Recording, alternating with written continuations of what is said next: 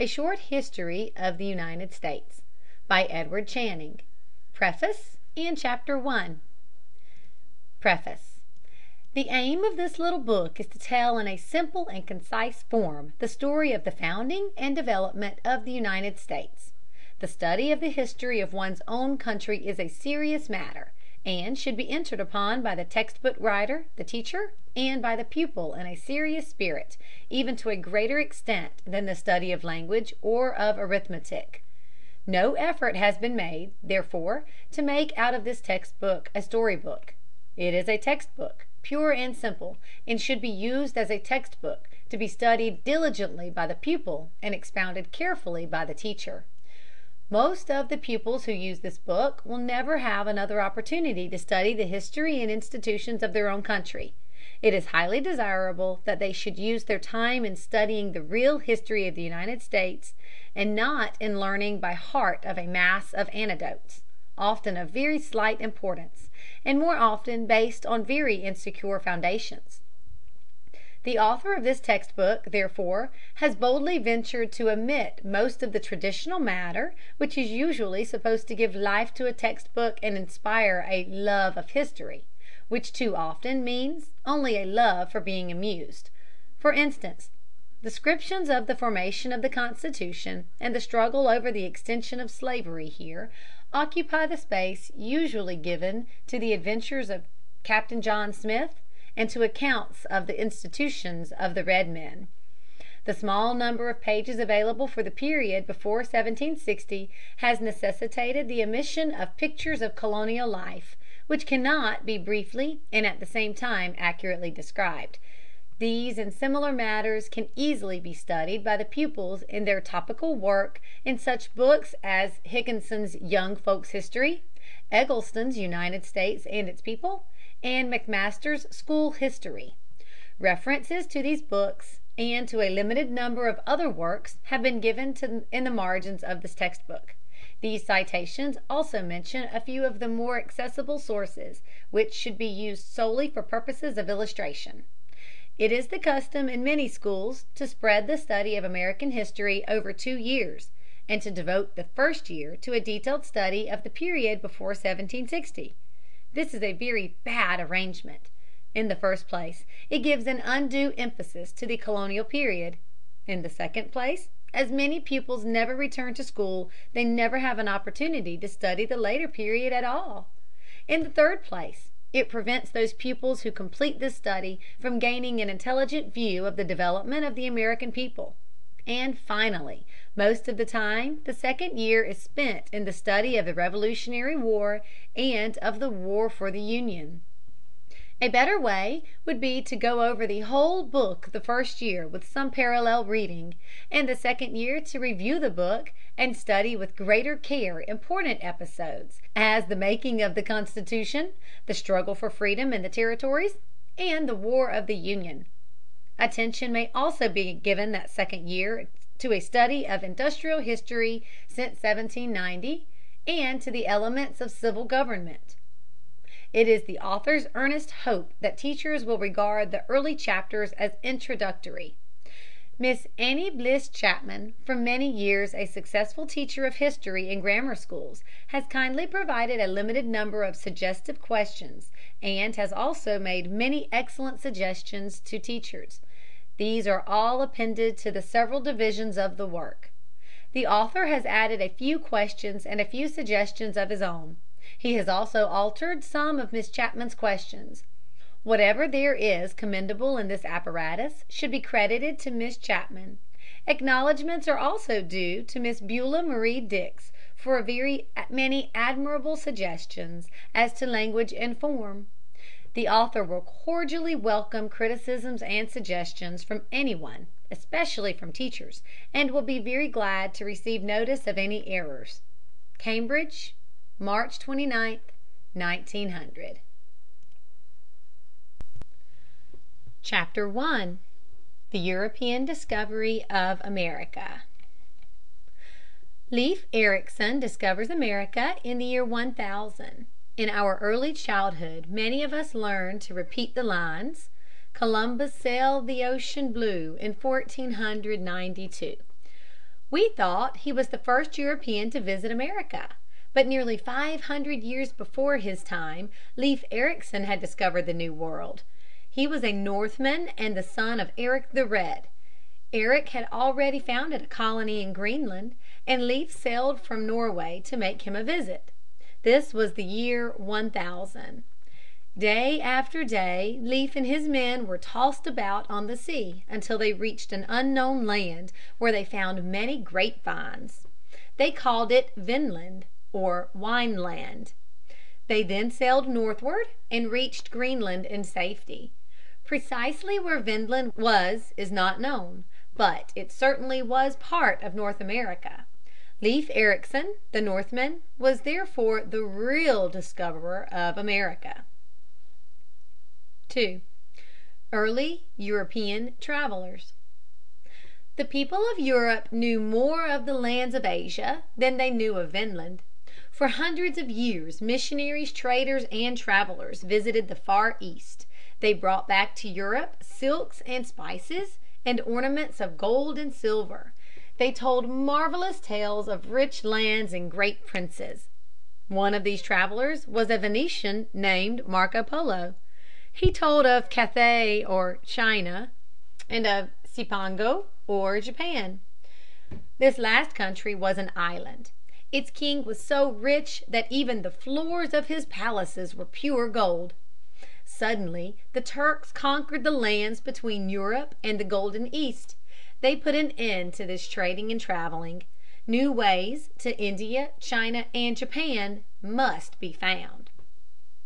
(3) EARLY PORTUGUESE SAILORS.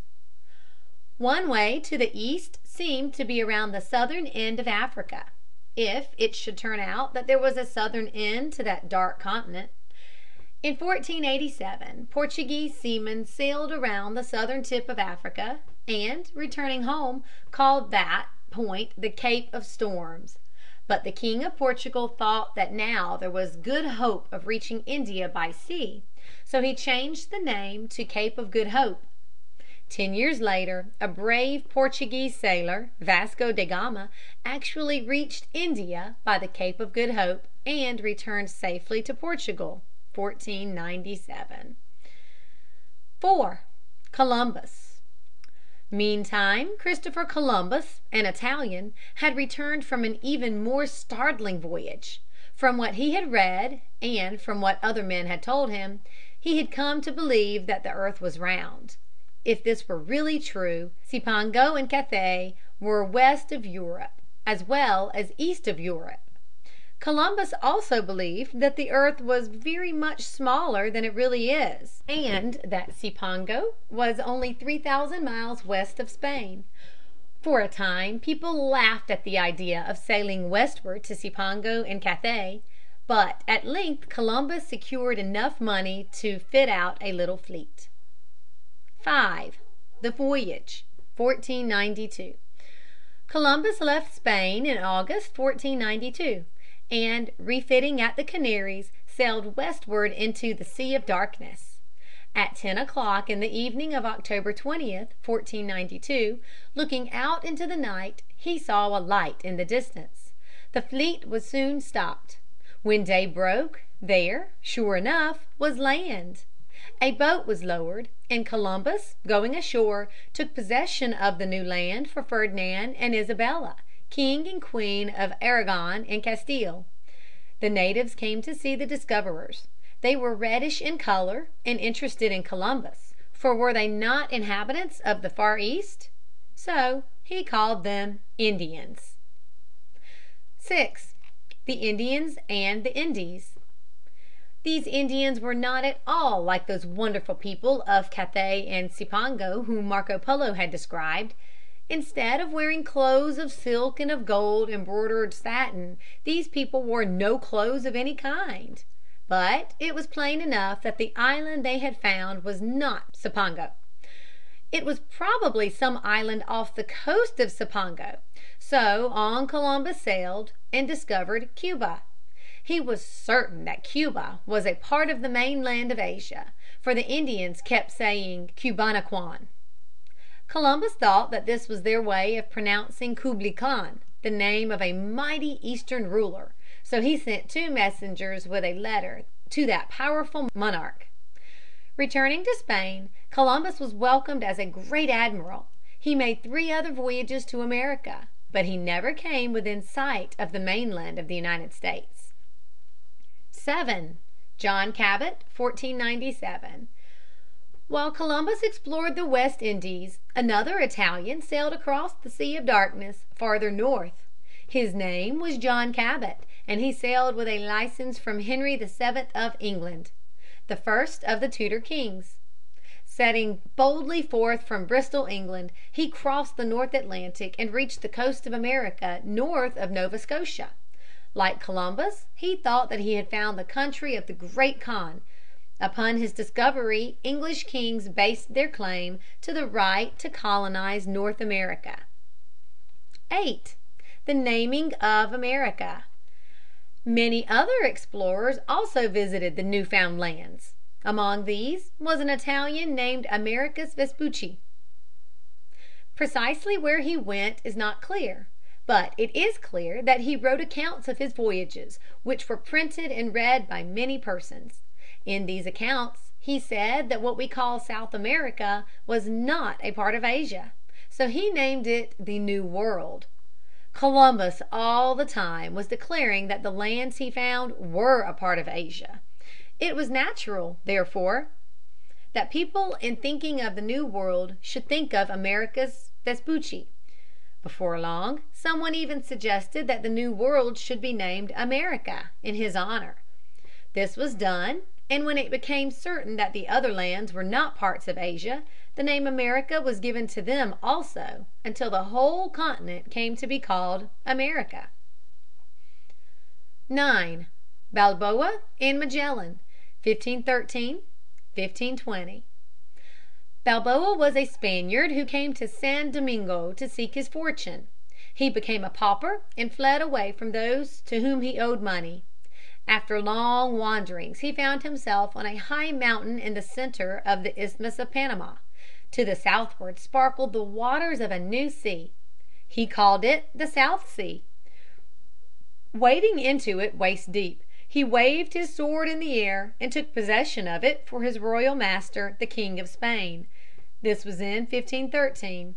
Seven years later, in 1520, Magellan, a Portuguese seaman in the service of the Spanish king, sailed through the Straits of Magellan and entered the same great ocean which he called the Pacific. Thence northward and westward he sailed day after day, week after week, and month after month, until he reached the Philippine Islands. The natives killed Magellan, but one of his vessels found her way back to Spain around the Cape of Good Hope. End of chapter II. Spanish and French Pioneers in the United States. 10. Stories of Golden Lands. Wherever the Spaniards went the Indians always told them stories of golden lands somewhere else. The Bahama Indians, for instance, told their cruel Spanish masters of a wonderful land toward the north. Not only was there gold in that land. There was also a fountain whose waters restored youth and vigor to the drinker. Among the fierce Spanish soldiers was Ponce de Leon. He determined to see for himself if these stories were true. 11. Discovery of Florida, 1513. In the same year that Balboa discovered the Pacific Ocean, Ponce de Leon sailed northward and westward from the Bahamas. On Easter Sunday, 1513, he anchored off the shores of a new land. The Spanish name for Easter was La Pascua de Flores. So De Leon called the new land Florida. For the Spaniards were a very religious people, and usually named their lands and the settlements from saints or religious events. De Leon then sailed around the southern end of Florida and back to the West Indies. In 1521 he visited Florida again, and was wounded by an Indian arrow, and returned home to die. 12. Spanish voyages and conquests. Spanish sailors and conquerors now appeared in quick succession on the northern and western shores of the Gulf of Mexico. One of them discovered the mouth of the Mississippi. Others of them stole Indians and carried them to the islands to work as slaves. The most famous of them all was Cortez. In 1519 he conquered Mexico after a thrilling campaign and found there great store of gold and silver. This discovery led to more expeditions and to the exploration of the southern half of the United States. (13) Coronado in the Southwest, 1540 to 1542. In 1540 Coronado set out from the Spanish towns on the Gulf of California to seek for more gold and silver. For seventy three days he journeyed northward until he came to the Pueblos of the Southwest. These pueblos were huge buildings of stone and sun dried clay. Some of them were large enough to shelter three hundred Indian families. Pueblos are still to be seen in Arizona and New Mexico, and the Indians living in them, even to this day, tell stories of Coronado's coming and of his cruelty. There was hardly any gold and silver in these "cities," so a great grief fell upon Coronado and his comrades. (14) The Great Plains. Soon, however, a new hope came to the Spaniards, for an Indian told them that far away in the north there really was a golden land. Onward rode Coronado and a body of picked men. They crossed vast plains where there were no mountains to guide them. For more than a thousand miles they rode on until they reached eastern Kansas. Everywhere they found great herds of buffaloes, or wild cows, as they called them. They also met the Indians of the plains. Unlike the Indians of the pueblos, these Indians lived in tents made of buffalo hides stretched upon poles. Everywhere there were plains, buffaloes, and Indians. Nowhere was there gold or silver. Broken hearted, Coronado and his men rode southward to their old homes in Mexico. 15. De Soto in the Southeast, 1539 to 1543. In 1539 a Spanish army landed at Tampa Bay on the western coast of Florida. The leader of this army was De Soto, one of the conquerors of Peru. He was very fond of the sport of killing Indians, and was also greedy for gold and silver. From Tampa he marched northward to South Carolina and then marched southwestward to Mobile Bay. There he had a dreadful time, for the Indians burned his camp and stores and killed many of his men. From Mobile he wandered northwestward until he came to a great river. It was the Mississippi, and it was so wide that a man standing on one bank could not see a man standing on the opposite bank. Some of De Soto's men penetrated westward nearly to the line of Coronado's march. But the two bands did not meet. De Soto died and was buried in the Mississippi. Those of his men who still lived built a few boats and managed to reach the Spanish settlements in Mexico. 16. Other Spanish expeditions. Many other Spanish explorers visited the shores of the United States before 1550. Some sailed along the Pacific coast, others sailed along the Atlantic coast. The Spaniards also made several attempts to found settlements both on the northern shore of the Gulf of Mexico and on Chesapeake Bay. But all these early attempts ended in failure. In 1550 there were no Spaniards on the continent within the present limits of the United States, except possibly a few traders and missionaries in the Southwest. 17. Early French voyages, 1524 to 1536. The first French expedition to America was led by an Italian named Verrazano, but he sailed in the service of Francis I, King of France. He made his voyage in 1524 and sailed along the coast from the Cape Fear River to Nova Scotia. He entered New York harbor and spent two weeks in Newport harbor. He reported that the country was as pleasant as it is possible to conceive. The next French expedition was led by a Frenchman named Cartier. In 1534 he visited the Gulf of St. Lawrence. In 1535 he sailed up the St. Lawrence River to Montreal. But before he could get out of the river again the ice formed about his ships. He and his crew had to pass the winter there. They suffered terribly, and twenty four of them perished of cold and sickness. In the spring of 1536 the survivors returned to France. [Sidenote: The French in Carolina, 1562.] 18. The French in Carolina. 1562. The French next explored the shores of the Carolinas. Ribault was the name of their commander. Sailing southward from Carolina, he discovered a beautiful river and called it the River of May, but we know it by its Spanish name of St. John's. He left a few men on the Carolina coast and returned to France. A year or more those men remained. Then, wearying of their life in the wilderness, they built a crazy boat with sails of shirts and sheets and steered for France. Soon their water gave out and then their food. Finally, almost dead, they were rescued by an English ship. [Sidenote: Florida.] [Sidenote: French in Florida.] 19. The French in Florida, 1564 65. While these Frenchmen were slowly drifting across the Atlantic a great French expedition was sailing to Carolina. Finding Ribault's men gone, the new colony was planted on the banks of the River of May.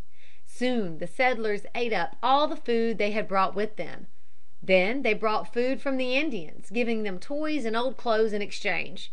Some of the colonists rebelled. They seized a vessel and sailed away to plunder the Spaniards in the West Indies.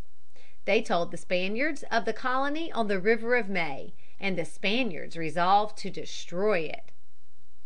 (20) The Spaniards in Florida, 1565. For this purpose the Spaniards sent out an expedition under Menendez. He sailed to the River of May and found Ribault there with a French fleet. So he turned southward, and going ashore founded St. Augustine. Ribault followed, but a terrible storm drove his whole fleet ashore south of St. Augustine. Menendez then marched overland to the French colony. He surprised the colonists and killed nearly all of them. Then going back to St. Augustine, he found Ribault and his shipwrecked sailors and killed nearly all of them. In this way ended the French attempts to found a colony in Carolina and Florida. But St. Augustine remained, and is to day the oldest town on the mainland of the United States. End of chapter III. Pioneers of England. 21. Sir John Hawkins. For many years after Cabot's voyage Englishmen were too busy at home to pay much attention to distant expeditions. But in Queen Elizabeth's time English seamen began to sail to America. The first of them to win a place in history was John Hawkins. He carried cargoes of negro slaves from Africa to the West Indies and sold them to the Spanish planters. On his third voyage he was basely attacked by the Spaniards and lost four of his five ships.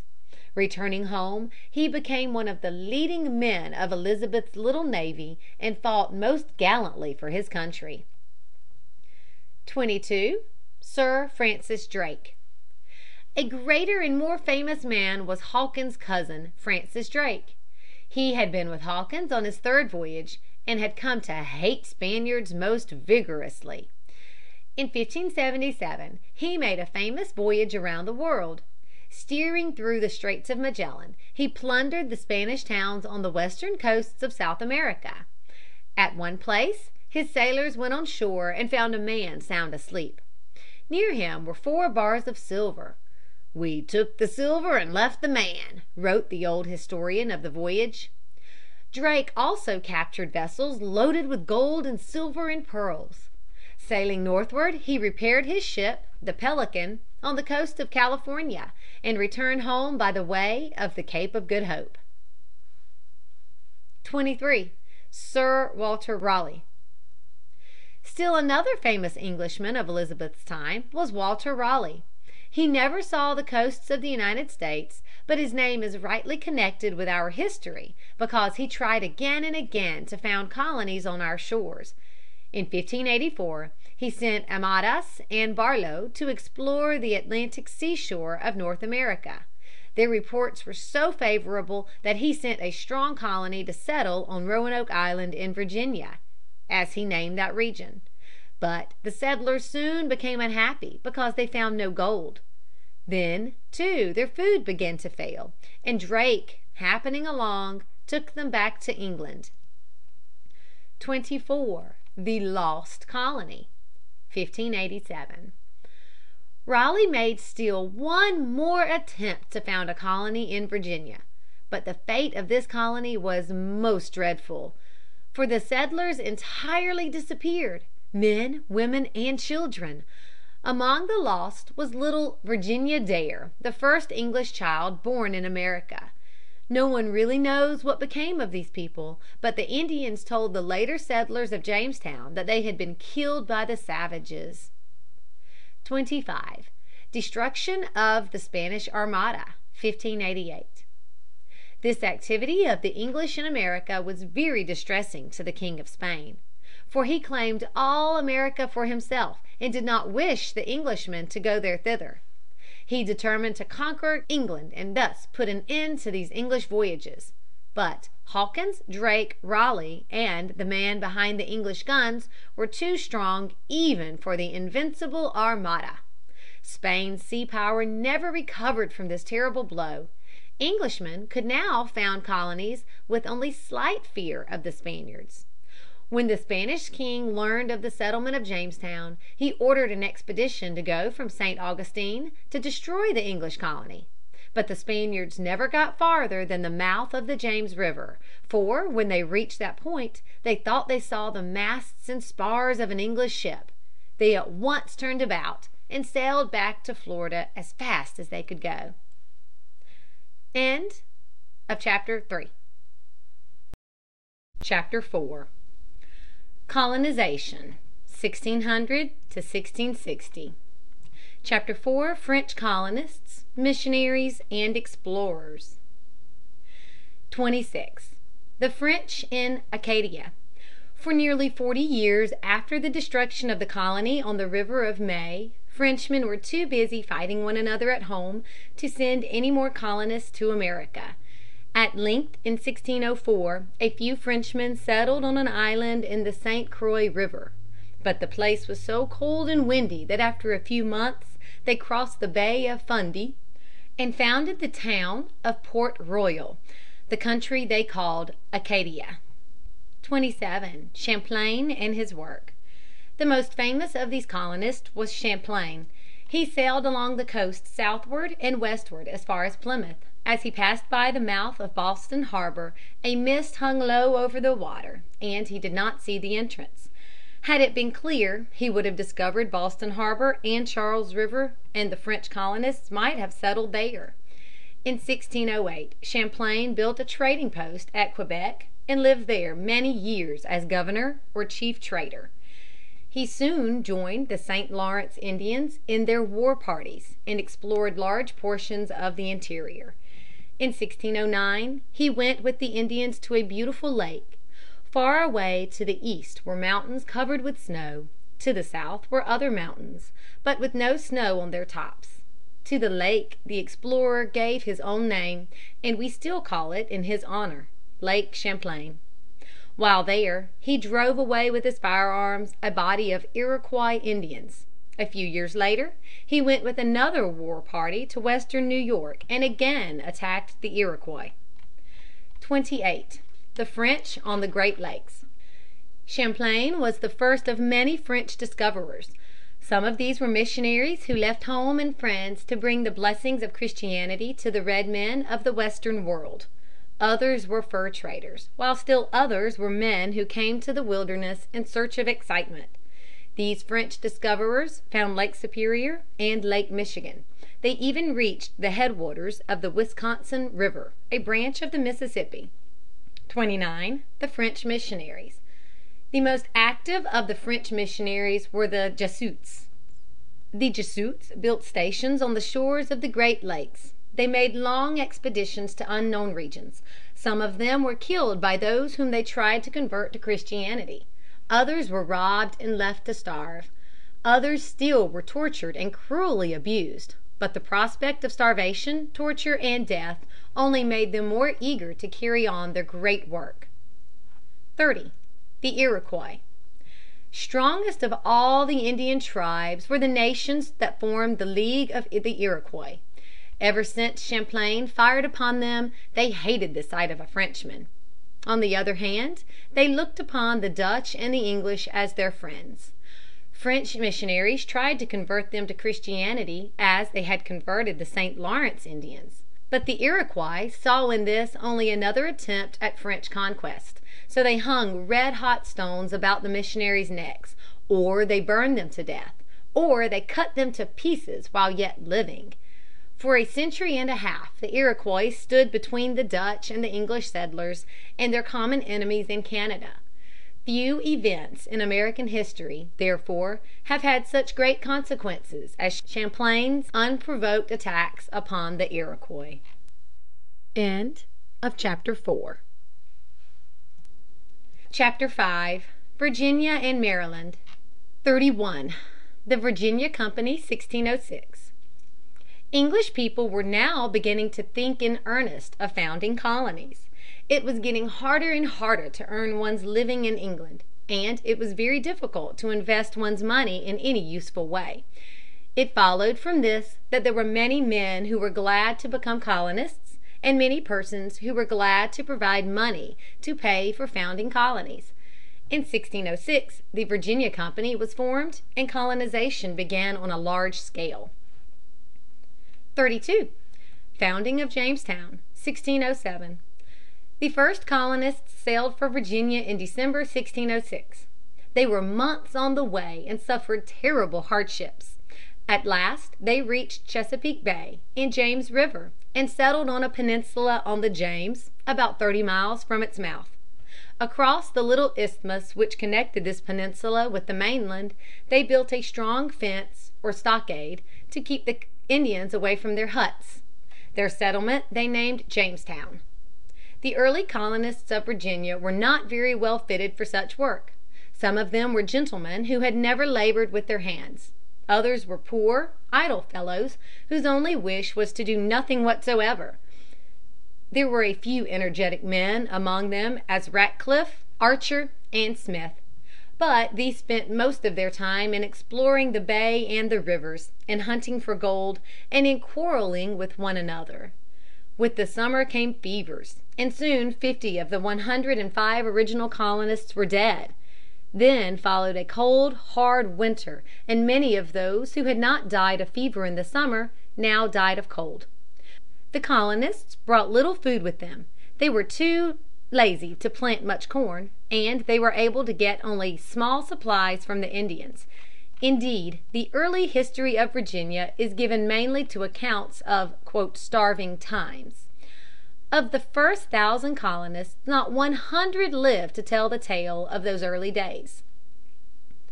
[Sidenote: Sir Thomas Dale in good order.] 33. Sir Thomas Dale in good order. In 1611 Sir Thomas Dale came out as ruler, and he ruled with an iron hand. If a man refused to work, Dale made a slave of him for three years. If he did not work hard enough, Dale had him soundly whipped. But Sir Thomas Dale was not only a severe man. He was also a wise man. Hitherto everything had been in common.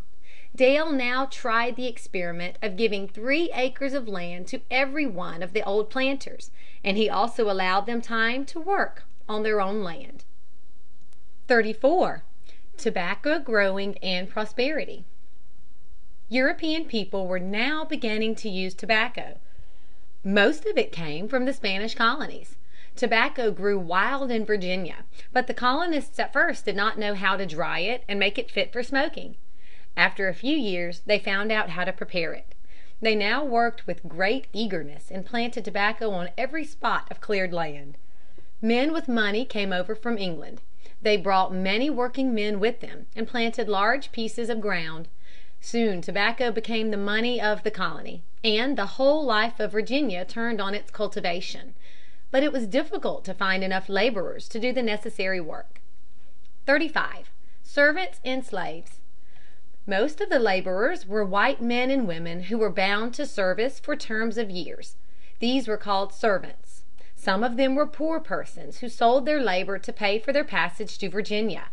Others were unfortunate men and women, and even children, who were stolen from their families and sold to the colonists. Still others were criminals whom King James sent over to the colony because that was the cheapest thing to do with them. In 1619 the first negro slaves were brought to Virginia by a Dutch vessel. The Virginians bought them all, only twenty in number. But the planters preferred white laborers. It was not until more than twenty five years had passed away that the slaves really became numerous enough to make much difference in the life of the colony. [Sidenote: The first American legislature, 1619.] 36. The first American legislature, 1619. The men who first formed the Virginia Company had long since lost interest in it. Other men had taken their place. These latter were mostly Puritans, or were the friends and workers with the Puritans. The best known of them was Sir Edward Sandys, the playmate of William Brewster, one of the Pilgrim Fathers. Sandys and his friends sent Sir George Yeardley to Virginia as governor. They ordered him to summon an assembly to be made up of representatives chosen by the freedom of the colony. They ordered him to summon an assembly to be made up of representatives chosen by the freemen of the colony. These representatives soon did away with Dale's ferocious regulations and made other and much milder laws. [Sidenote: Virginia becomes a royal province, 1624.] 37. Virginia becomes a royal province, 1624. The Virginians thought this was a very good way to be governed. But King James thought that the new rulers of the Virginia Company were much too liberal, and he determined to destroy the company. The judges in those days dared not displease the king, for he could turn them out of office at any time. So when he told them to destroy the Virginia charter they took the very first opportunity to declare it to be of no force. In this way the Virginia Company came to an end and Virginia became a royal province with a governor appointed by the king. [Sidenote: Religious intolerance.] 38. Religious Intolerance. In 1625 King James died, and his son Charles became king. He left the Virginians to themselves for the most part. They liked this. But they did not like his giving the northern part of Virginia to a Roman Catholic favorite, Lord Baltimore, with the name of Maryland. Many Roman Catholics soon settled in Lord Baltimore's colony. The Virginians feared lest they might come to Virginia and made severe laws against them. Puritan missionaries also came from New England and began to convert the Virginians to Puritanism. Governor Berkeley and the leading Virginians were Episcopalians. They did not like the Puritans any better than they liked the Roman Catholics. They made harsh laws against them and drove them out of Virginia into Maryland. [Sidenote: Settlement of Maryland.] 39. Settlement of Maryland. Maryland included the most valuable portion of Virginia north of the Potomac. Besides being the owner of all this land, Lord Baltimore was also the ruler of the colony. He invited people to go over and settle in Maryland, and offered to give them large tracts of land on payment of a small sum every year forever. Each man's payment was small, but all the payments taken together made quite a large amount, which went on growing larger and larger as Maryland was settled. The Baltimores were broad minded men. They gave their colonists a large share in the government of the colony, and did what they could to bring about religious toleration in Maryland. [Sidenote: Toleration Act, 1649.] 40. The Maryland Toleration Act, 1649. The English Roman Catholics were cruelly oppressed. No priest of that faith was allowed to live in England, and Roman Catholics who were not priests had to pay heavy fines simply because they were Roman Catholics. Lord Baltimore hoped that his fellow Catholics might find a place of shelter in Maryland, and many of the leading colonists were Roman Catholics. But most of the laborers were Protestants. Soon came the Puritans from Virginia. They were kindly received and given land. But it was evident that it would be difficult for Roman Catholics, Episcopalians, and Puritans to live together without some kind of law to go by. So a law was made that any Christian might worship as he saw fit. This was the first Toleration Act in the history of America. It was the first Toleration Act in the history of modern times. But the Puritan Roger Williams had already established religious freedom in Rhode Island. [Sidenote: Tobacco industries.] 41. Maryland Industries. Tobacco was the most important crop in early Maryland. But grain was raised in many parts of the colony. In time, also, there grew up a large trading town. This was Baltimore. Its shipowners and merchants became rich and numerous, while there were almost no shipowners or merchants in Virginia. There were also fewer slaves in Maryland than in Virginia. Nearly all the hard labor in the former colony was done by white servants. In most other ways, however, Virginia and Maryland were nearly alike. End of chapter VI. New England. 42. The Puritans. The New England colonies were founded by English Puritans who left England because they could not do as they wished in the home land. All Puritans were agreed in wishing for a freer government than they had in England under the Stuart kings, and in state matters were really the liberals of their time. In religious matters, however, they were not all of one mind. Some of them wished to make only a few changes in the Church. These were called nonconformists. Others wished to make so many changes in religion that they could not stay in the English state church. These were called Separatists. The settlers of Plymouth were Separatists. The settlers of Boston and neighboring towns were nonconformists. 43. The Pilgrims. Of all the groups of the Separatists scattered over England, none became so famous as those who met at Elder Brewster's house at Scrooby. King James decided to make all Puritans conform to the State Church or to hunt them out of the land. The Scrooby people soon felt the weight of their persecution. After suffering great hardships and cruel treatment they fled away to Holland, but there they found it very difficult to make a living. They suffered so terribly that many of their English friends preferred to go to prison in England rather than lead such a life of slavery in Holland. So the Pilgrims determined to found a colony in America. They reasoned that they could not be worse off in America, because that would be impossible. At all events, their children would not grow up as Dutchmen, but would still be Englishmen. They had entire religious freedom in Holland, but they thought they would have the same in America. 44. The Voyage Across the Atlantic. Brewster's old friend, Sir Edwin Sandys, was now at the head of the Virginia Company. He easily procured land for the Pilgrims in northern Virginia near the Dutch settlements. Some London merchants lent them money, but they lent it on such harsh conditions that the Pilgrims' early life in America was nearly as hard as their life had been in Holland.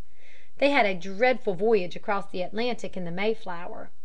At one time it seemed as if the ship would surely go down. But the Pilgrims helped the sailors to place a heavy piece of wood under one of the deck beams and saved the vessel from going to pieces. On November 19, 1620, they sighted land off the coast of Cape Cod. They tried to sail around the cape to the southward, but the storms drove them back, and they anchored in Provincetown harbor. 45. The Mayflower Compact, 1620.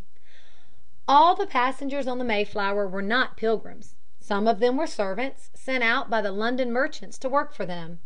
These men said that as they were outside of Virginia, the leaders of the expedition would have no power over them as soon as they got on land.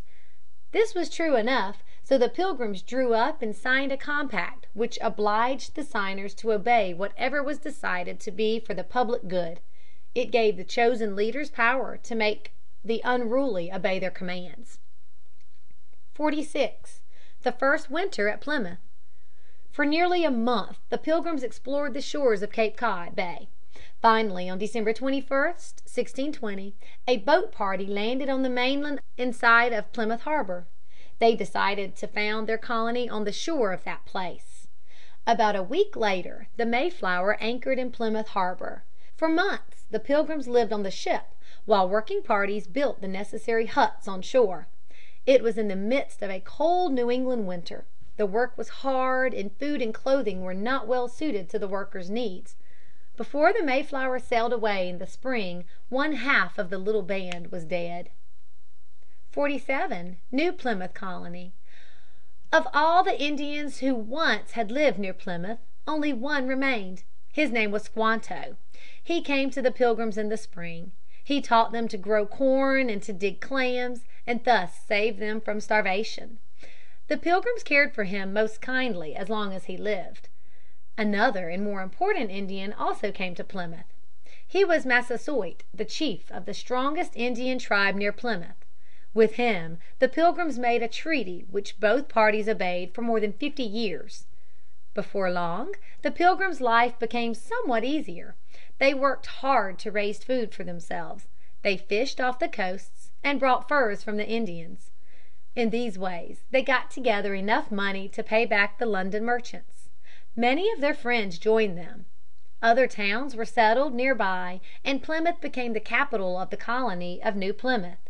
But the colony was never very prosperous, and in the end was added to Massachusetts. [Sidenote: The founding of Massachusetts, 1629 30.] 48. The Founding of Massachusetts, 1629 30. Unlike the poor and humble Pilgrims were the founders of Massachusetts. They were men of wealth and social position, as, for instance, John Winthrop and Sir Richard Saltonstall. They left comfortable homes in England to found a Puritan state in America. They got a great tract of land extending from the Merrimac to the Charles and westward across the continent. Hundreds of colonists came over in the years 1629 to 1630. They settled Boston, Salem, and neighboring towns. In the next ten years thousands more joined them. From the beginning Massachusetts was strong and prosperous. Among so many people there were some who did not get on happily with the rulers of the colony. [Sidenote: Roger Williams.] 49. Roger Williams and Religious Liberty. Among the newcomers was Roger Williams, a Puritan minister. He disagreed with the Massachusetts leaders on several points. For instance, he thought that the Massachusetts people had no right to their lands, and he insisted that the rulers had no power in religious matters, as enforcing the laws as to Sunday. He insisted on these points so strongly that the Massachusetts government expelled him from the colony. In the spring of 1636, with four companions, he founded the town of Providence. There he decided that every one should be free to worship God as he or she saw fit. 50. The Rhode Island Towns. Soon another band of exiles came from Massachusetts. These were Mrs. Hutchinson and her followers. Mrs. Hutchinson was a brilliant Puritan woman who had come to Boston from England to enjoy the ministry of John Cotton, one of the Boston ministers. She soon began to find fault with the other ministers of the colony. Naturally they did not like this. Their friends were more numerous than were Mrs. Hutchinson's friends, and the latter had to leave Massachusetts. They settled on the island of Rhode Island in 1637. 51. The Connecticut Colony. Besides those Puritans whom the Massachusetts people drove from their colony, there were other settlers who left Massachusetts of their own free will. Among these were the founders of Connecticut. The Massachusetts people would gladly have had them remain, but they were discontented and insisted on going away. They settled the towns of Hartford, Windsor, and Wethersfield, on the Connecticut River. At about the same time John Winthrop, Jr., led a colony to Saybrook, at the mouth of the Connecticut. Up to this time the Dutch had seemed to have the best chance to settle the Connecticut Valley. But the control of that region was now definitely in the hands of the English. 52.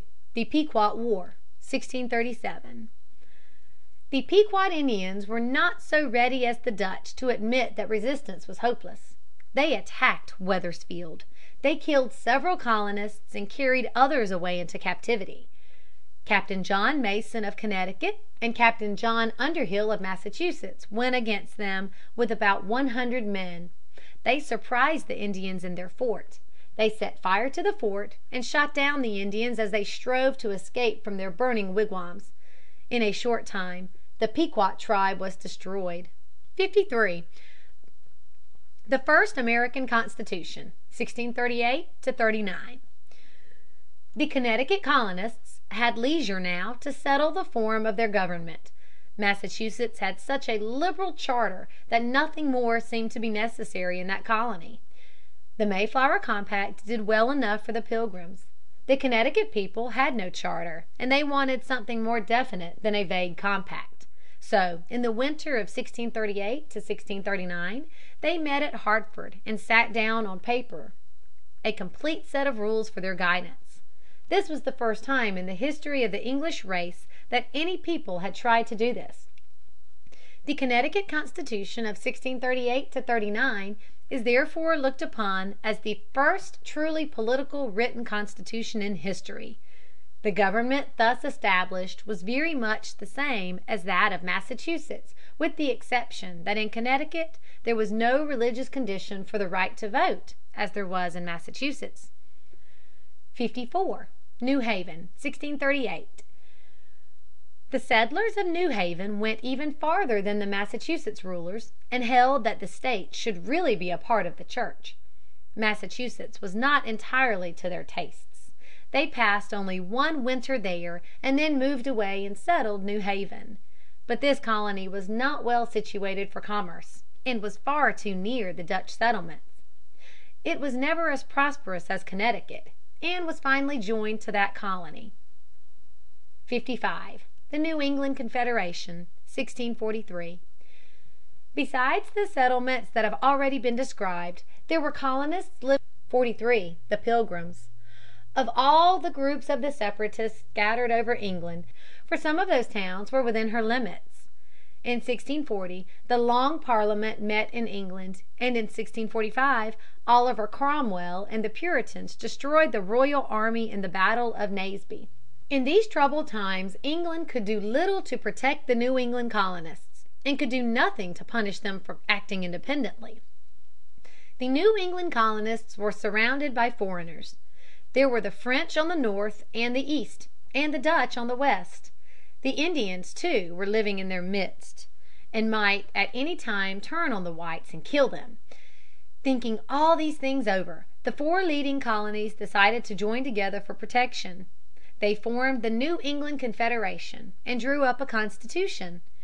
The colonists living in Rhode Island and in Maine did not belong to the Confederation, but they enjoyed many of the benefits flowing from it, for it was quite certain that the Indians and the French and the Dutch would think twice before attacking any of the New England settlements. 56. Social Conditions. The New England colonies were all settled on the town system, for there were no industries which demanded large plantations, as tobacco planting. The New Englanders were small farmers, mechanics, shipbuilders, and fishermen. There were few servants in New England, and almost no negro slaves. Most of the laborers were free men and worked for wages as laborers now do. Above all, the New Englanders were very zealous in the matter of education. Harvard College was founded in 1636. A few years later a law was passed compelling every town to provide schools for all the children in the town. End of chapter VII. New Netherland and New Sweden. 57. The Dutch. At this time the Dutch were the greatest traders and shipowners in the world. They were especially interested in the commerce of the East Indies. Indeed, the Dutch India Company was the most successful trading company in existence. The way to the East Indies lay through seas carefully guarded by the Portuguese, so the Dutch India Company hired Henry Hudson, an English sailor, to search for a new route to India. 58. Hudson's Voyage, 1609.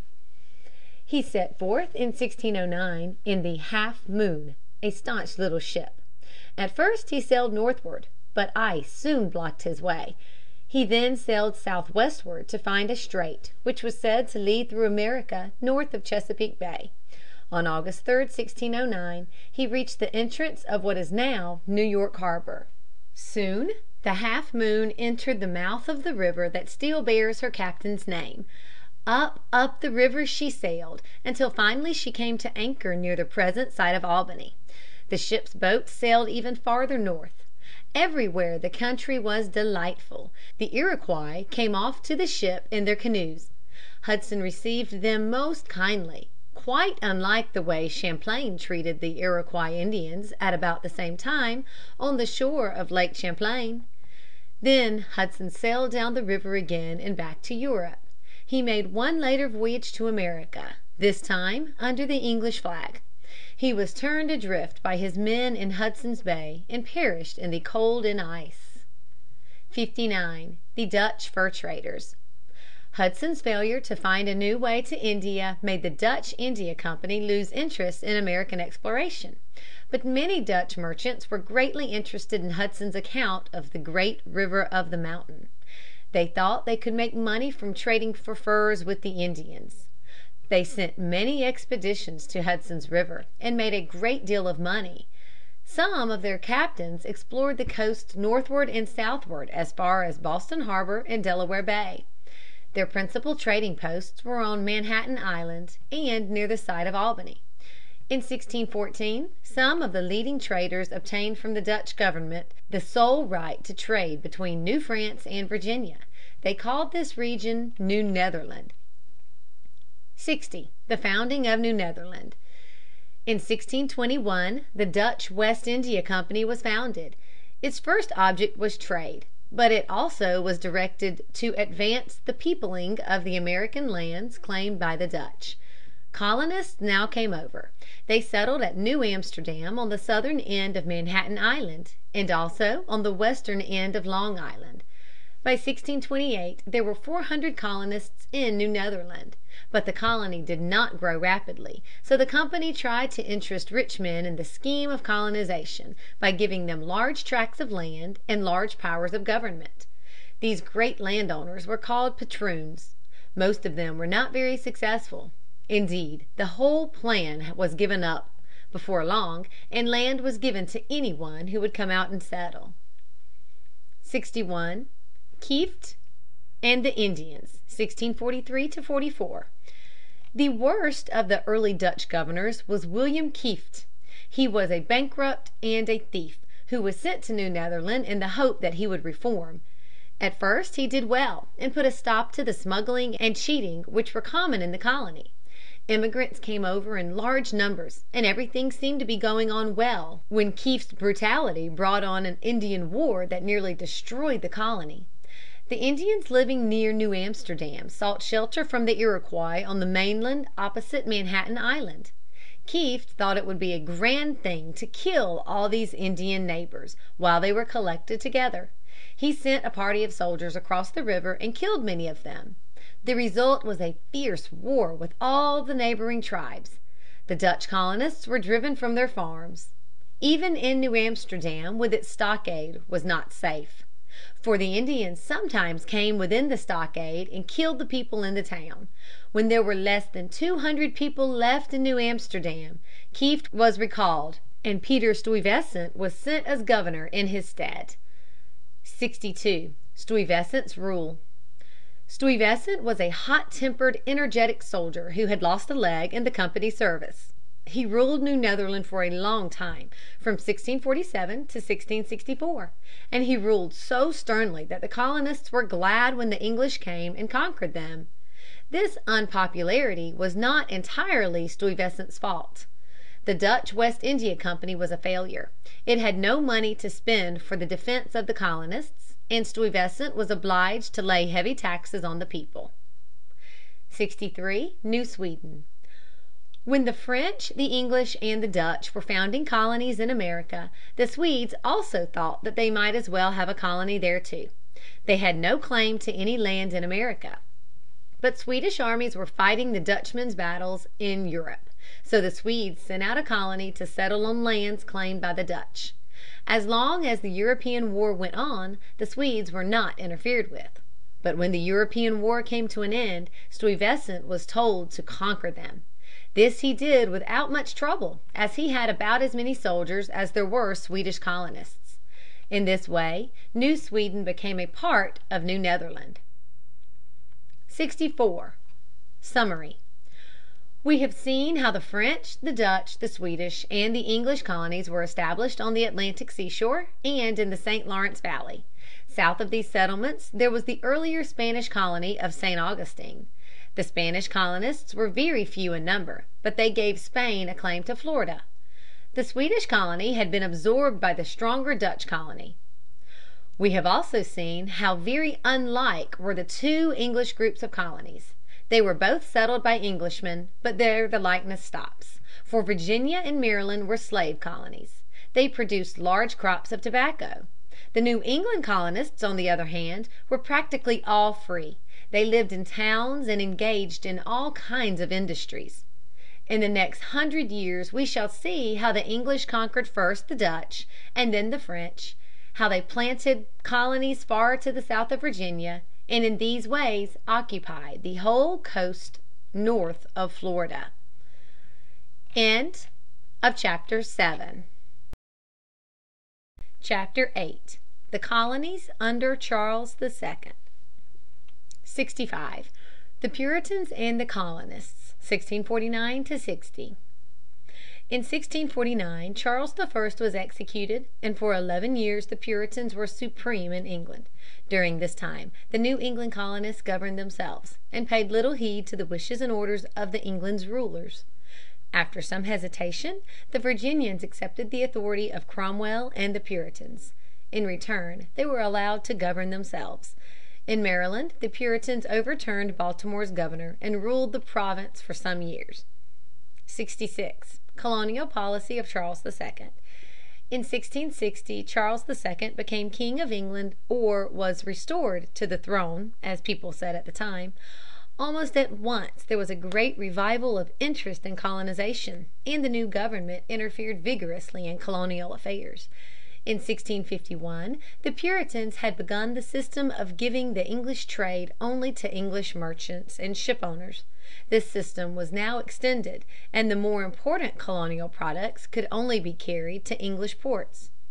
67. A tax on Massachusetts. The new government was especially displeased by the independent spirit shown by Massachusetts. Only good Puritans could vote in that colony, and members of the Church of England could not even worship as they wished. The Massachusetts people paid no heed whatever to the navigation laws and asserted that acts of Parliament had no force in the colony. It chanced that at this time Massachusetts had placed herself clearly in the wrong by hanging four persons for no other reason than that they were Quakers. The English government thought that now the time had come to assert its power. It ordered the Massachusetts rulers to send other Quakers to England for trial. But when this order reached Massachusetts there were no Quakers in prison awaiting trial, and none were ever sent to England. 68. Connecticut and Rhode Island. While the English government was attacking Massachusetts, it was giving liberal charters to Connecticut and Rhode Island. Indeed, these charters were so liberal that they remained the constitutions of the states of Connecticut and Rhode Island until long after the American Revolution. The Connecticut charter included New Haven within the limits of the larger colony, and thus put an end to the separate existence of New Haven. 69. Conquest of New Netherland, 1664. The English government now determined to conquer New Netherland. An English fleet sailed to New Amsterdam. Stuyvesant thumped up and down on his wooden leg, but he was almost the only man in New Amsterdam who wanted to fight. He soon surrendered, and New Netherland became an English colony. The Dutch later recaptured it and held it for a time, but in 1674 they finally handed it over to England. 70. New York. Even before the colony was seized in 1664, Charles II gave it away to his brother James, Duke of York and Albany, who afterward became king as James II. The name of New Netherland was therefore changed to New York, and the principal towns were also named in his honor, New York and Albany.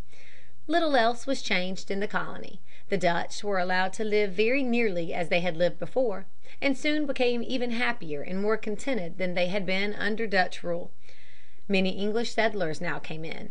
The colony became rich and prosperous, but the people had little to do with their own government. 71. New Jersey.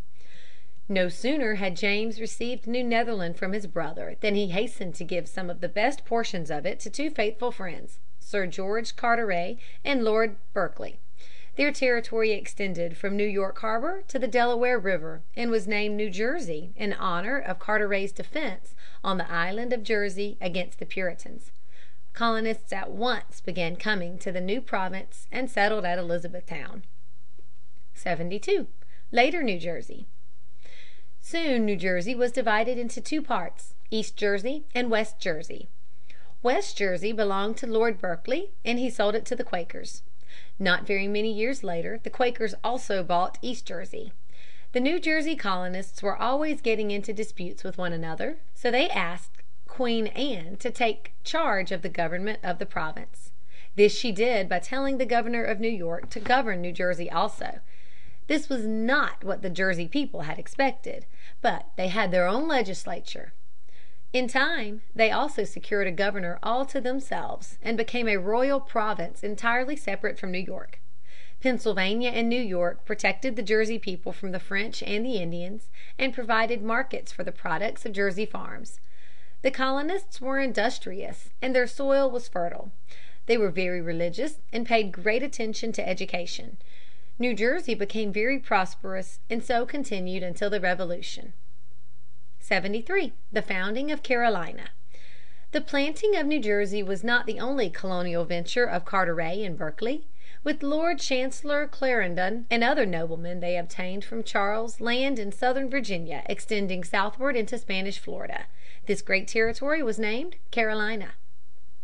[Sidenote: Colonists. McMaster, 237.] 74. The Carolina Colonists. In 1663, when the Carolina charter was granted, there were a few settlers living in the northern part of the colony. Other colonists came from outside mainly from the Barbados, and settled on the Cape Fear River. In this way was formed a colony in northern Carolina. But the most important settlement was in the southern part of the province at Charleston. South Carolina at once became prosperous. This was due to the fact that the soil and the climate of that region were well suited to the cultivation of rice. The rice swamps brought riches to the planters. They also compelled the employment of large numbers of negro slaves.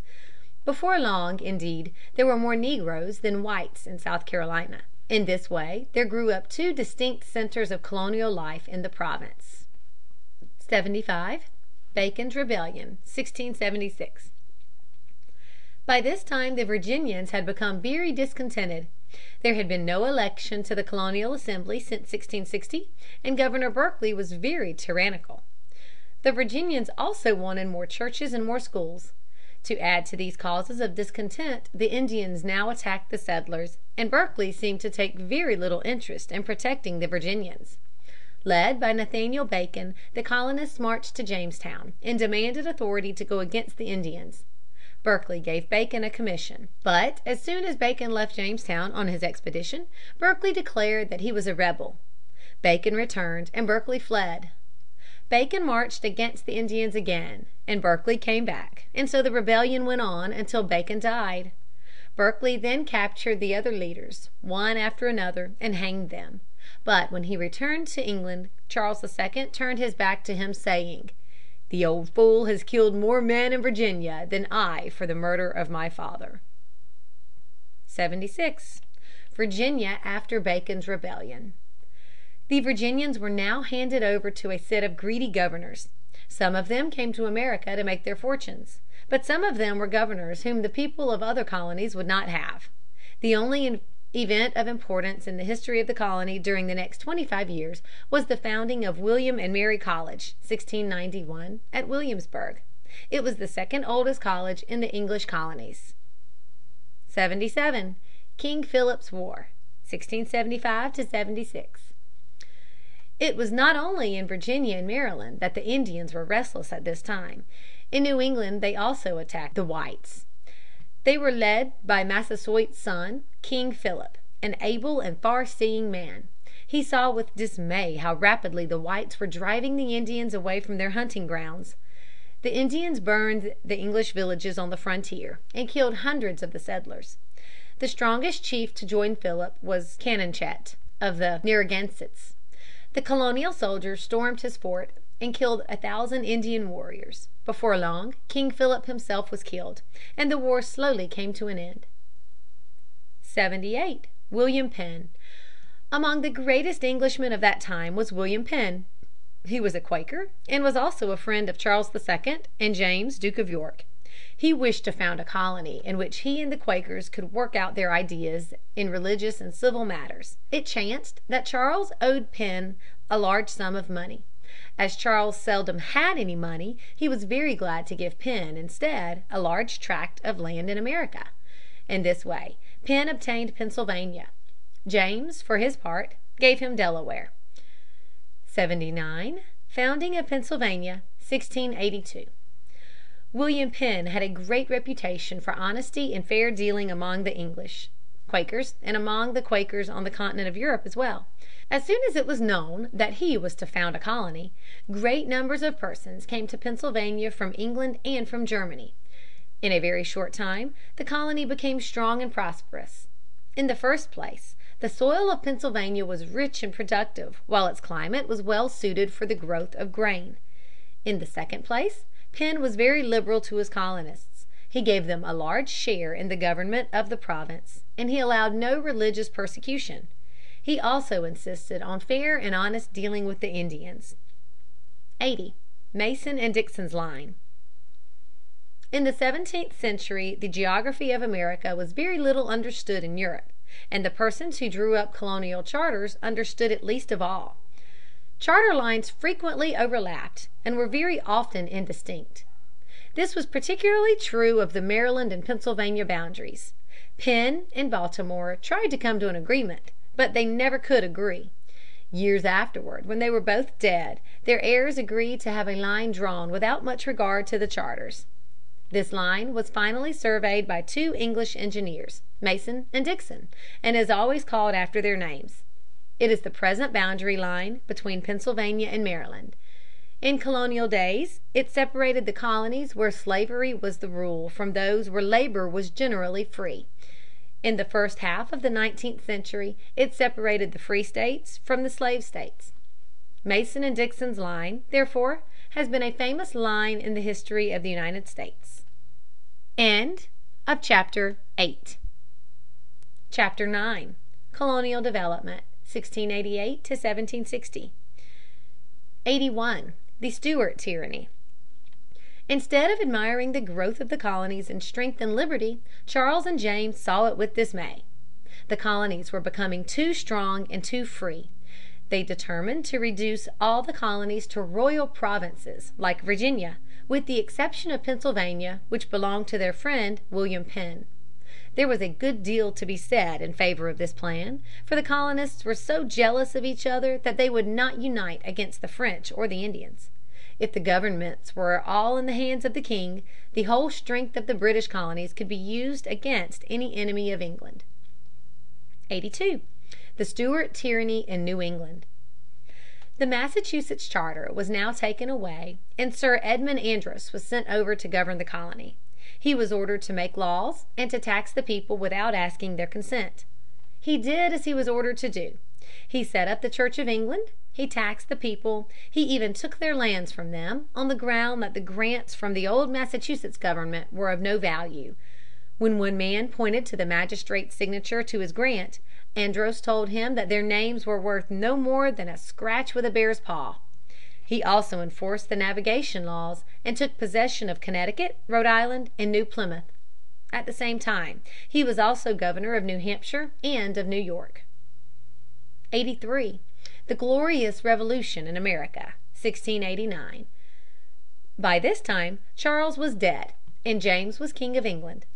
The English people did not like James any better than the New Englanders liked Andros. In 1688 they rebelled and made William of Orange and his wife Mary, James's eldest daughter, king and queen of England. On their part the Massachusetts colonists seized Andros and his followers and shut them up in prison (April 18, 1689). The people of Connecticut and Rhode Island turned out Andros's agents and set up their old governments. In New York also Andros's deputy governor was expelled, and the people took control of affairs until the king and queen should send out a governor. Indeed, all the colonies, except Maryland, declared for William and Mary. 84. The New Arrangements. For a year or two William was very busy in Ireland and on the continent. At length he had time to attend to colonial affairs he appointed royal governors for both Pennsylvania and Maryland. William Penn soon had his colony given back to him, but the Baltimores had to wait many years before they recovered Maryland. In New York there was a dreadful tragedy, for the new governor, Sloughter, was persuaded to order the execution of the leaders in the rising against Andros. Massachusetts did not get her old charter back, but she got another charter. This provided that the king should appoint the governor, but the people should elect a House of Representatives. The most important result of this new arrangement was a series of disputes between the king's governor and the people's representatives. Maine and New Plymouth were included in Massachusetts under the new charter, but New Hampshire remained a royal province. [Sidenote: The Colonies, 1700 60.] 85. The Colonies, 1700 60. During these years immigrants thronged to America, and the colonies became constantly stronger. Commerce everywhere developed, and many manufactures were established.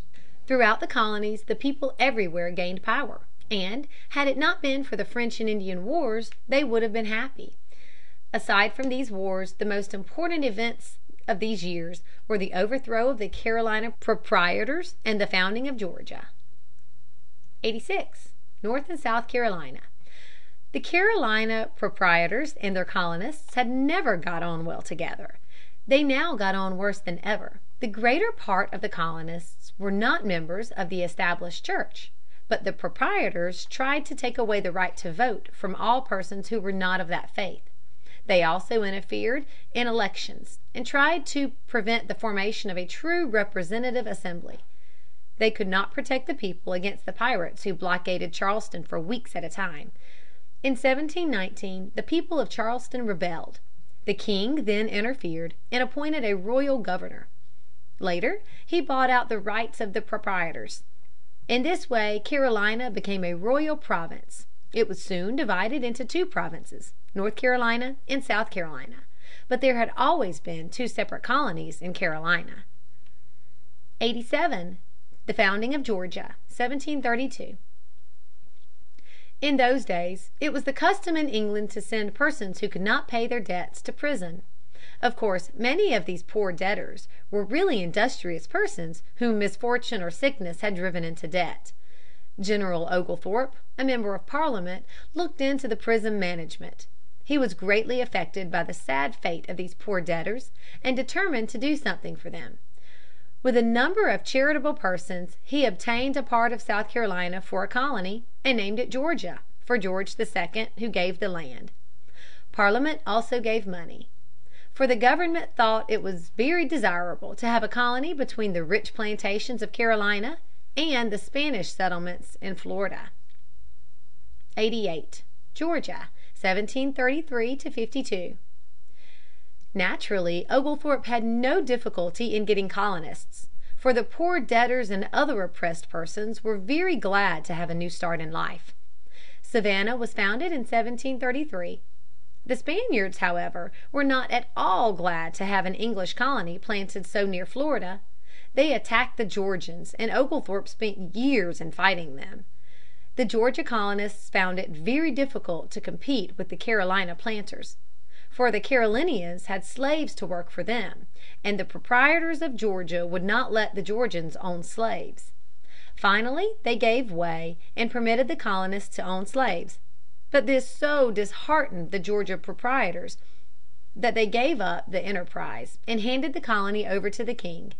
In this way Georgia became a royal province. End of CHAPTER X. Expulsion of the French. 89. Causes of the French wars. At the time of the "Glorious Revolution" James II found refuge with Louis XIV, King of France. William and Louis had already been fighting, and it was easy enough to see that if William became King of England he would be very much more powerful than he was when he was only Prince of Orange. So Louis took up the cause of James and made war on the English and the Dutch.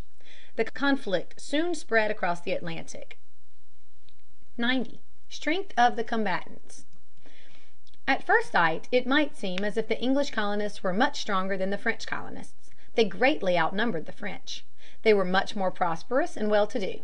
But their settlements were scattered over a great extent of seacoast from Kennebec to the Savannah. Their governments were more or less free. But this very freedom weakened them for war. The French colonial government was a despotism directed from France. Whatever resources the French had in America were certain to be well used. 91. King William's War, 1689 97.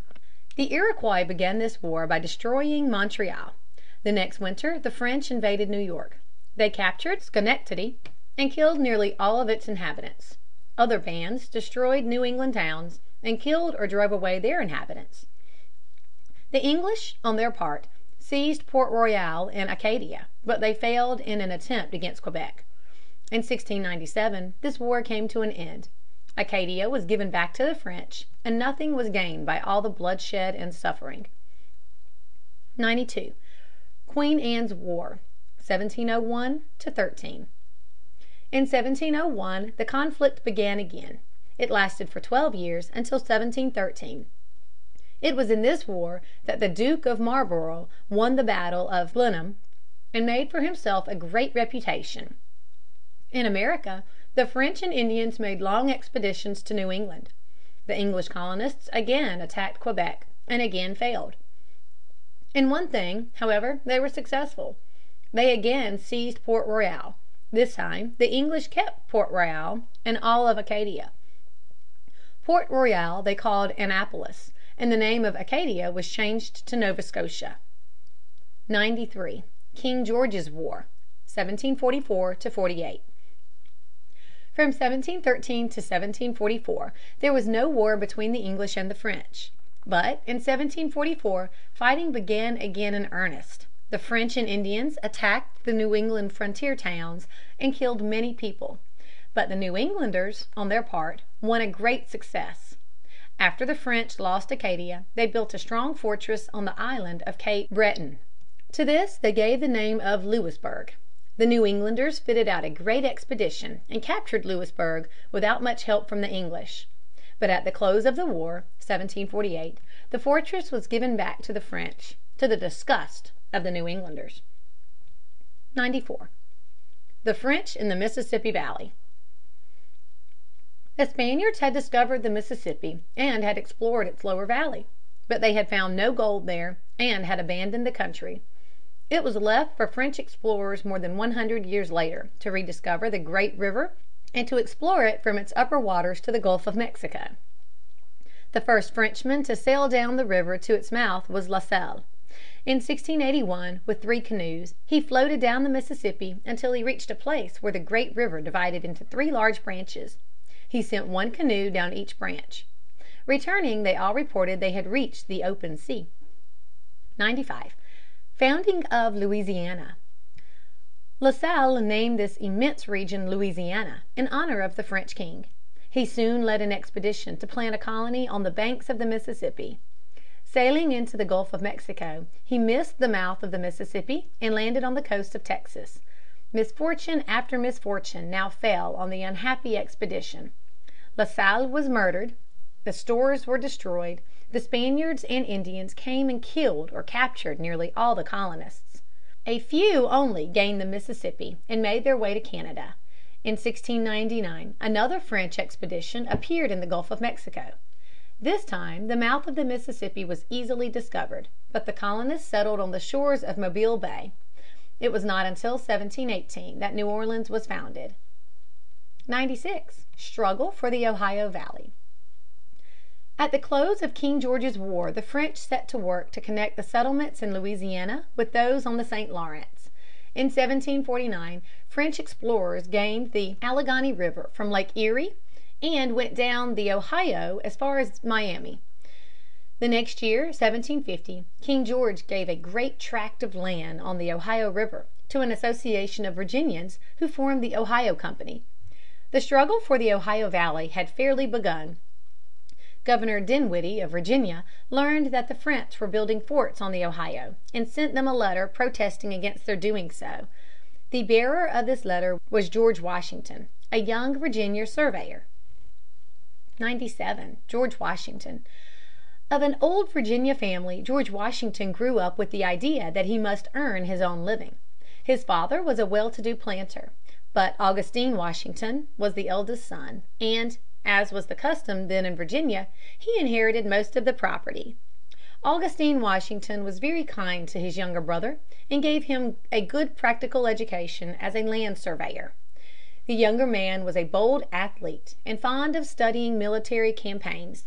He was full of courage, industrious, honest, and of great common sense. Before he was twenty he had surveyed large tracts of wilderness and had done his work well amidst great difficulties. When Dinwiddie wanted a messenger to take his letter to the French commander on the Ohio, George Washington's employer at once suggested him as the best person to send on the dangerous journey. FORT DUQUESNE Instead of heeding Dinwiddie's warning, the French set to work to build Fort Duquesne at the spot where the Alleghany and Monongahela join to form the Ohio, on the site of the present day city of Pittsburg. Dinwiddie therefore sent Washington with a small force of soldiers to drive them away. But the French were too strong for Washington. They besieged him in Fort Necessity and compelled him to surrender, July 4, 1754. 99. Braddock's Defeat, 1755. The English government now sent General Braddock with a small army of regular soldiers to Virginia. Slowly and painfully Braddock marched westward. Learning of his approach, the French and Indians left Fort Duquesne to draw him into ambush. But the two forces came together before either party was prepared for battle. For some time the contest was even. Then the regulars broke and fled. Braddock was fatally wounded. With great skill Washington saved the survivors, but not until four shots had pierced his coat and only thirty of his three companies of Virginians were left alive. 100. The War to 1759. All the earlier French and Indian wars had begun in Europe and had spread to America. This war began in America and soon spread to Europe. At first affairs were very ill. But in 1757 William Pitt became the British War Minister, and the war began to be waged with vigor and success. The old generals were called home and new men placed in command.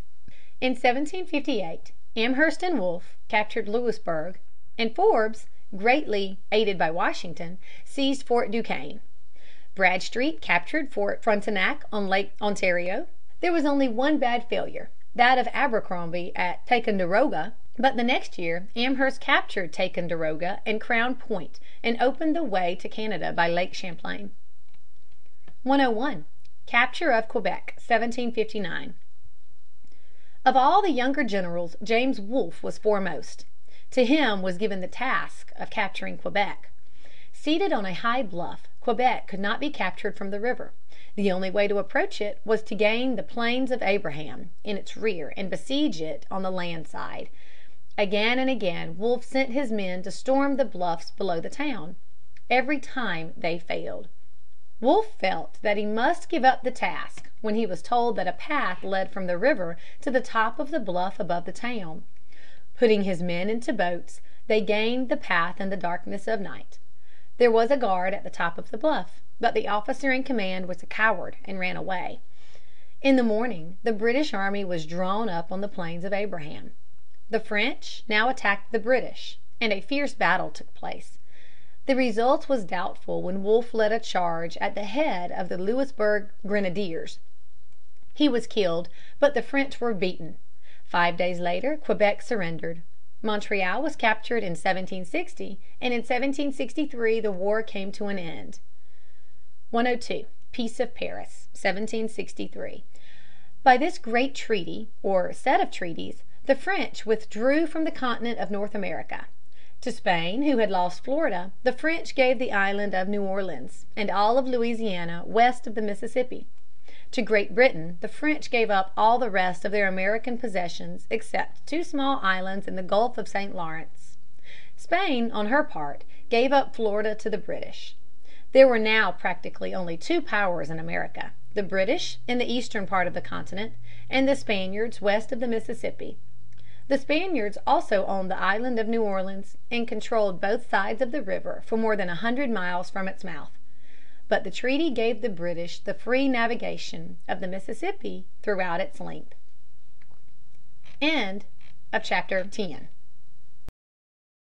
Chapter XI. Britain's Colonial System. 103. Early Colonial Policy.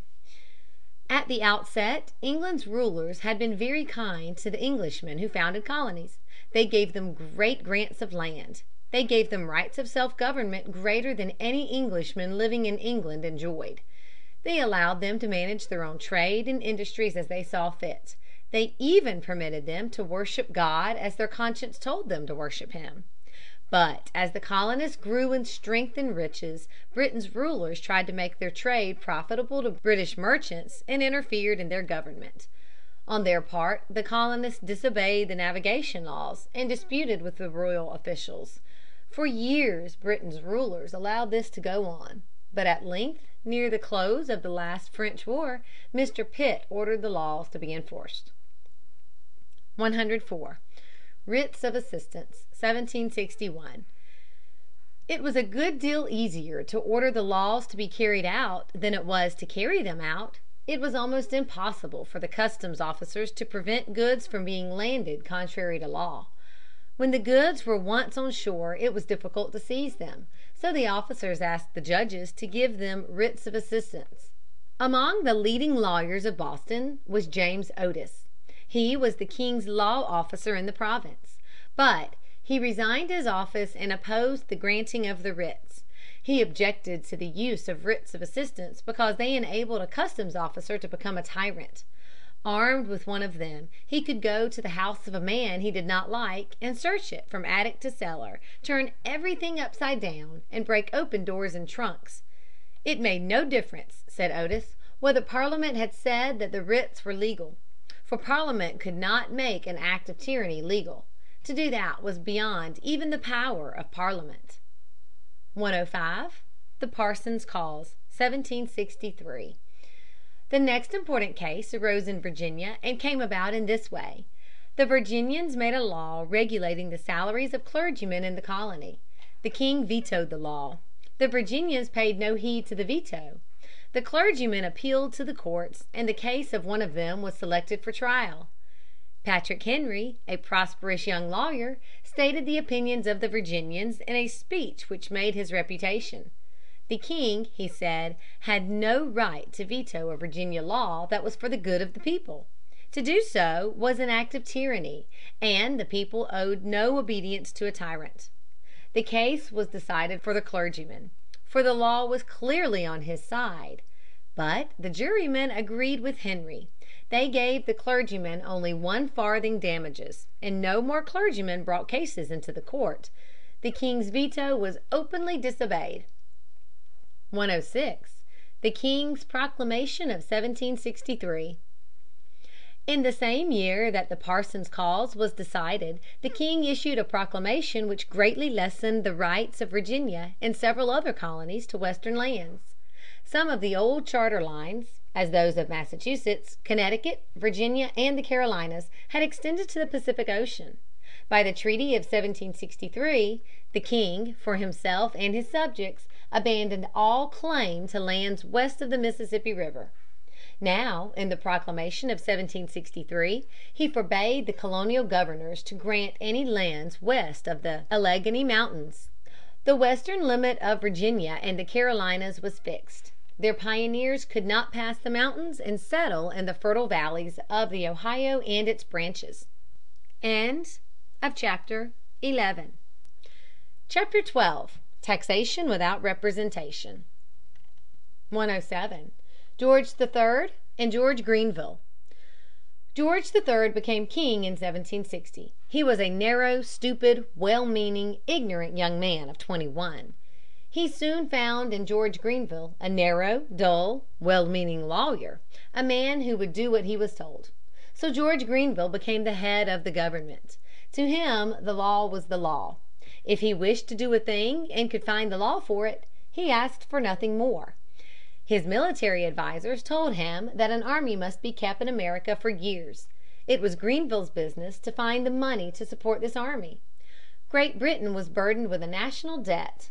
The army was to be maintained, partly, at least, for the protection of the colonists. Why should they not pay a part of the cost in maintaining it? Parliament was the supreme power in the British Empire. It controlled the king, the church, the army, and the navy. Surely a Parliament that had all this power could tax the colonists. At all events Grenville thought it could, and Parliament passed the Stamp Act to tax them. 108. Henry's Resolutions, 1765. The colonists, however, with one voice, declared that Parliament had no power to tax them. Taxes, they said, could be voted only by themselves or their representatives. They were represented in their own colonial assemblies and nowhere else. Patrick Henry was now a member of the Virginia Assembly. He had just been elected for the first time. But, as none of the older members of the Assembly proposed any action, Henry tore a leaf from an old law book and wrote on it a set of resolutions. These he presented in a burning speech, upholding the rights of Virginians. He said that to tax them by act of Parliament was tyranny. Caesar and Tarquin had each his Brutus, Charles I his Cromwell, and George III "treason, treason," shouted the Speaker, "may profit by their example." Slowly Henry went on. "If that be treason, make the most of it." The resolutions were voted. In them the Virginians declared that they were not subject to acts of Parliament laying taxes or interfering in the internal affairs of Virginia. 109. Stamp Act Riots, 1765. Until the summer of 1765 the colonists contented themselves with passing resolutions. There was little else they could do. They could not refuse to obey the law, because it would not go into effect until November. They could not mob the stamp distributors, because no one knew their names. In August the names of the stamp distributors were published. Now at last it was possible to do something besides passing resolutions. In every colony the people visited the stamp officers and told them to resign. If they refused, they were mobbed until they resigned. In Boston the rioters were especially active. They detested Thomas Hutchinson. He was lieutenant governor and chief justice, and had been active in enforcing the navigation acts. The rioters attacked his house. They broke his furniture, destroyed his clothing, and made a bonfire of his books and papers. 110. The Stamp Act Congress, 1765. Colonial congresses were no new thing. There had been many meetings of governors and delegates from colonial assemblies. The most important of the early congresses was the Albany Congress of 1754. It was important because it proposed a plan of union. The plan was drawn up by Benjamin Franklin, but neither the king nor the colonists liked it, and it was not adopted.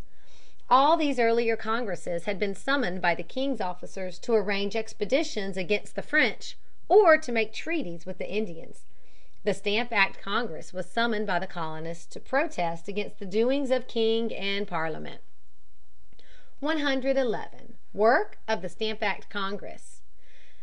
Delegates from nine colonies met at New York in October, 1765. They drew up a declaration of the rights and grievances of the colonists. In this paper they declared that the colonists, as subjects of the British king, had the same rights as British subjects living in Britain, and were free from taxes except to those which they had given their consent. They claimed for themselves the right of trial by jury, which might be denied under the Stamp Act. But the most important thing about the Congress was the fact that nine colonies had put aside their local jealousies and had joined in holding it. 112. Franklin's examination. Born in Boston, Benjamin Franklin ran away from home and settled at Philadelphia.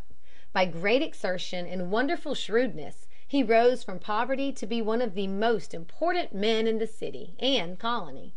He was a printer, a newspaper editor, a writer, and a student of science. With kite and string he drew down the lightning from the clouds and showed that lightning was a discharge of electricity.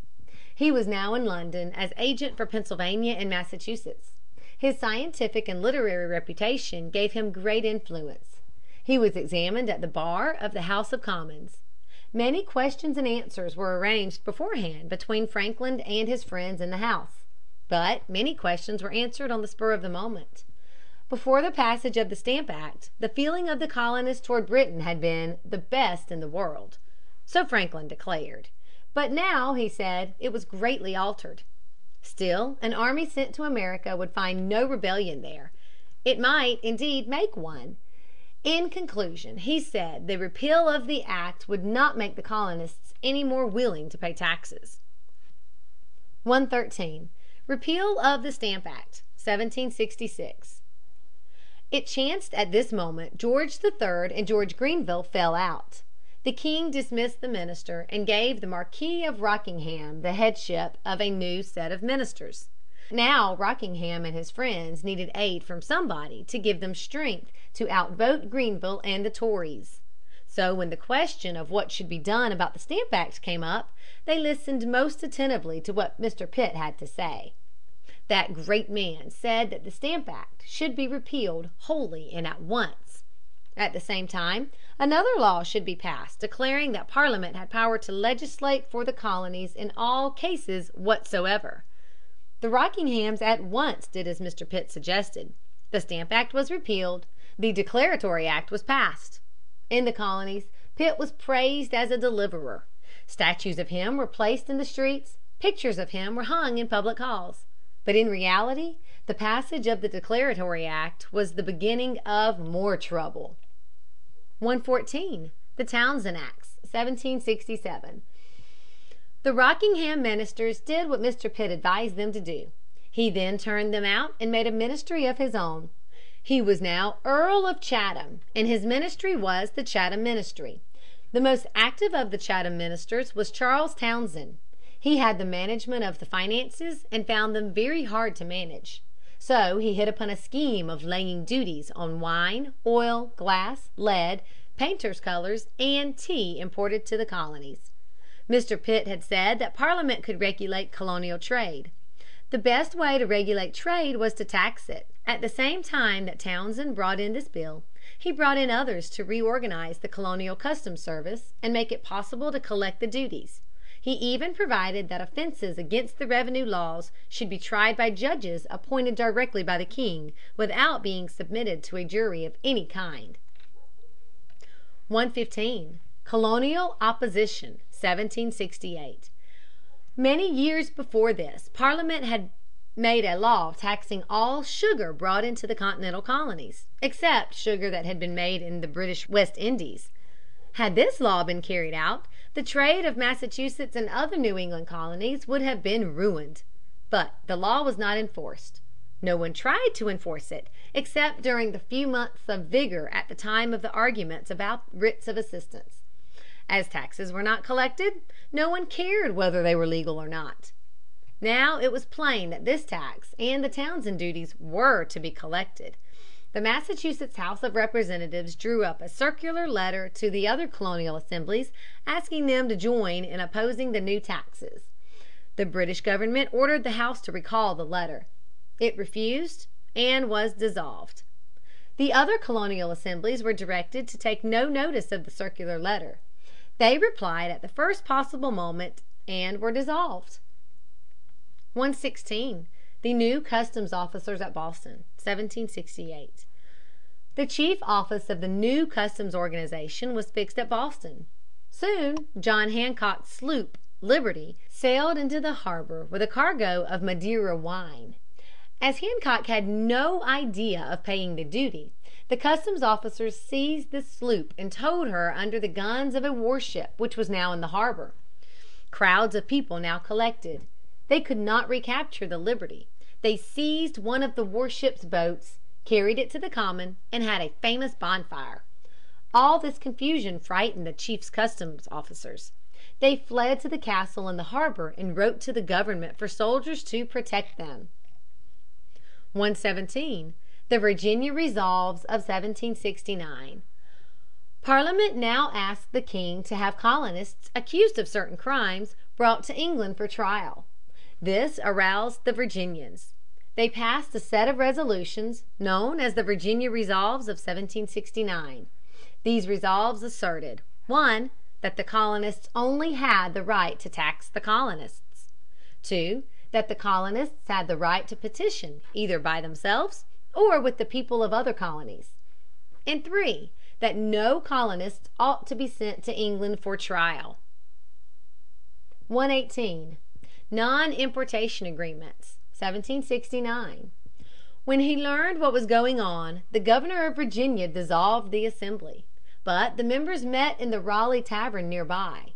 There George Washington laid before them a written agreement to use no British goods upon which duties had been paid. They all signed this agreement. Soon the other colonies joined Virginia in the non importation agreement. English merchants found their trade growing smaller and smaller. They could not even collect their debts. For the colonial merchants said that trade in the colonies was so upset by the Townshend Acts that they could not sell their goods or collect the money owing to them. The British merchants petitioned Parliament to repeal the duties, and Parliament answered them by repealing all the duties except the tax on tea. End of chapter XIII. Revolution Impending. 119. The Soldiers at New York and Boston. Soldiers had been stationed at New York ever since the end of the French war, because that was the most central point on the coast. The New Yorkers did not like to have the soldiers there very well, because Parliament expected them to supply the troops with certain things without getting any money in return. The New York Assembly refused to supply them, and Parliament suspended the Assembly sittings. In 1768 two regiments came from New York to Boston to protect the customs officers. 120. The Boston Massacre, 1770. There were not enough soldiers at Boston to protect the customs officers, if the colonists really wished to hurt them. There were quite enough soldiers at Boston to get themselves and the colonists into trouble. On March 5, 1770, a crowd gathered around the soldiers stationed on King Street, now State Street. There was snow on the ground, and the boys began to throw snow and mud at the soldiers. The crowd grew bolder. Suddenly the soldiers fired on the people. They killed four colonists and wounded several more. Led by Samuel Adams, the people demanded the removal of the soldiers to the fort in the harbor. Hutchinson was now governor. He offered to send one regiment out of the town. "All or none," said Adams, and all were sent away. 120. Committees of Correspondence. Up to this time the resistance of the colonists had been carried on in a haphazard sort of way. Now committees of correspondence began to be appointed. These committees were of two kinds. First, there were town committees of correspondence. These were invented by Samuel Adams and were first appointed in Massachusetts. But more important were the colonial committees of correspondence. The first of these was appointed by Virginia in 1769. At first few colonies followed Massachusetts and Virginia in appointing committees. But as one act of tyranny succeeded another, other colonies fell into line. By 1775 all the colonies were united by a complete system of committees of correspondence. 122. The Tea Tax. Of all the Townshend duties only the tax on tea was left. It happened that the British East India Company had tons of tea in its London storehouses and was greatly in need of money. The government told the company that it might send tea to America without paying any taxes in England. But the threepenny colonial tax would have to be paid in the colonies. In this way the colonists would get their tea cheaper than the people of England. But the colonists were not to be bribed into paying the tax in any such way. The East India Company sent over ship loads of tea. The tea ships were either sent back again or the tea was stored in some safe place where no one could get it. 123. The Boston Tea Party, 1773. In Boston things did not go so smoothly. The agents of the East India Company refused to resign. The collector of the customs refused to give the ships permission to sail away before the tea was landed. Governor Hutchinson refused to give the ship captains a pass to sail by the fort until the collector gave his permission. The commander at the fort refused to allow the ships to sail out of the harbor until they had the necessary papers. The only way to get rid of the tea was to destroy it. A party of patriots, dressed as Indians, went on board of the ships as they lay at the wharf, broke open the tea boxes, and threw the tea into the harbor. 124. Punishment of Massachusetts, 1774. The British king, the British government, and the mass of the British people were furious when they found out the Boston people had made tea with salt water. Parliament at once went to work passing acts to punish the colonists. One act put an end to the Constitution of Massachusetts. Another act closed the port of Boston so tightly that the people could not bring hay from Charlestown to give to their starving horses. A third act provided that soldiers who fired on the people should be tried in England. A fourth act compelled the colonists to feed and shelter the soldiers employed to punish them. 125. Sympathy with the Bostonians. King George thought he could punish the Massachusetts people as much as he wished without the people of the other colonies objecting. It soon appeared that the people of the other colonies sympathized most heartily with the Bostonians. They sent them sheep and rice. They sent them clothes. George Washington was now a rich man. He offered to raise a thousand men with his own money, march with them to Boston, and rescue the oppressed people from their oppressors. But the time for war had not yet come although it was not far off. 126. The Quebec Act, 1774. In the same year that Parliament passed the four acts to punish Massachusetts, it passed another act which affected the people of other colonies as well as those of Massachusetts. This was the Quebec Act. It provided that the land between the Ohio, the Mississippi, and the Great Lakes should be added to the province of Quebec. Now this land was claimed by Massachusetts, Connecticut, New York, Pennsylvania, and Virginia.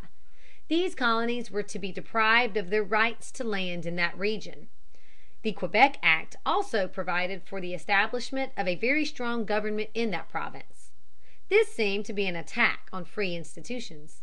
All these things drove the colonists to unite. They resolved to hold a congress where the leaders of several continental colonies might talk over matters and decide what should be done. 127. The First Continental Congress, 1774. The members of the Continental Congress met in Carpenter's Hall, Philadelphia, in 1774 in September. Never, except in the Federal Convention, have so many great men met together. The greatest delegation was that from Virginia. It included George Washington, Patrick Henry, and Richard Henry Lee. From Massachusetts came the two Adamses, John and Samuel. From New York came John Jay. From Pennsylvania came John Dickinson. Of all the greatest Americans only Thomas Jefferson and Benjamin Franklin were absent. 128. The American Association, 1774. It soon became clear that the members of Congress were opposed to any hasty action. They were not willing to begin war with Great Britain. Instead of so doing, they adopted a Declaration of Rights and formed the American Association. The Declaration of Rights was of slight importance, but the association was of great importance, as the colonies joining it agreed to buy no more British goods. This policy was to be carried out by the Committees of Correspondence. Any colony refusing to join the association should be looked upon as hostile to the liberties of this country and treated as an enemy. The American Association was the real beginning of the American Union.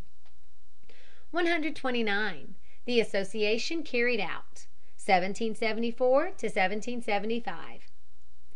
It was soon evident that Congress in forming the association had done precisely what the people wished to have done. For instance, in Virginia committees were chosen in every county. They examined the merchants' books. They summoned before them persons suspected of disobeying the laws of Congress. Military companies were formed in every county and carried out the orders of the committees. The ordinary courts were entirely disregarded. In fact, the royal government had come to an end in the Old Dominion. 130. More punishment for Massachusetts. 1774 75. George III and his ministers refused to see that the colonies were practically united. On the contrary, they determined to punish the people of Massachusetts still further. Parliament passed acts forbidding the Massachusetts fishermen to catch fish and forbidding the Massachusetts traders to trade with the people of Virginia, Pennsylvania, South Carolina, and all foreign countries. The Massachusetts colonists were rebels. They should be treated as rebels. General Gage was given more soldiers in order to crush the rebellion. 131. Gage in Massachusetts, 1774 to 75. General Gage found he had a good deal to do before he could begin to crush the rebellion. He had to find shelter for his soldiers. He also had to find food for them. The Boston carpenters would not work for him. He had to bring carpenters from Halifax and New York to do his work. The farmers of eastern Massachusetts were as firm as the Boston carpenters. They would not sell food to General Gage. So he had to bring food from England and from Halifax. He managed to buy or seize wood to warm the soldiers and hay to feed his horses. But the boats bringing these supplies to Boston were constantly upset in a most unlooked for way. The colonists, on their part, elected a provincial congress to take the place of the regular government. The militia was reorganized, and military stores gathered together. 132. Lexington and Concord, April 19, 1775. Gage had said that with ten thousand men he could march all over Massachusetts. In April, 1775, he began to crush the rebellion by sending a strong force to Concord to destroy stores which his spies told him had been collected there. The soldiers began their march in the middle of the night. But Paul Revere and William Dawes were before them. "The regulars are coming!" was the cry. At Lexington the British found few militiamen drawn up on the village green. Some one had fired and a few Americans were killed. On the British marched to Concord. By this time the militiamen had gathered in large numbers. It was a hot day. The regulars were tired. They stopped to rest. Some of the militiamen attacked the regulars at Concord, and when the British started on their homeward march the fighting began in earnest. Behind every wall and bit of rising ground were militiamen. One soldier after another was shot down and left behind. At Lexington the British met reinforcements, or they would all have been killed or captured. Soon they started again. Again the fighting began. It continued until the survivors reached a place of safety under the guns of the warships anchored off Charlestown. The Americans camped for the night at Cambridge and began the siege of Boston. End of chapter XIV. Bunker Hill to Trenton. 133. Advantages of the British. At first sight it seems as if the Americans were very foolish to fight the British.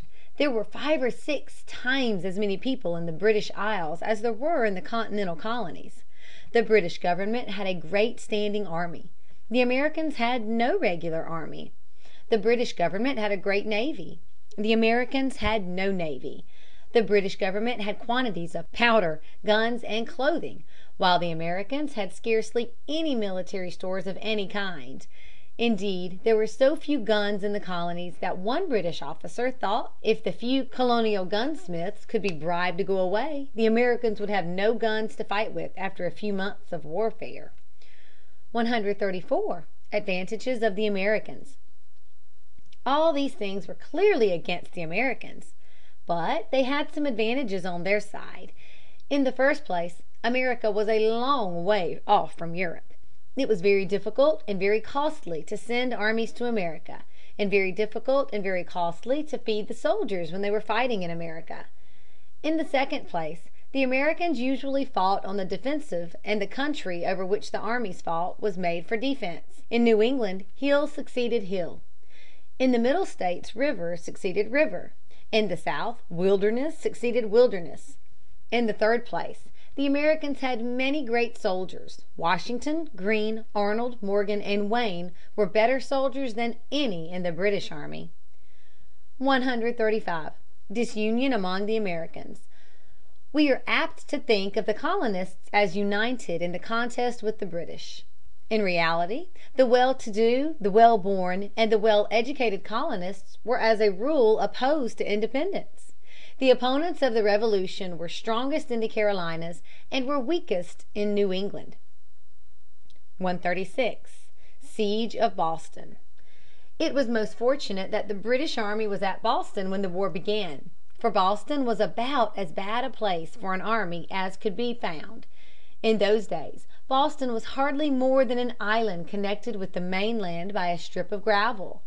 Gage built a fort across this strip of ground. The Americans could not get in, but they built a fort at the landward end, and the British could not get out. On either side of Boston was a similar peninsula. One of these was called Dorchester Heights. The other was called Charlestown. Both overlooked Boston. To hold that town Gage must possess both Dorchester and Charlestown. If the Americans could occupy only one of these the British would have to abandon Boston.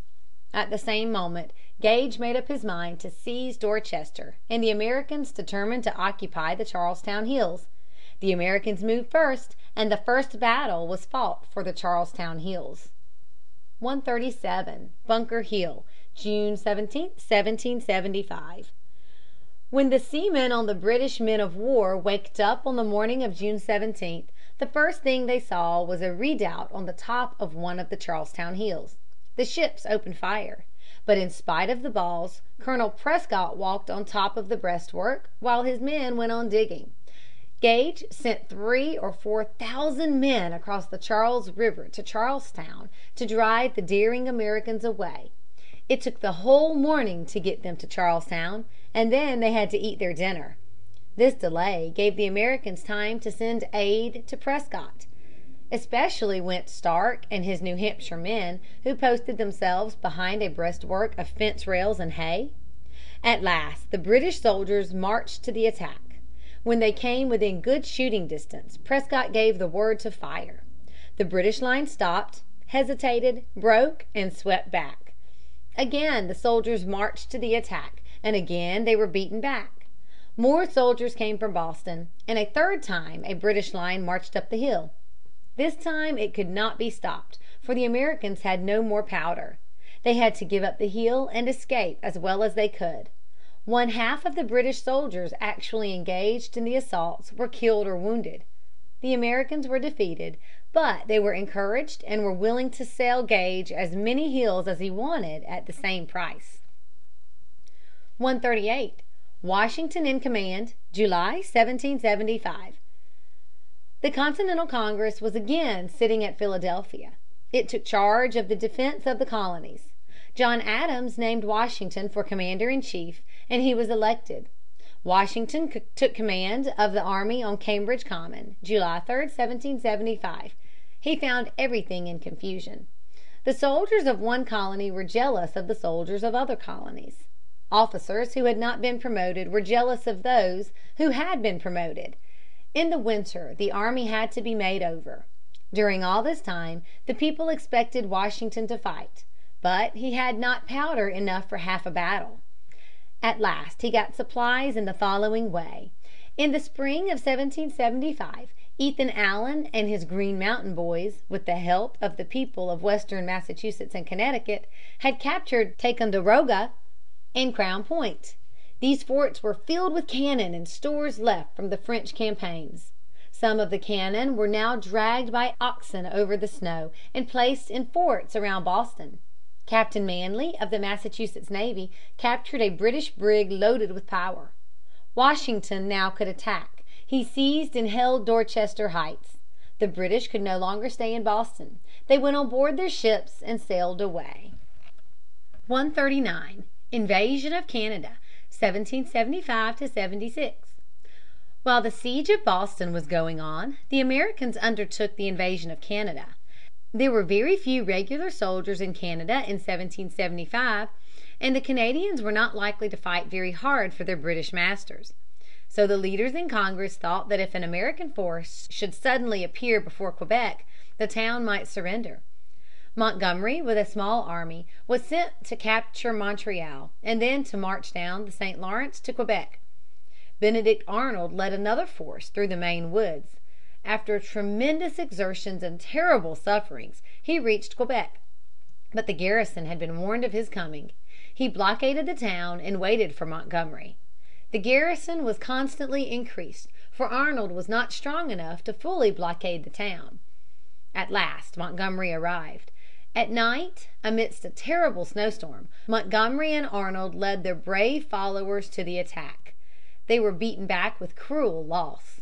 Montgomery was killed and Arnold was severely wounded. In the spring of 1776 the survivors of this little band of heroes were rescued, at the cost of the lives of five thousand American soldiers. [Sidenote: British attack on Charleston, 1776.] 140. British Attack on Charleston, 1776. In June, 1776, a British fleet and army made an attack on Charleston, South Carolina. This town has never been taken by attack from the sea. Sand bars guard the entrance of the harbor, and the channels through these shoals lead directly to the end of Sullivan's Island. At that point the Americans built a fort of palmetto logs and sand. General Moultrie commanded at the fort and it was named in his honor Fort Moultrie. The British fleet sailed boldly in, but the balls from the ship's guns were stopped by the soft palmetto logs. At one time the flag was shot away and fell down outside the fort. But Sergeant Jasper rushed out, seized the broken staff, and again set it up on the rampart. Meantime General Clinton had landed on an island and was trying to cross with the soldiers to the further end of Sullivan's Island. But the water was at first too shoal for the boats. The soldiers jumped overboard to wade. Suddenly the water deepened and they had to jump aboard to save themselves from drowning. All this time the Americans were firing at them from the beach. General Clinton ordered a retreat. The fleet also sailed out all that could get away and the whole expedition was abandoned. [Sidenote: Long Island.] 141. Long Island and Brooklyn Heights, 1776. The very day that the British left Boston, Washington ordered five regiments to New York. For he well knew that city would be the next point of attack. But he need not have been in such a hurry. General Howe, the new British commander in chief, sailed first to Halifax, and did not begin the campaign in New York until the end of August. He then landed his soldiers on Long Island and prepared to drive the Americans away. Marching in a roundabout way, he cut the American army in two and captured one part of it. This brought him to the foot of Brooklyn Heights. On the top was a fort. Probably Howe could have easily captured it. But he had led in the field at Bunker Hill and had had enough of attacking forts defended by Americans. So he stopped his soldiers with some difficulty. That night the wind blew a gale and the next day was foggy. The British fleet could not sail into the East River. Skillful fishermen safely ferried the rest of the American army across to New York. When at length the British marched to the attack, there was no one left in the fort on Brooklyn Heights. 142. From the Hudson to the Delaware, 1776. Even now with his splendid fleet and great army Howe could have captured the Americans. But he delayed so long that Washington got away in safety. Washington's army was now fast breaking up. Soldiers deserted by the hundreds. A severe action at White Plains only delayed the British advance. The fall of Fort Washington on the end of Manhattan Island destroyed all hope of holding anything near New York.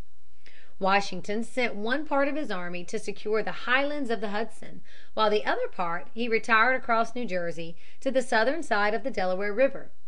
The end of the war seemed to be in sight. In December, 1776, Congress gave the sole direction of the war to Washington and then left Philadelphia for a place of greater safety. 143. Trenton, December 26, 1776. Washington did not give up. On Christmas night, 1776, he crossed the Delaware with a division of his army. A violent snowstorm was raging and the river was full of ice. But Washington was there in person and the soldiers crossed. Then the storm changed to sleet and rain. But on the soldiers marched.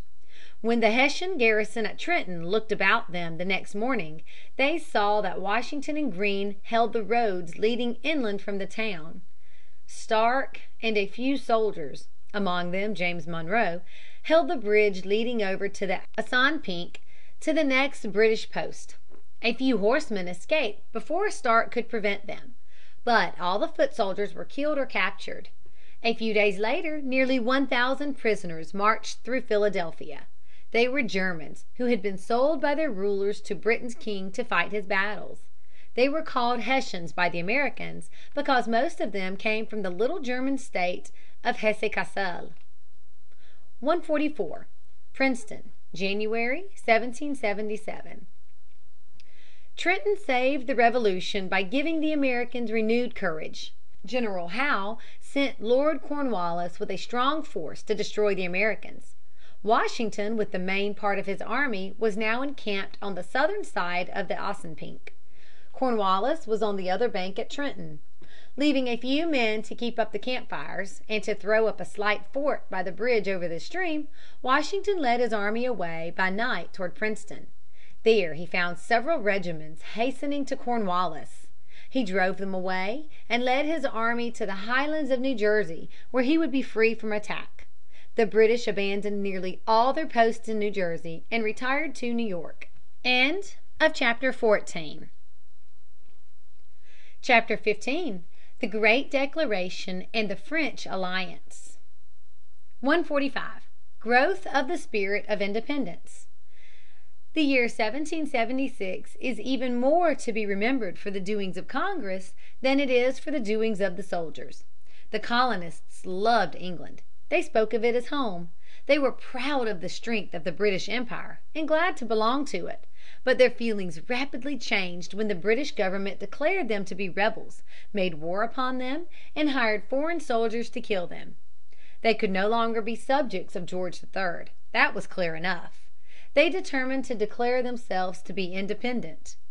Virginia led in this movement, and the chairman of the Virginia delegation moved a resolution of independence. A committee was appointed to draw up a declaration.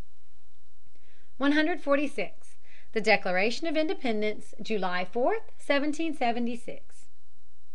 The most important members of this committee were Benjamin Franklin, John Adams, and Thomas Jefferson. Of these Jefferson was the youngest and the least known. But he had already drawn up a remarkable paper called A Summary View of the Rights of British America. The others asked him to write out a declaration. He sat down without book or notes of any kind and wrote out the great Declaration in almost the same form in which it now stands. The other members of the committee proposed a few changes and then reported the Declaration to Congress. There was a fierce debate in Congress over the adoption of the Virginia resolution for independence. But finally it was adopted. Congress then examined the Declaration of Independence as reported by the committee. It made a few changes in the words and struck out a clause condemning the slave trade. The first paragraph of the Declaration contains a short, clear statement of the basis of the American system of government. It should be learned by heart by every American boy and girl, and always kept in mind. The Declaration was adopted on July 4, 1776. A few copies were printed on July 5, with the signatures of John Hancock and Charles Thomson. President and Secretary of Congress.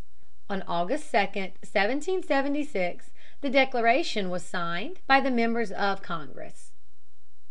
147. The Loss of Philadelphia, 1777.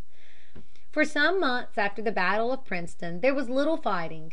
But in the summer of 1777 Howe set out to capture Philadelphia. Instead of marching across New Jersey, he placed his army on board ships and sailed to Chesapeake Bay. As soon as Washington learned what Howe was about, he marched to Chadds Ford, where the road from Chesapeake Bay to Philadelphia crossed Brandywine Creek. Howe moved his men as if about to attempt to cross the ford. Meantime he sent Cornwallis with a strong force to cross the creek higher up. Cornwallis surprised the right wing of the American army, drove it back, and Washington was compelled to retreat. Howe occupied Philadelphia and captured the forts below the city. Washington tried to surprise a part of the British army which was posted at Germantown. But accidents and mist interfered. The Americans then retired to Valley Forge, a strong place in the hills not far from Philadelphia. 148. The Army at Valley Forge, 1777 78. The sufferings of the soldiers during the following winter can never be overstated. They seldom had more than half enough to eat. Their clothes were in rags. Many of them had no blankets. Many more had no shoes. Washington did all he could do for them. But Congress had no money and could not get any. At Valley Forge the soldiers were drilled by Baron Steuben, a Prussian veteran. The army took the field in 1778, weak in numbers and poorly clad. But what soldiers there were were as good as any soldiers to be found anywhere in the world. During that winter, also, an attempt was made to dismiss Washington from chief command, and to give his place to General Gates. But this attempt ended in failure. 149. Burgoyne's March to Saratoga, 1777. While Howe was marching to Philadelphia, General Burgoyne was marching southward from Canada. It had been intended that Burgoyne and Howe should seize the line of the Hudson and cut New England off from the other states. But the orders reached Howe too late, and he went southward to Philadelphia. Burgoyne, on his part, was fairly successful at first, for the Americans abandoned post after post. But when he reached the southern end of Lake Champlain and started on his march to the Hudson, his troubles began. The way ran through a wilderness. General Schuyler had had trees cut down across its woodland paths, and had done his work so well that it took Burgoyne about a day to march the mile and a half. This gave the Americans time to gather from all quarters and bar his southward way. But many of the soldiers had no faith in Schuyler, and Congress gave the command to General Horatio Gates. 150. Bennington, 1777. Burgoyne had with him many cavalrymen, but they had no horses. The army, too, was sadly in need of food. So Burgoyne sent a force of dismounted dragoons to Bennington in southern Vermont to seize horses and food. It happened, however, that General Stark, with soldiers from New Hampshire, Vermont, and western Massachusetts, was nearer Bennington than Burgoyne supposed. They killed or captured all the British soldiers. They then drove back with great loss a second party which Burgoyne had sent to support the first one. 151. Oriskany, 1777. Meantime, St. Leger, with a large body of Indians and Canadian frontiersmen, was marching to join Burgoyne by the way of Lake Ontario and the Mohawk Valley. Near the site of the present city of Rome and New York was Fort Schuyler, garrisoned by an American force. St. Leger stopped to besiege this fort. The settlers on the Mohawk marched to relieve the garrison, and St. Leger defeated them at Oriskany. But his Indians now grew tired of the siege, especially when they heard that Arnold with a strong army was coming. St. Leger marched back to Canada and left Burgoyne to his fate. 152. Saratoga, 1777. Marching southward on the western side of the Hudson, Burgoyne and his army came upon the Americans in a forest clearing called Freeman's Farm. Led by Daniel Morgan and Benedict Arnold, the Americans fought so hard that Burgoyne stopped where he was and fortified the position. This was on September 19. The army posted itself near by on Bemis's Heights. For weeks the two armies faced each other. Then on October 7 the Americans attacked. Again Arnold led his men to victory. They captured a fort in the center of the British line, and Burgoyne was obliged to retreat. But when he reached the crossing place of the Hudson, to his dismay he found a strong body of New Englanders with artillery on the opposite bank. Gates had followed the retiring British, and soon Burgoyne was practically surrounded. His men were starving, and on October 17 he surrendered. 153. The French Alliance, 1778. Burgoyne's defeat made the French think that the Americans would win their independence. So Dr. Franklin, who was at Paris, was told that France would recognize the independence of the United States, would make treaties with the new nation, and give aid openly. Great Britain at once declared war on France. The French lent large sums of money to the United States. They sent large armies and splendid fleets to America. Their aid greatly shortened the struggle for independence, but the Americans would probably have won without French aid. 154. Monmouth, 1778. The first result of the French alliance was the retreat of the British from Philadelphia to New York. As Sir Henry Clinton, the new British commander, led his army across the Jerseys, Washington determined to strike it a blow. This he did near Monmouth. The attack was a failure, owing to the treason of General Charles Lee, who led the advance. Washington reached the front only in time to prevent a dreadful disaster. But he could not bring about victory, and Clinton seized the first moment to continue his march to New York. There were other expeditions and battles in the North, but none of these had any important effect on the outcome of the war. [Sidenote: Clark's Western Campaign.] 155. Clark's Western 1778 79. The Virginians had long taken great interest in the western country. Their hardy pioneers had crossed the mountains and begun the settlement of Kentucky. The Virginians now determined to conquer the British posts in the country northwest of the Ohio. The command was given to George Rogers Clark. Gathering a strong band of hardy frontiersmen, he set out on his dangerous expedition. He seized the posts in Illinois, and Vincennes surrendered to him. Then the British governor of the Northwest came from Detroit with a large force and recaptured Vincennes. Clark set out from Illinois to surprise the British. It was the middle of the winter. In some places the snow lay deep on the ground. Then came the early floods. For days the Americans marched in water up to their waists. At night they sought some little hill where they could sleep on dry ground. Then on again through the flood. They surprised the British garrison at Vincennes and forced it to surrender. That was the end of the contest for the Northwest. 156. Arnold and André, 1780. Of all the leaders under Washington none was abler in battle than Benedict Arnold. Unhappily he was always in trouble about money. He was distrusted by Congress and was not promoted. At Saratoga he quarreled with Gates and was dismissed from his command. Later he became military governor of Philadelphia and was censured by Washington for his doings there. He then secured the command of West Point and offered to surrender the post to the British. Major André, of Clinton's staff, met Arnold to arrange the final details. On his return journey to New York, André was arrested and taken before Washington. The American commander asked his generals if André was a spy. They replied that André was a spy, and he was hanged. Arnold escaped to New York and became a general in the British army. End of chapter XVI. Independence. 157. Fall of Charleston, 1780. It seemed quite certain that Clinton could not conquer the Northern states with the forces given him. In the South there were many loyalists. Resistance might not be so stiff there. At all events Clinton decided to attempt the conquest of the South. Savannah was easily seized, 1778, and the French and Americans could not retake it (in (1779). In the spring of 1780 Clinton with a large army landed on the coast between Savannah and Charleston. He marched over to Charleston and besieged it from the land side. The Americans held out for a long time, but they were finally forced to surrender. Clinton then sailed back to New York and left Lord Cornwallis the further conquest of the Carolinas. 158.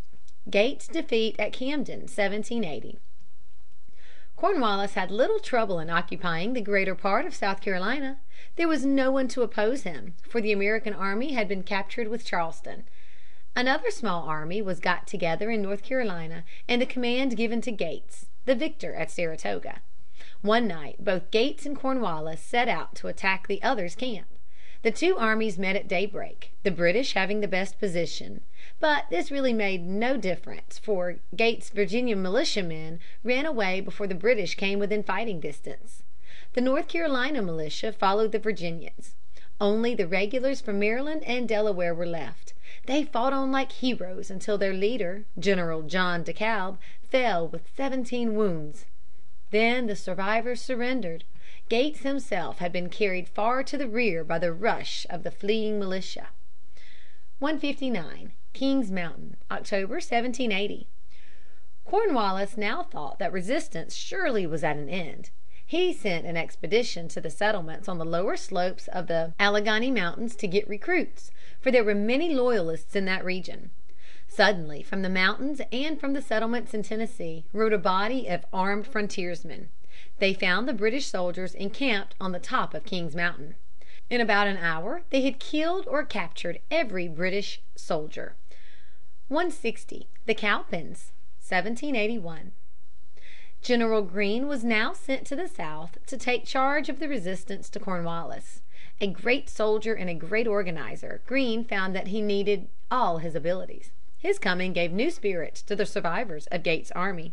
He gathered militia from all directions and marched toward Cornwallis.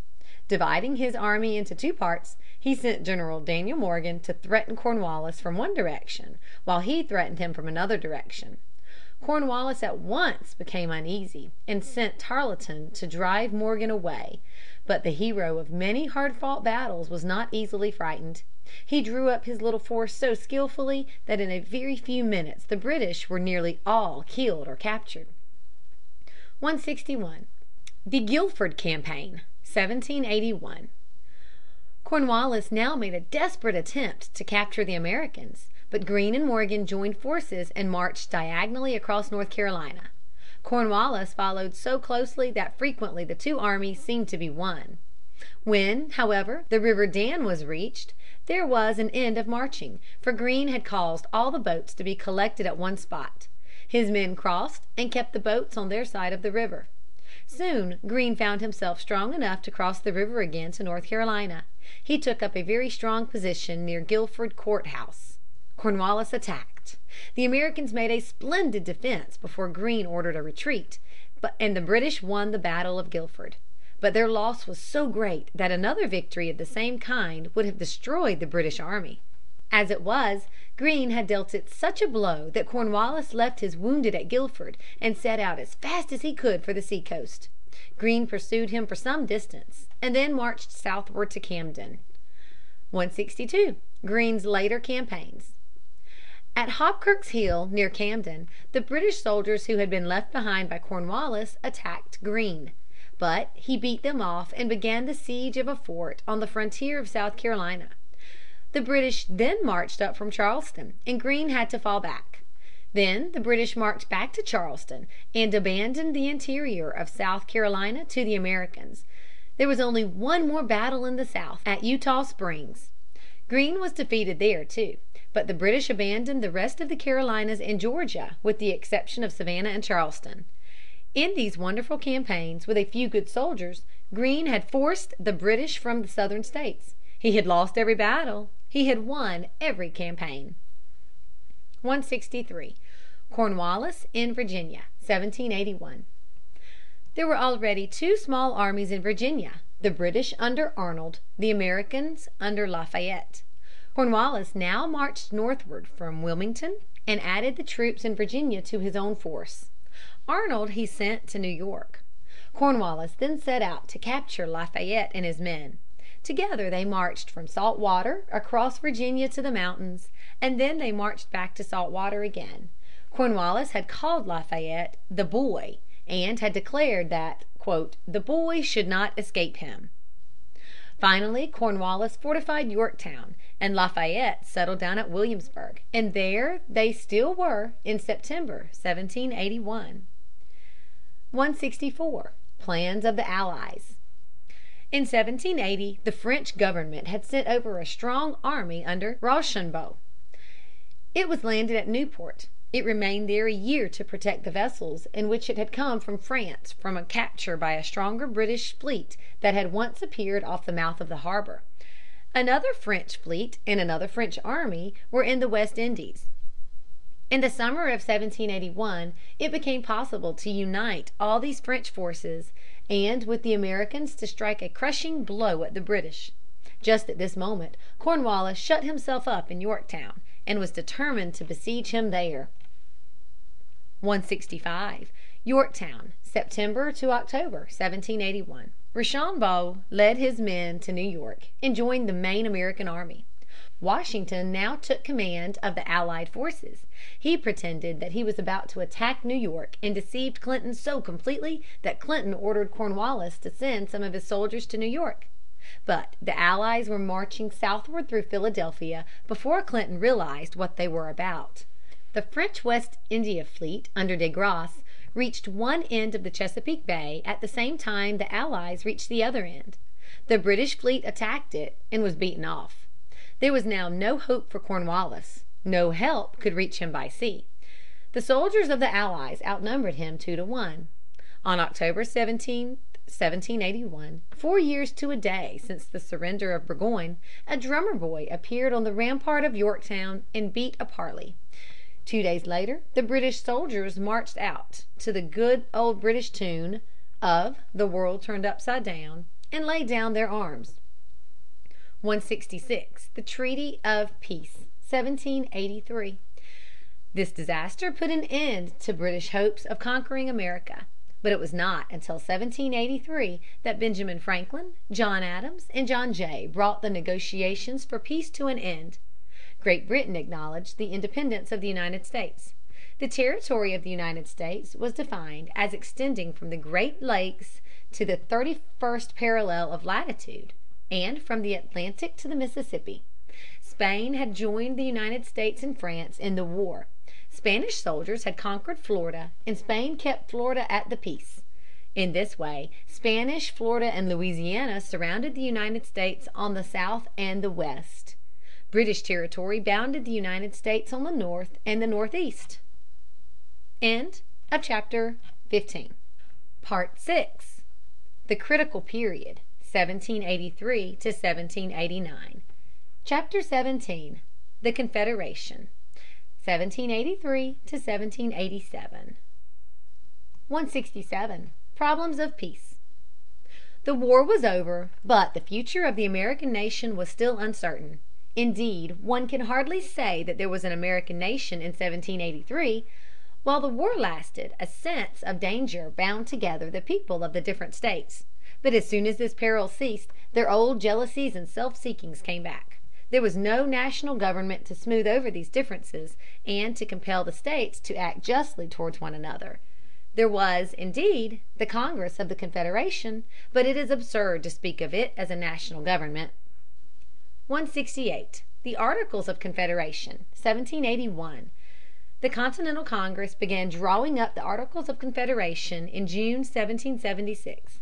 But there were long delays, and each month's delay made it more impossible to form a strong government. It fell out in this way that the Congress of the Confederation had no real power. It could not make a state or an individual pay money or do anything at all. In the course of a few years Congress asked the states to give it over six million dollars to pay the debts and expenses of the United States. It received about a million dollars, and was fortunate to get that. 169. A time of distress. It is not right to speak too harshly of the refusal of the state governments to give Congress the money it asked for, as the people of the states were in great distress and had no money to give. As soon as peace was declared, British merchants sent over great quantities of goods. People bought these goods, for every one thought that good times were coming now that the war was over. But the British government did everything it could do to prevent the coming of good times. The prosperity of the Northern states was largely based on profitable trade with the West Indies. The British government put an end to that trade.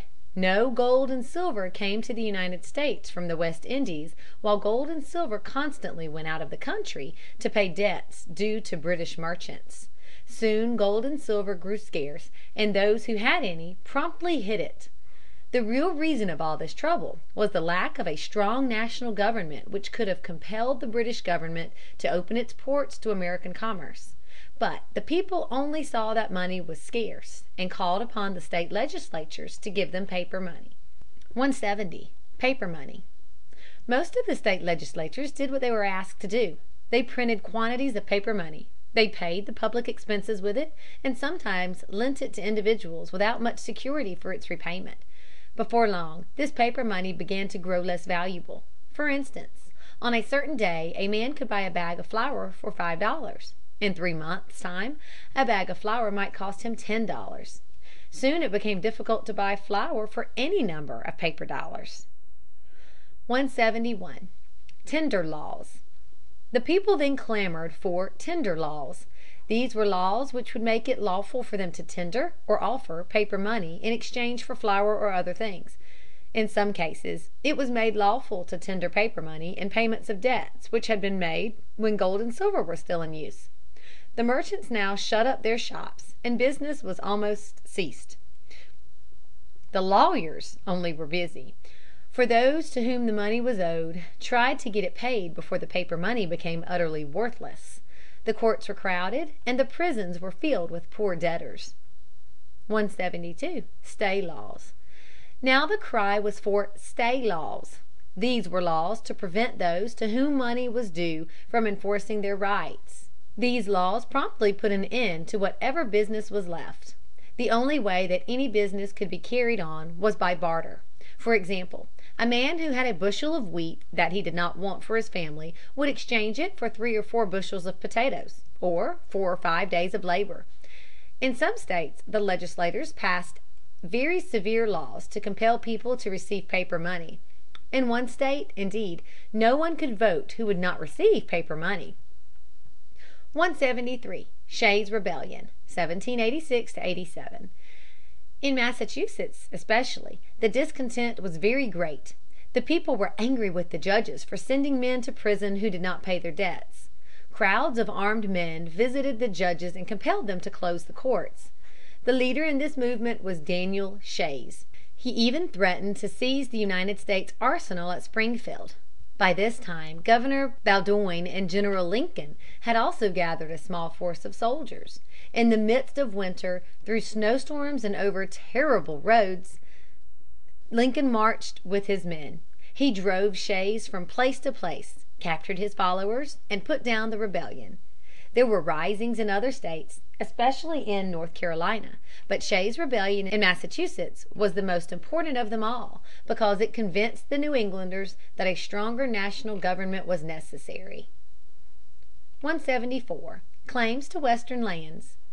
The Confederation seemed to be falling to pieces. That it did not actually fall to pieces was largely due to the fact that all the states were interested in the settlement of the region northwest of the Ohio River.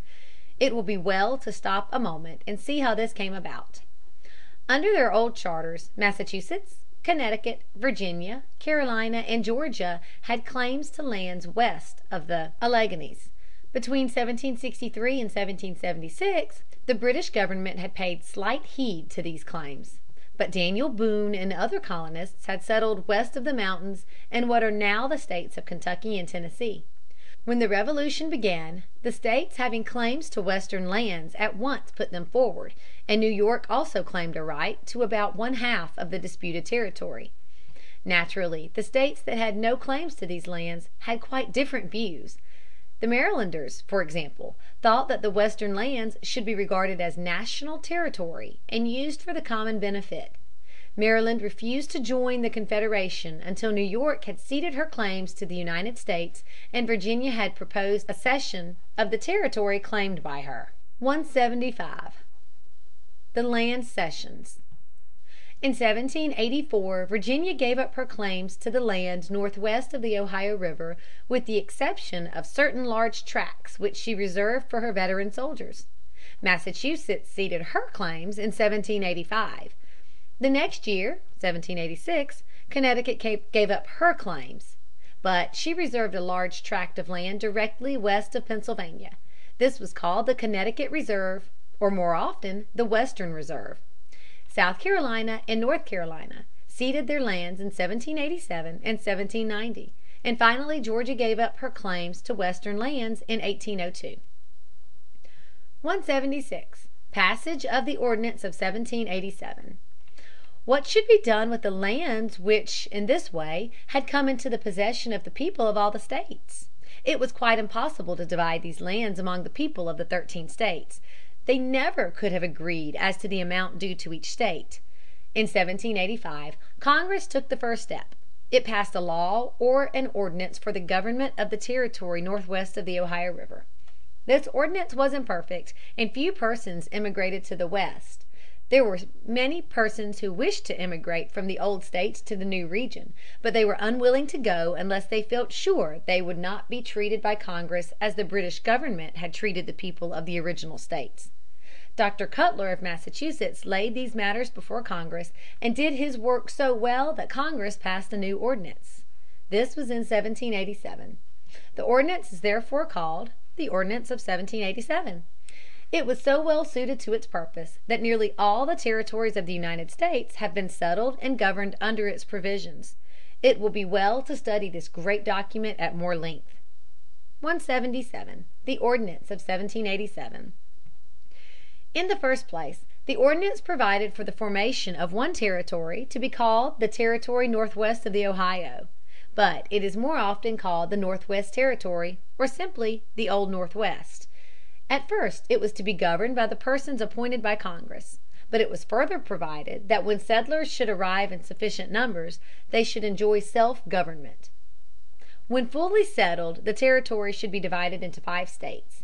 These should be admitted to the Confederation on a footing of equality with the original states. The settlers in the territory should enjoy full rights of citizenship. Education should be encouraged. Slavery should never be permitted. This last provision is especially important as it saved the Northwest to freedom. In this way a new political organization was invented.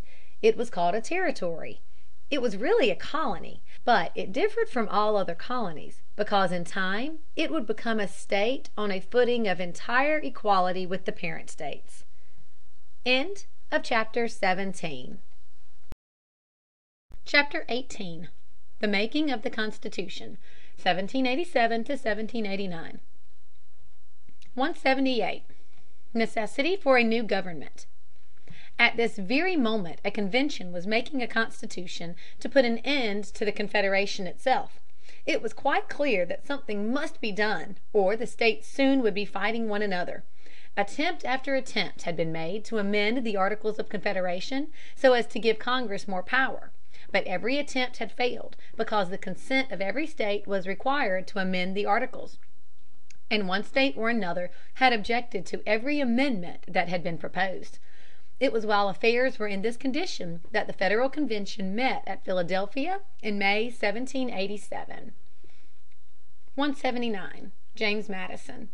Of all the members of the convention, James Madison of Virginia best deserves the title of Father of the Constitution. He drew up the Virginia plan which was adopted as the basis of the new Constitution. He spoke convincingly for the plan in the convention. He did more than any one else to secure the ratification of the Constitution by Virginia. He kept a careful set of notes of the debates of the convention which show us precisely how the Constitution was made. With Alexander Hamilton and John Jay he wrote a series of papers which is called the Federalist, and is still the best guide to the Constitution. 180. Other Fathers of the Constitution. George Washington was chosen as President of the convention. He made a few speeches, but the speeches that he made were very important. And the mere fact that he approved the Constitution had a tremendous influence throughout the country. The oldest man in the convention was Benjamin Franklin. His long experience in politics and diplomacy with his natural shrewdness made him an unrivaled manager of men. From all the states came able men. In fact, with the exception of John Adams, Samuel Adams, Patrick Henry, and Thomas Jefferson, the strongest men in political life were in the Federal convention. Never in the history of the world have so many great political leaders, learned students of politics, and shrewd business men gathered together. The result of their labors was the most marvelous product of political wisdom that the world has ever seen. 181. Plans for a National Government. As soon as the convention was in working order, Governor Randolph of Virginia presented Madison's plan for a national government. Charles Pinckney of South Carolina also brought forward a plan. His scheme was more detailed than Madison's plan was. But, like it, it provided for a government with supreme legislative, executive, and judicial powers. On May 30 the convention voted that a national government ought to be established, consisting of a supreme legislative, executive, and judiciary. It next decided that the legislative department should consist of two houses. But when the delegates began to talk over the details, they began to disagree. 182. Disagreement as to representation. The Virginia plan proposed that representation in one branch of the new Congress should be divided among the states according to the amount of money each state paid into the national treasury, or according to the number of free inhabitants of each state.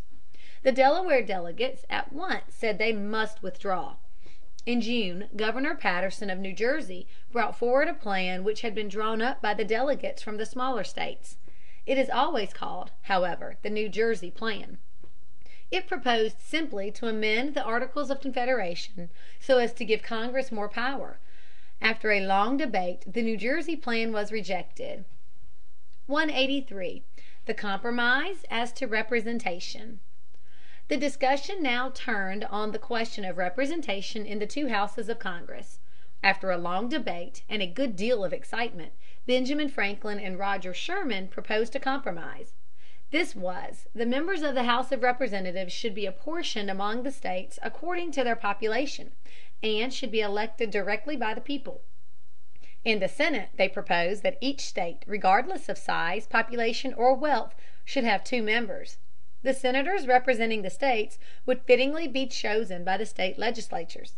It was agreed that the states should be equally represented in the Senate, but it was difficult to reach a conclusion as to the apportionment of representatives in the House. 184. Compromise as to apportionment.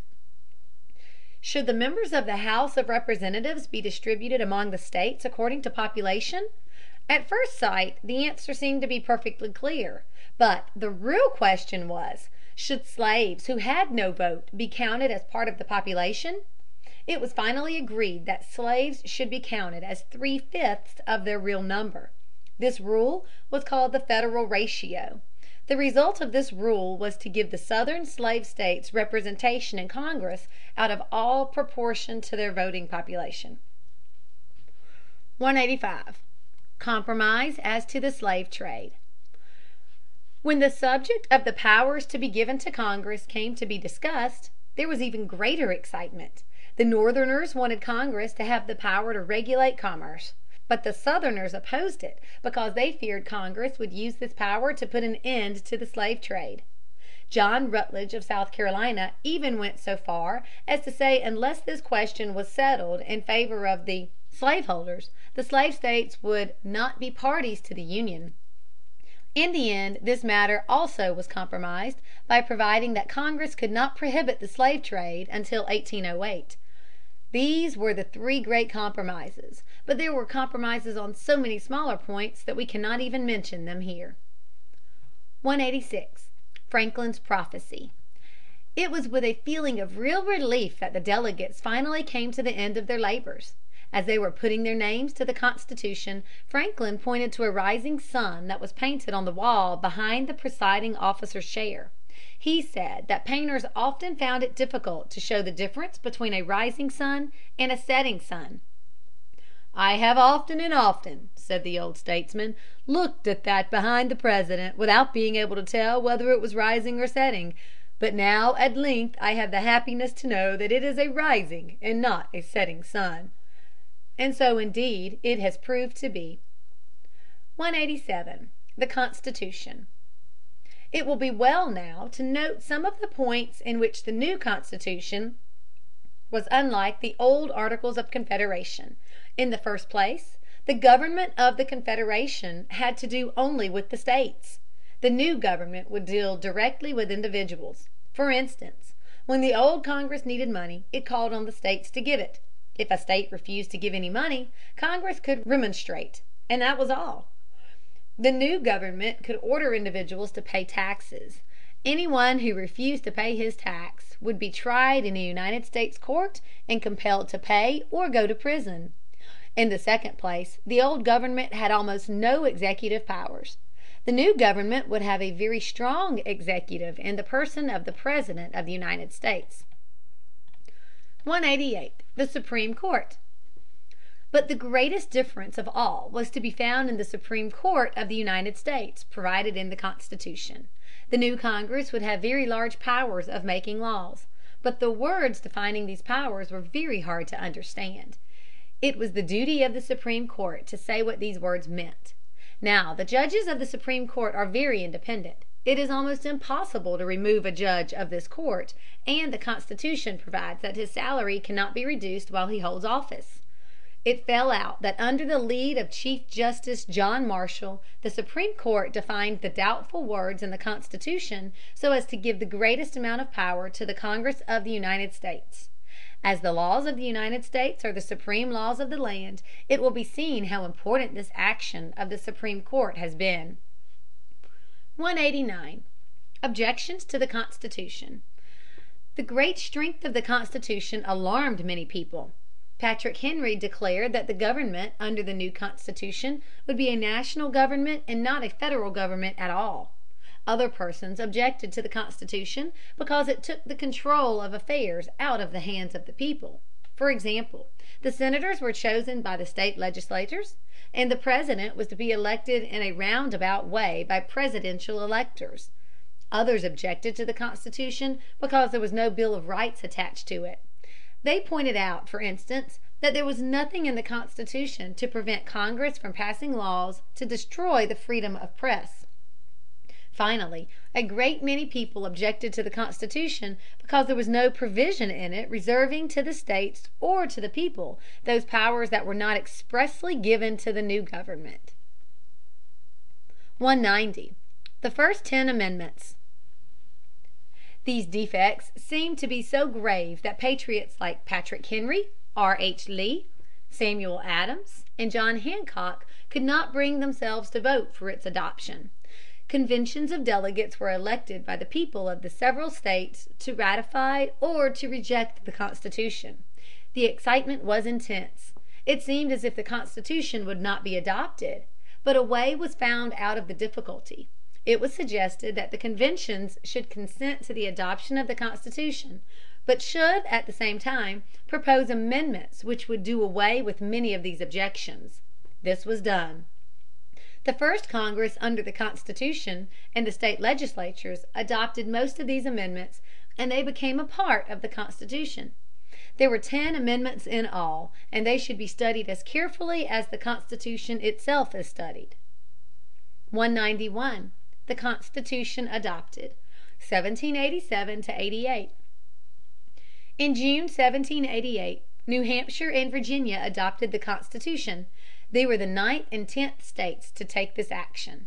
The Constitution provided that it should go into effect when it should be adopted by nine states. That is, of course, it should go into effect only between those states. Preparations were now made for the organization of the new government. But this took some time. Washington was unanimously elected President and was inaugurated in April, 1789. By that time North Carolina and Rhode Island were the only states which had not adopted the Constitution and come under the "new roof," as it was called. In a year or two they adopted it also, and the union of the thirteen original states was complete. End of Chapter XIX. The Federalist Supremacy, 1789 1801. Chapter XIX. Organization of the Government. 192. Washington elected President. In the early years under the Constitution, the Presidents and Vice Presidents were elected in the following manner. First each state chose presidential electors, usually by vote of its legislature. Then the electors of each state came together and voted for two persons without saying which of the two should be President. When all the electoral votes were counted the person having the largest number, provided that it was more than half of the whole number of electoral votes, was declared President. The person having the next largest number became Vice President. At the first election every elector voted for Washington. John Adams received the next largest number of votes and became Vice President. 193.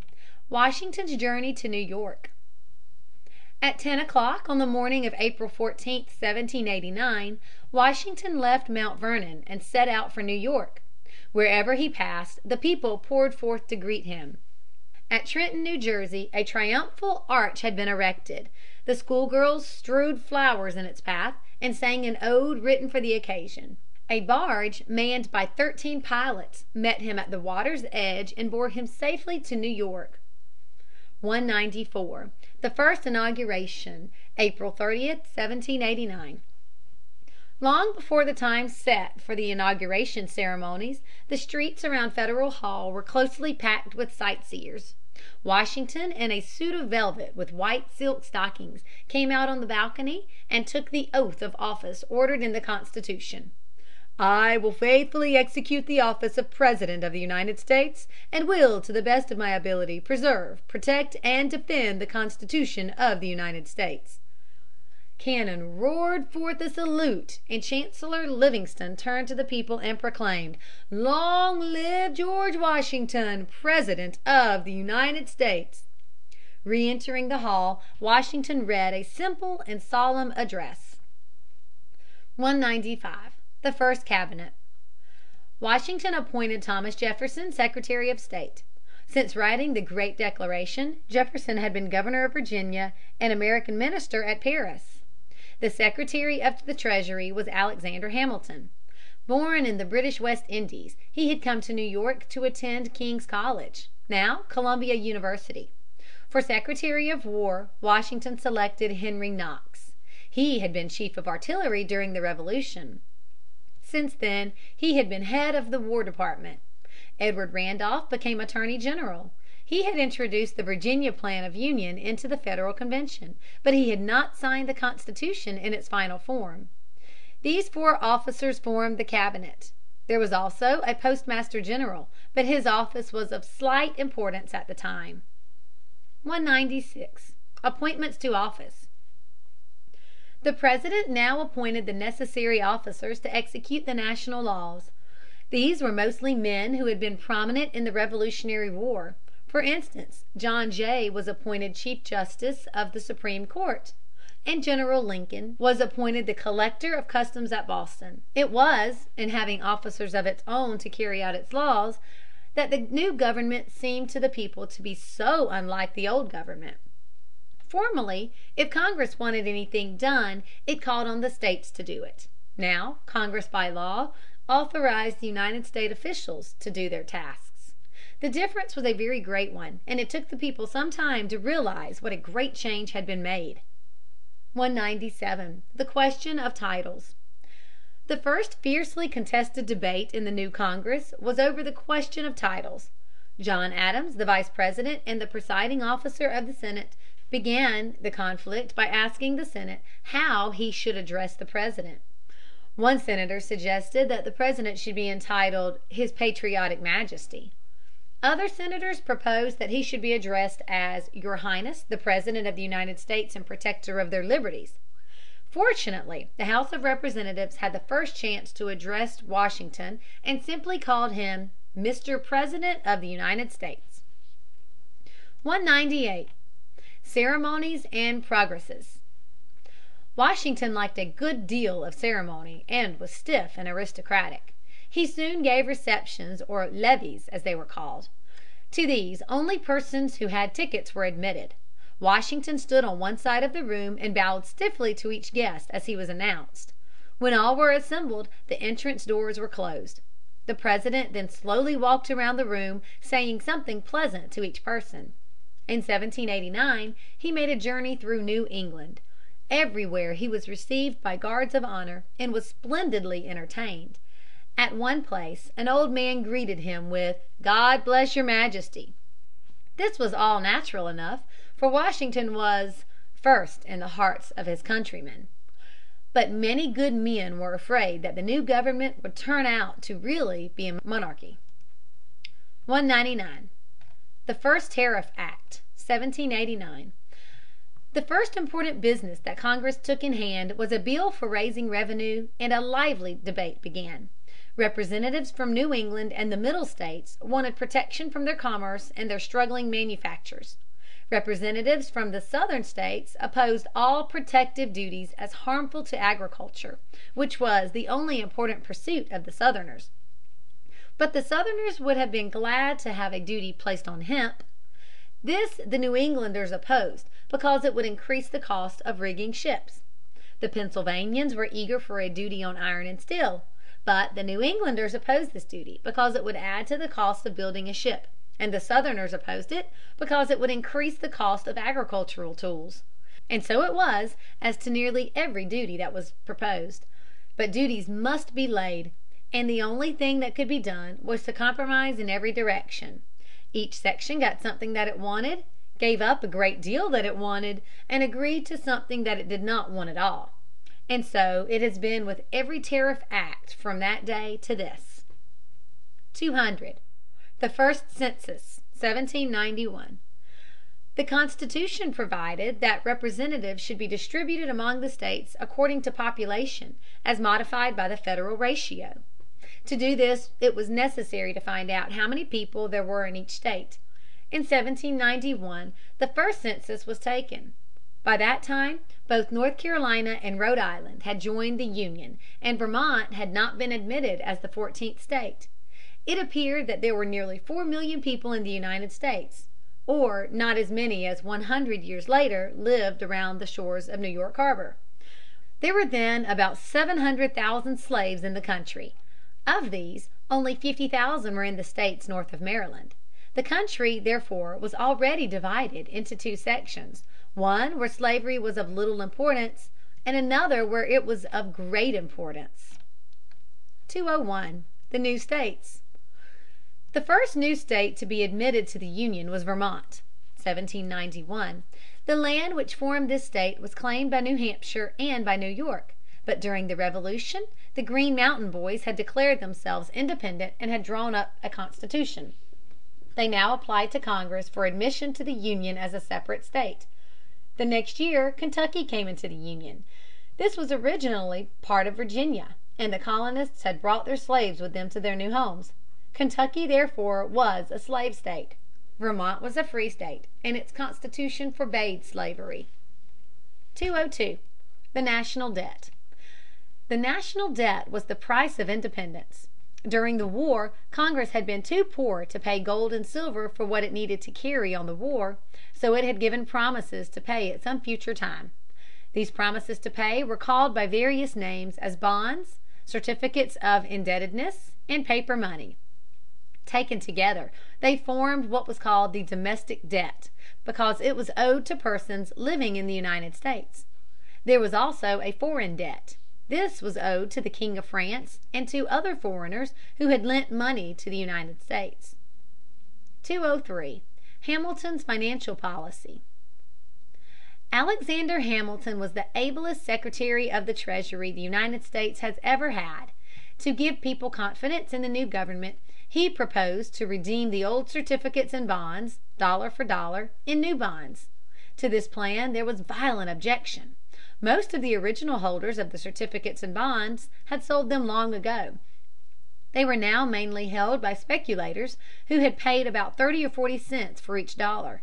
Why should the speculator get one dollar for that which had cost him only thirty or forty cents? Hamilton insisted that his plan was the only way to place the public credit on a firm foundation, and it was finally adopted. 204. Assumption of State Debts. A further part of Hamilton's original scheme aroused even greater opposition. During the Revolutionary War the states, too, had become heavily in debt. They had furnished soldiers and supplies to Congress. Some of them had undertaken expeditions at their own expense. Virginia, for example, had borne all the costs of Clark's conquests to the Northwest. She had later ceded nearly all her rights in the conquered territory to the United States. These debts had been incurred for the benefit of the people as a whole. Would it not then be fair for the people of the United States as a whole to pay them? Hamilton thought that it would. It chanced, however, that the Northern states had a much larger debt than had the Southern states. One result of Hamilton's scheme would be to relieve the Northern states of a part of their burdens and to increase the burdens of the Southern states. The Southerners therefore were strongly opposed to the plan.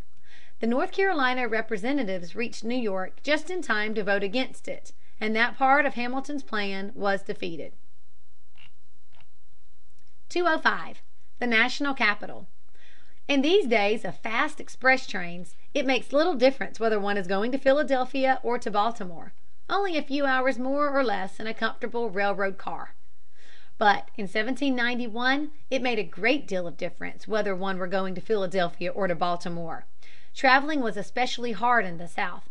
There were few roads or taverns in that part of the country, and those few were bad. The Southerners were anxious to have the national capital as far south as possible. They were also opposed to the assumption of the state debts by the national government. Now it happened that the Northerners were in favor of the assumption of the debts and did not care very much where the national capital might be. In the end Jefferson and Hamilton made a "deal," the first of its kind in our history. Enough Southerners voted for the assumption bill to pass it. The Northerners, on their part, agreed that the temporary seat of government should be at Philadelphia, and that the permanent seat of government on the Potomac.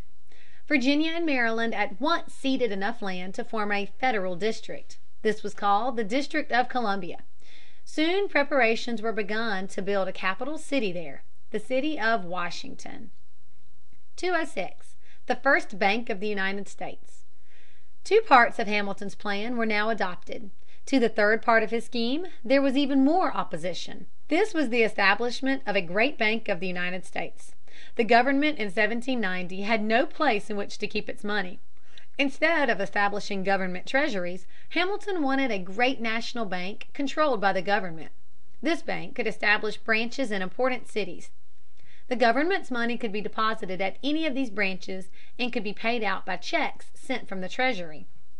Furthermore, people could buy a part of the stock of the bank with the new bonds of the United States. This would make the people more eager to own the bonds, and so would increase their price. For all these reasons Hamilton thought the bank would be very useful, and therefore necessary and proper for carrying out all of the powers given by the Constitution to the national government. Jefferson, however, thought that the words "necessary and proper" meant necessary and not useful. The bank was not necessary according to the ordinary use of the word. Congress therefore had no business to establish it. After thinking the matter over, Washington signed the bill and it became a law. But Jefferson had sounded the alarm.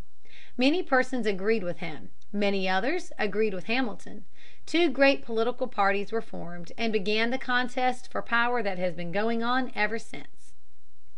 End of chapter XX. RISE OF POLITICAL PARTIES. 207. The Federalists. There were no political parties in the United States in 1789. All the leading men were anxious to give the new Constitution a fair trial. Even Patrick Henry supported Washington. Many men, as Alexander Hamilton and Gouverneur Morris, believed a monarchy to be the best form of government. But they saw clearly that the American people would not permit a monarchy to be established. So they supported the Constitution although they thought it was a frail and worthless fabric. But they wished to establish the strongest possible government that could be established under the Constitution. This they could do by defining in the broadest way the doubtful words in the Constitution as Hamilton had done in the controversy over the bank charter. Hamilton had little confidence in the wisdom of the plain people. He believed it would be safer to rely on the richer classes. So he and his friends wished to give to the central government and to the richer classes the greatest possible amounts of power. Those who believed as Hamilton believed called themselves Federalists. In reality they were Nationalists. 208. The Republicans.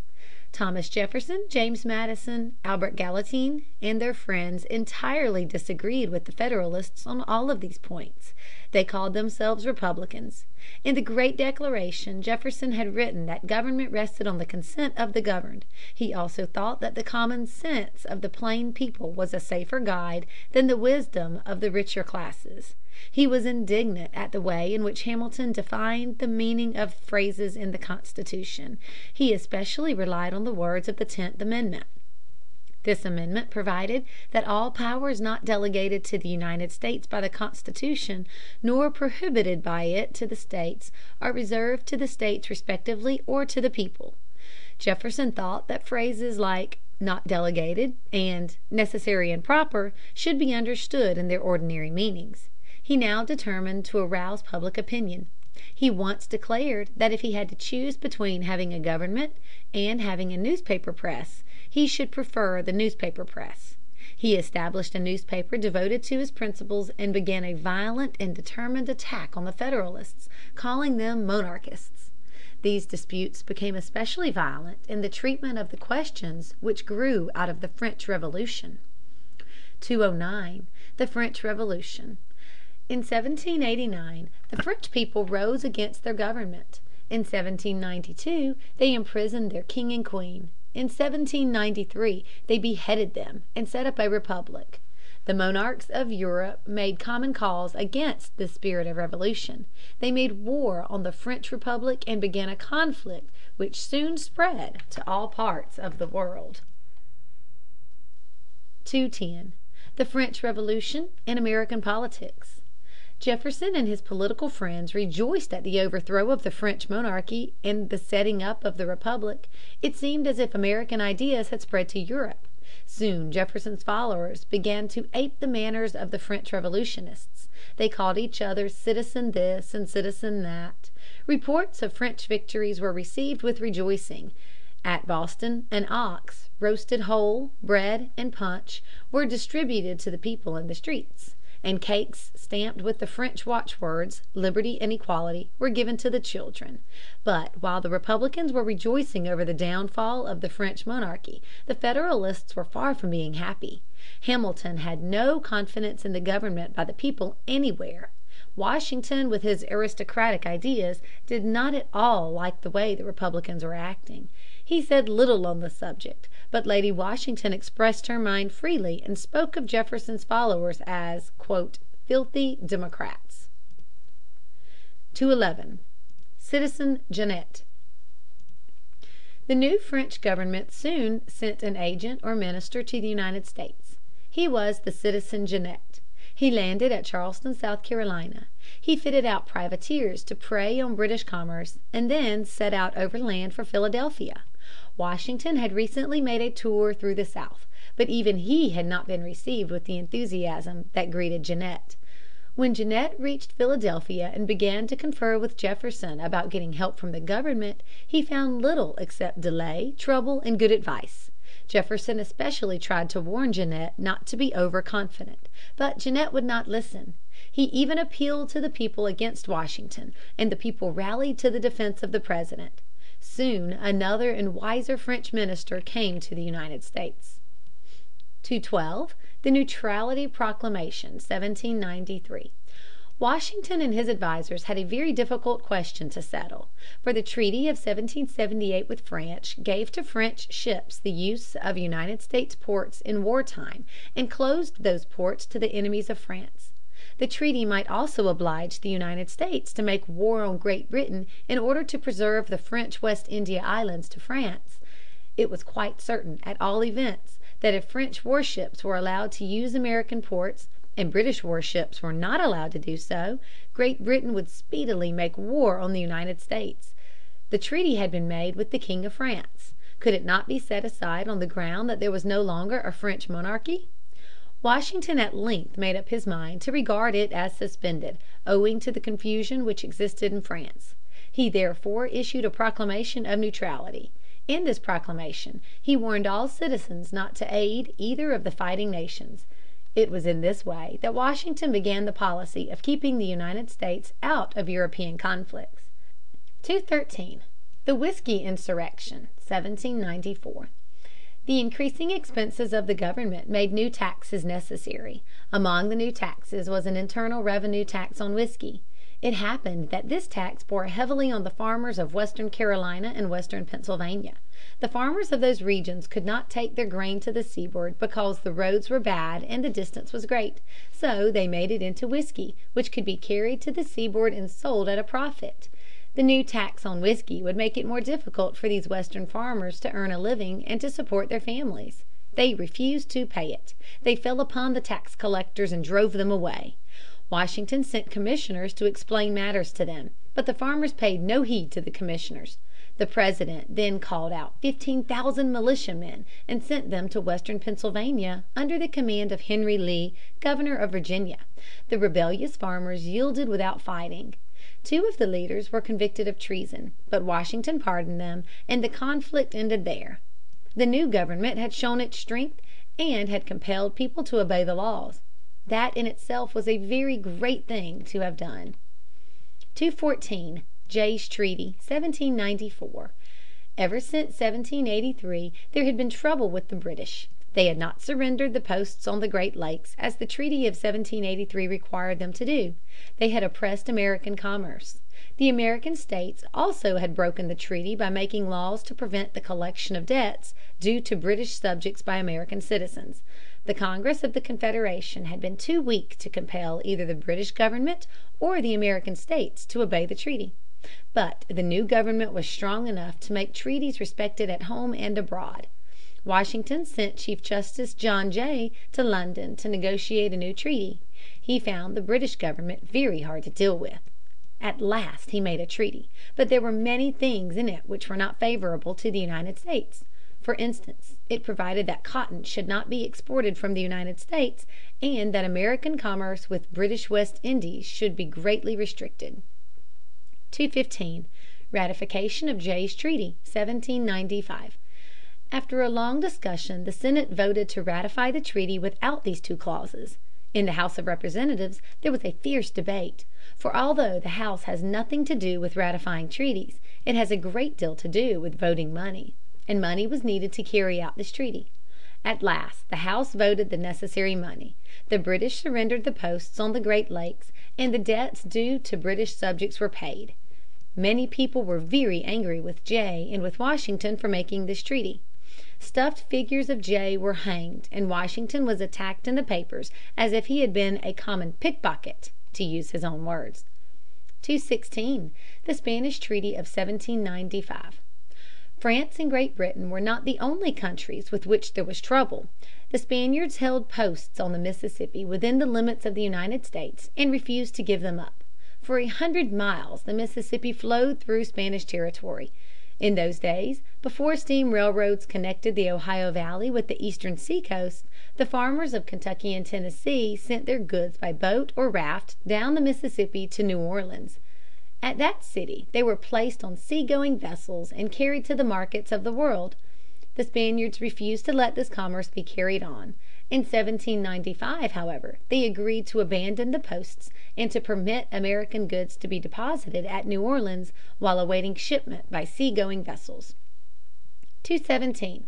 Washington's Farewell Address.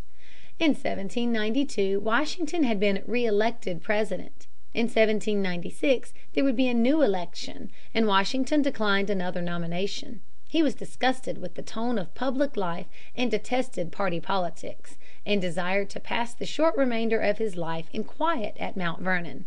He announced his intention to retire in a farewell address, which should be read and studied by every American. In it he declared the Union to be the main pillar of independence, prosperity, and liberty. Public credit must be carefully maintained, and the United States should have as little as possible to do with European affairs. In declining a third term as President, Washington set an example which has ever since been followed. End of chapter XXI. The Last Federalist Administration. 218. John Adams elected President, 1796. In 1796 John Adams was the Federalist candidate for President. His rival was Thomas Jefferson, the founder and chief of the Republican party. Alexander Hamilton was the real leader of the Federalists, and he disliked Adams. Thomas Pinckney was the Federalist candidate for Vice President. Hamilton suggested a plan which he thought would lead to the election of Pinckney as President instead of Adams. But Hamilton's scheme did not turn out very well, for by it Jefferson was elected Vice President. Indeed, he came near being President, for he had only three less electoral votes than Adams. 219. More trouble with France. France was now (1796 97) governed by five chiefs of the Revolution, who called themselves the Directory. They were very angry when they heard of Jay's Treaty, for they had hoped that the Americans would make war on the British. James Monroe was then American minister at Paris. Instead of doing all he could to smooth over this difficulty, he urged on the wrath of the Directory. Washington recalled Monroe, and sent in his stead General Charles Cotesworth Pinckney of South Carolina. The Directory promptly refused to receive Pinckney and ordered him to leave France. News of this action of the Directory reached Philadelphia three days after Adams's inauguration. 220. The X. Y. Z. Affair, 1797 98. Adams at once summoned Congress and addressed the members in stirring words. He denied that the Americans were a "degraded people, humiliated under a colonial sense of fear," and regardless of national honor, character, and interest. It seemed best, however, to make one more effort to avoid war. Adams therefore sent John Marshall, a Virginia Federalist, and Elbridge Gerry, a Massachusetts Republican, to France. They were to join Pinckney and together to negotiate with the French Directory. When they reached Paris three men came to see them. These men said that America (1) must apologize for the President's vigorous words, (2) must lend money to France, and (3) must bribe the Directory and the Minister of Foreign Affairs. These outrageous suggestions were emphatically put aside. In sending the papers to Congress the three men were called Mr. X, Mr. Y, and Mr. Z. So the incident is always known as the X. Y. Z. affair. 221. Indignation in America. Federalists and Republicans joined in indignation. "Millions for defense, not one cent for tribute," was the cry of the day. French flags were everywhere torn down. "Hail Columbia" was everywhere sung. Adams declared that he would not send another minister to France until he was assured that the representative of the United States would be received as the "representative of a great, free, powerful, and independent state." 222. War with France, 1797 98. The organization of a provisional army was now at once begun. Washington accepted the chief command on condition that Hamilton should have the second place. There were already a few vessels in the navy. A navy department was now organized. The building of more warships has begun, and merchant vessels were bought and converted into cruisers. French privateers sailed along the American coasts and captured American vessels off the entrances of the principal harbors. But this did not last long, for the American warships drove the privateers to the West Indies and pursued them as they fled southward. Soon the American cruisers began to capture French men of war. Captain Truxton in the Constellation captured the French frigate L'Insurgente. Many other French vessels were captured, and preparations were made to carry on the naval war even more vigorously when a treaty with France was signed. 223. Treaty with France, 1800. This vigor convinced the French that they had been hasty in their treatment of the Americans. They now said that if another minister were sent to France, he would be honorably received. Adams wished to send one of the American ministers then in Europe, and thus end the dispute as soon as possible. But the other Federalist leaders thought that it would be better to wait until France sent a minister to the United States. Finally they consented to the appointment of three commissioners. Napoleon Bonaparte was now the ruler of France. He received the commissioners honorably, and a treaty was soon signed. On two points, however, he refused to give way. He declined to pay for American property seized by the French, and he insisted that the treaty of 1778 was still binding on both countries. It was finally agreed that the Americans should give up their claims for damages, and the French government should permit the treaty to be annulled. John Adams always looked upon this peaceful ending of the dispute with France as the most prudent and successful act of his whole life. But Hamilton and other Federalists thought it was treachery to the party. They set to work to prevent his reelection to the presidency. 224. Alien and Sedition Acts, 1798. The Federalists, even if they had been united, would probably have been defeated in the election of 1800, for they had misused their power to pass several very foolish laws. The first of these laws was the Naturalization Act. It lengthened the time of residence in the United States from five to fourteen years before a foreign immigrant could gain the right to vote. This law bore very harshly on the Republicans, because most of the immigrants were Republicans. Other laws, called the Alien Acts, were also aimed at the Republican immigrants. These laws gave the President power to compel immigrants to leave the United States, or to live in certain places that he named. The worst law of all was the Sedition Act. This was aimed against the writers and printers of Republican newspapers. It provided that anyone who attacked the government in the press should be severely punished as a seditious person. Several trials were held under this law. Every trial made hundreds of persons determined to vote for the Republican candidate at the next election. 225. Virginia and Kentucky Resolutions, 1798 99.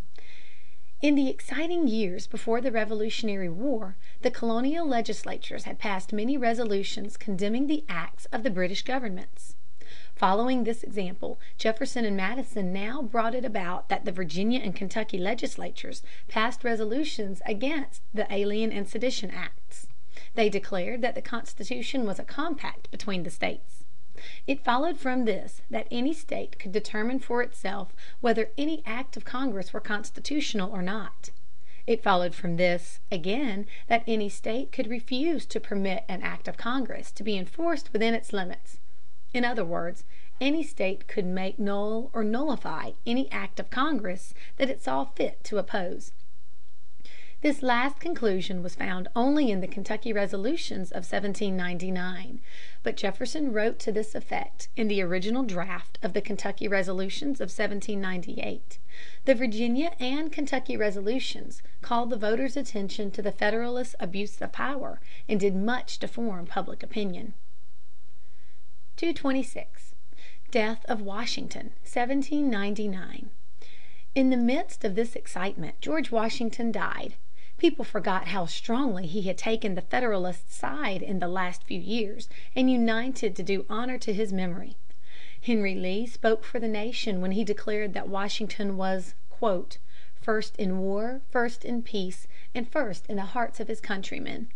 To this day we commemorate Washington's birthday as we do that of no other man, though of late years we have begun to keep Lincoln's birthday also. 227. Election of 1800. It was for a moment only that the noise of party conflict was hushed by the death of America's first President. The strife soon began anew. Indeed, the election of 1800 was fought with a vigor and violence unknown before, and scarcely exceeded since. John Adams was the Federalist candidate, and he was defeated. Jefferson and Burr, the Republican candidates, each received seventy three electoral votes. But which of them should be President? The Republican voters clearly wished Jefferson to be President, but the Federalists had a majority in the House of Representatives. They had a clear legal right to elect Burr President, but to do that would be to do what was morally wrong. After a useless struggle the Federalists permitted Jefferson to be chosen, and he was inaugurated on March 4, 1801. CHAPTER XXII. THE UNITED STATES IN 1800. 228. Area and Population, 1800. The area of the United States in 1800 was the same as at the close of the Revolutionary War, but the population had begun to increase rapidly. In 1791 there were nearly four million people in the United States. By 1800 this number had risen to five and one quarter million. Two thirds of the people still lived on or near tidewater, but already nearly four hundred thousand people lived west of the Alleghanies. In 1791 the center of population had been east of Baltimore. It was now eighteen miles west of that city. 229. Cities and towns in 1800. Philadelphia was the largest city in the United States. It had a population of seventy thousand. But New York was not far behind Philadelphia in population. Except these two, no city in the whole United States had more than thirty thousand inhabitants. The seat of government had been removed from Philadelphia to Washington, but the new capital was a city only in name. One broad, long street, Pennsylvania Avenue, led from the unfinished Capitol to the unfinished White House. Congress held its sessions in a temporary wooden building. The White House could be lived in, but Mrs. Adams found the unfinished reception room very convenient for drying clothes on rainy Mondays. A few cheaply built and very uncomfortable boarding houses completed the city. 230. Traveling in 1800. The traveler in those days had a very hard time. On the best roads of the North, in the best coach, and with the best weather one might cover as many as forty miles a day, but the traveler had to start very early in the morning to do this. Generally he thought himself fortunate if he made twenty five miles in the twenty four hours. South of the Potomac there were no public coaches, and the traveler generally rode on horseback. A few rich men, like Washington, rode in their own coaches. Everywhere, North and South, the inns were uncomfortable and the food was poor. Whenever it was possible, the traveler went by water, but that was dangerous work. Lighthouses were far apart, and there were no public buoys to guide the mariner, and almost nothing had been done to improve navigation. 231. The Steamboat. The steamboat came to change all this. While Washington was still President a queer looking boat sailed up and down the Delaware. She was propelled by oars or paddles which were worked by steam. This boat must have been very uncomfortable, and few persons wished to go on her. Robert Fulton made the first successful steamboat. She was named the Clermont, and was launched in 1807. She had paddle wheels and steamed against the wind and tide of the Hudson River. At first some people thought she was bewitched. But when it was found that she ran safely and regularly, people began to travel on her. Before a great while steamboats appeared in all parts of the country. 232. Making of the West. Even before the Revolutionary War explorers and settlers had crossed the Alleghany Mountains. In Washington's time, pioneers, leaving Pittsburg, floated down the Ohio River in flatboats. Some of these settled in Cincinnati. Others went farther down the river to Louisville, in Kentucky, and still others founded Wheeling and Marietta. In 1811 the first steamboat appeared on the Western rivers. The whole problem of living in the West rapidly changed for the steamboat could go up stream as well as down stream. Communication between the new settlements and New Orleans and Pittsburg was now much safer and very much easier. 233. Cotton growing in the South. Cotton had been grown in the South for many years. It had been made on the plantations into a rough cloth. Very little had been sent away. The reason for this was that it took a very long time to separate the cotton fiber from the seed. One slave working for a whole day could hardly clean more than a pound of cotton. Still, as time went on, more cotton was grown. In 1784 a few bags of cotton were sent to England. The Englishmen promptly seized it because they did not believe that so much cotton could be grown in America. In 1791 nearly two hundred thousand pounds of cotton were exported from the South. Then came Whitney's great invention, which entirely changed the whole history of the country. 234. Whitney's Cotton Gin, 1793. Eli Whitney was a Connecticut schoolmaster. He went to Georgia to teach General Greene's children. He was very ingenious, and one day Mrs. Greene suggested to him that he might make a machine which would separate the cotton fiber from the cotton seed. Whitney set to work and soon made an engine, or gin, as he called it, that would do this. The first machine was a rude affair, but even with it one slave could clean one hundred pounds of cotton in a day. Mrs. Greene's neighbors promptly broke into Whitney's shop and stole his machine. Whitney's cotton gin made the growing of cotton profitable, and so fastened slavery on the South. With the exception of the steam locomotive and the reaper, no invention has so tremendously influenced the history of the United States. 235. Colonial Manufactures. Before the Revolutionary War there were very few mills or factories in the colonies. There was no money to put into such undertakings, and no operatives to work the mills if they had been built. The only colonial manufactures that amounted to much were the making of nails and shoes. These articles could be made at home on the farms in the winter when no work could be done out of doors. 236. Growth of Manufactures, 1789 to 1800. As soon as the new government with its wide powers was established, manufacturing started into life. Old mills were set to work. While the Revolution had been going on in America, great improvements in the spinning of yarn and the weaving of cloth had been made in England. Parliament made laws to prevent the export from England of machinery or patterns of machinery, but it could not prevent Englishmen from coming to America. Among the recent immigrants to the United States was Samuel Slater. He brought no patterns with him, but he was familiar with the new methods of spinning. He soon built spinning machinery. New cotton mills were now set up in several places, but it was some time before the new weaving machinery was introduced into America. End of chapter XXIII. Jefferson's Administrations. 237. President Jefferson. Thomas Jefferson was a Republican. He believed in the republican form of government. He believed the wisdom of the people to be the best guide. He wished the President to be simple and cordial in his relations with his fellow citizens. Adams had ridden to his inauguration in a coach drawn by six cream colored horses.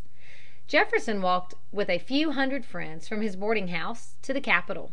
Washington and Adams had gone into state to Congress, and had opened the session with a speech. Jefferson sent a written message to Congress by a messenger. Instead of bowing stiffly to those who came to see him, he shook hands with them and tried to make them feel at ease in his presence. 238. The Civil Service. One of the first matters to take Jefferson's attention was the condition of the civil service. There was not a Republican office holder in the government service. Washington, in the last years of his presidency, and Adams also had given office only to the Federalists. Jefferson thought it was absolutely necessary to have some officials upon whom he could rely. So he removed a few Federalist office holders and appointed Republicans to their places. Adams had even gone so far as to appoint officers up to the midnight of his last day in office. Indeed, John Marshall, his Secretary of State, was busy signing commissions when Jefferson's Attorney General walked in with his watch in hand and told Marshall that it was twelve o'clock. Jefferson and Madison, the new Secretary of State, refused to deliver these commissions even when Marshall, as Chief Justice, ordered Madison to deliver them. 239. The Judiciary Act of 1801.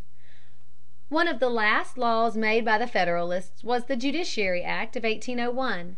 This law greatly enlarged the national judiciary, and Adams eagerly seized the opportunity to appoint his friends to the new offices. The Republican Congress now repealed this Judiciary Act and legislated out of office all the new judges. For it must be remembered that the Constitution makes only the members of the Supreme Court sure of their offices. Congress also got rid of many other Federalist office holders by repealing the Internal Revenue Act. But while all this was done, Jefferson steadily refused to appoint men to office merely because they were Republicans. One man claimed an office on the ground that he was a Republican, and that the Republicans were the saviors of the Republic. Jefferson replied that Rome had been saved by geese, but he had never heard that geese were given offices. 240. Paying the National Debt. Jefferson was especially anxious to cut down the expenses of the government and to pay as much as possible of the national debt. Madison and Gallatin worked heartily with him to carry out this policy. The repeal of the Internal Revenue Act took much revenue from the government, but it also did away with the salaries of a great many officials. The repeal of the Judiciary Act also put an end to many salaries. Now that the dispute with France was ended, Jefferson thought that the army and the navy might safely be reduced. Most of the naval vessels were sold. A few good ships were kept at sea, and the rest were tied up at the wharves. The number of ministers to European states was reduced to the lowest possible limit, and the civil service at home was also cut down. The expenses of the government were in these ways greatly lessened. At the same time the revenue from the customs service increased. The result was that in the eight years of Jefferson's administrations the national debt shrank from eighty three million dollars to forty five million dollars. Yet in the same time the United States paid fifteen million dollars for Louisiana, and waged a series of successful and costly wars with the pirates of the northern coast of Africa. 241. Louisiana again a French colony. Spanish territory now bounded the United States on the south and the west. The Spaniards were not good neighbors, because it was very hard to make them come to an agreement, and next to impossible to make them keep an agreement when it was made. But this did not matter very much, because Spain was a weak power and was growing weaker every year. Sooner or later the United States would gain its point. Suddenly, however, it was announced that France had got back Louisiana, and almost at the same moment the Spanish governor of Louisiana said that Americans could no longer deposit their goods at New Orleans. At once there was a great outcry in the West. Jefferson determined to buy from France New Orleans and the land eastward from the mouth of the Mississippi. 242. The Louisiana Purchase, 1803.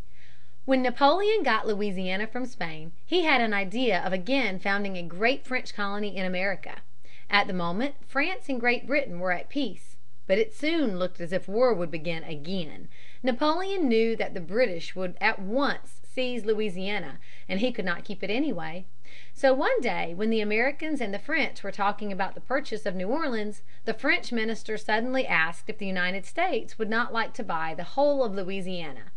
Monroe and Livingston, the American ministers, had no authority to buy Louisiana, but the purchase of the whole colony would be a great benefit to the United States, so they quickly agreed to pay fifteen million dollars for the whole of Louisiana. 243. The Treaty Ratified. Jefferson found himself in a strange position. The Constitution nowhere delegated the United States power to acquire territory. But after thinking it over, Jefferson felt sure that the people would approve of the purchase. The treaty was ratified. The money was paid. This purchase turned out to be a most fortunate thing. It gave to the United States the whole western valley of Mississippi. It also gave to the Americans the opportunity to explore and settle Oregon, which lay beyond the limits of Louisiana. 244. Lewis and Clark's expeditions. Jefferson soon sent out several expeditions to explore the unknown portions of the continent. The most important of these was the expedition led by two army officers, Meriwether Lewis and William Clark, brother of General George Rogers Clark. Leaving St. Louis, they slowly ascended the muddy Missouri. They passed the site of the present city of Omaha. They passed the Council Bluffs. The current of the river now became so rapid that the explorers left their boats and traveled along the river's bank. They gained the sources of the Missouri and came to a westward flowing river. On and on they followed it until they came to the river's mouth. A fog hung low over the water. Suddenly it lifted. There before the explorers' eyes the river, in waves like small mountains, rolled out into the ocean. They had traced the Columbia River from its upper course to the Pacific. Captain Gray in the Boston ship Columbia had already entered the mouth of the river. But Lewis and Clark were the first white men to reach it overland. 245. The Twelfth Amendment, 1804. Four presidential elections had now been held under the method provided by the Constitution. And that method had not worked well. It was now (1804) changed by the adoption of the Twelfth Amendment, which is still in force. The old machinery of presidential electors was kept, but it was provided that in the future each elector should vote for President and Vice President on separate and distinct ballots. The voters had no more part in the election under the new system than they had had under the old system. The old method of apportioning electors among the states was also kept. This gives to each state as many electors as it has senators and representatives in Congress. No matter how small its territory or how small its population, a state has at least two senators and one representative, and, therefore, three electors. The result is that each voter in a small state has more influence in choosing the President than each voter in a large state. Indeed, several Presidents have been elected by minorities of the voters of the country as a whole. 246. Re-election of Jefferson, 1804. Jefferson's first administration had been most successful. The Republicans had repealed many unpopular laws. By the purchase of Louisiana the area of the United States had been doubled and an end put to the dispute as to the navigation of the Mississippi. The expenses of the national government had been cut down, and a portion of the national debt had been paid. The people were prosperous and happy. Under these circumstances Jefferson was triumphantly reelected. He received one hundred and sixty two electoral votes to only fourteen for his Federalist rival. End of chapter XXIV. Causes of the War of 1812. 247. The North Africa Pirates. Stretching along the northern shores of Africa from Egypt westward to the Atlantic were four states. These states were named Tunis, Tripoli, Algiers, and Morocco. Their people were Mohammedans, and were rulers over by persons called Deys or Beys or Pachas. These rulers found it profitable and pleasant to attack and capture Christian ships. The cargoes of the captured vessels they sold at good prices, and the seamen and passengers they sold at good prices too as slaves. The leading powers of Europe, instead of destroying these pirates, found it easier to pay them to let their ships alone. Washington and Adams also paid them to allow American ships to sail unharmed. But the pirates were never satisfied with what was paid them. Jefferson decided to put an end to this tribute paying. He sent a few ships to seize the pirates and shut up their harbors. More and more vessels were sent, until at last the Deys and the Beys and Pachas thought it would be cheaper to behave themselves properly. So they agreed to release their American prisoners and not to capture any more American ships. In these little wars American naval officers gained much useful experience and did many glorious deeds. Especially Decatur and Somers won renown. [Sidenote: Napoleon Bonaparte.] 248.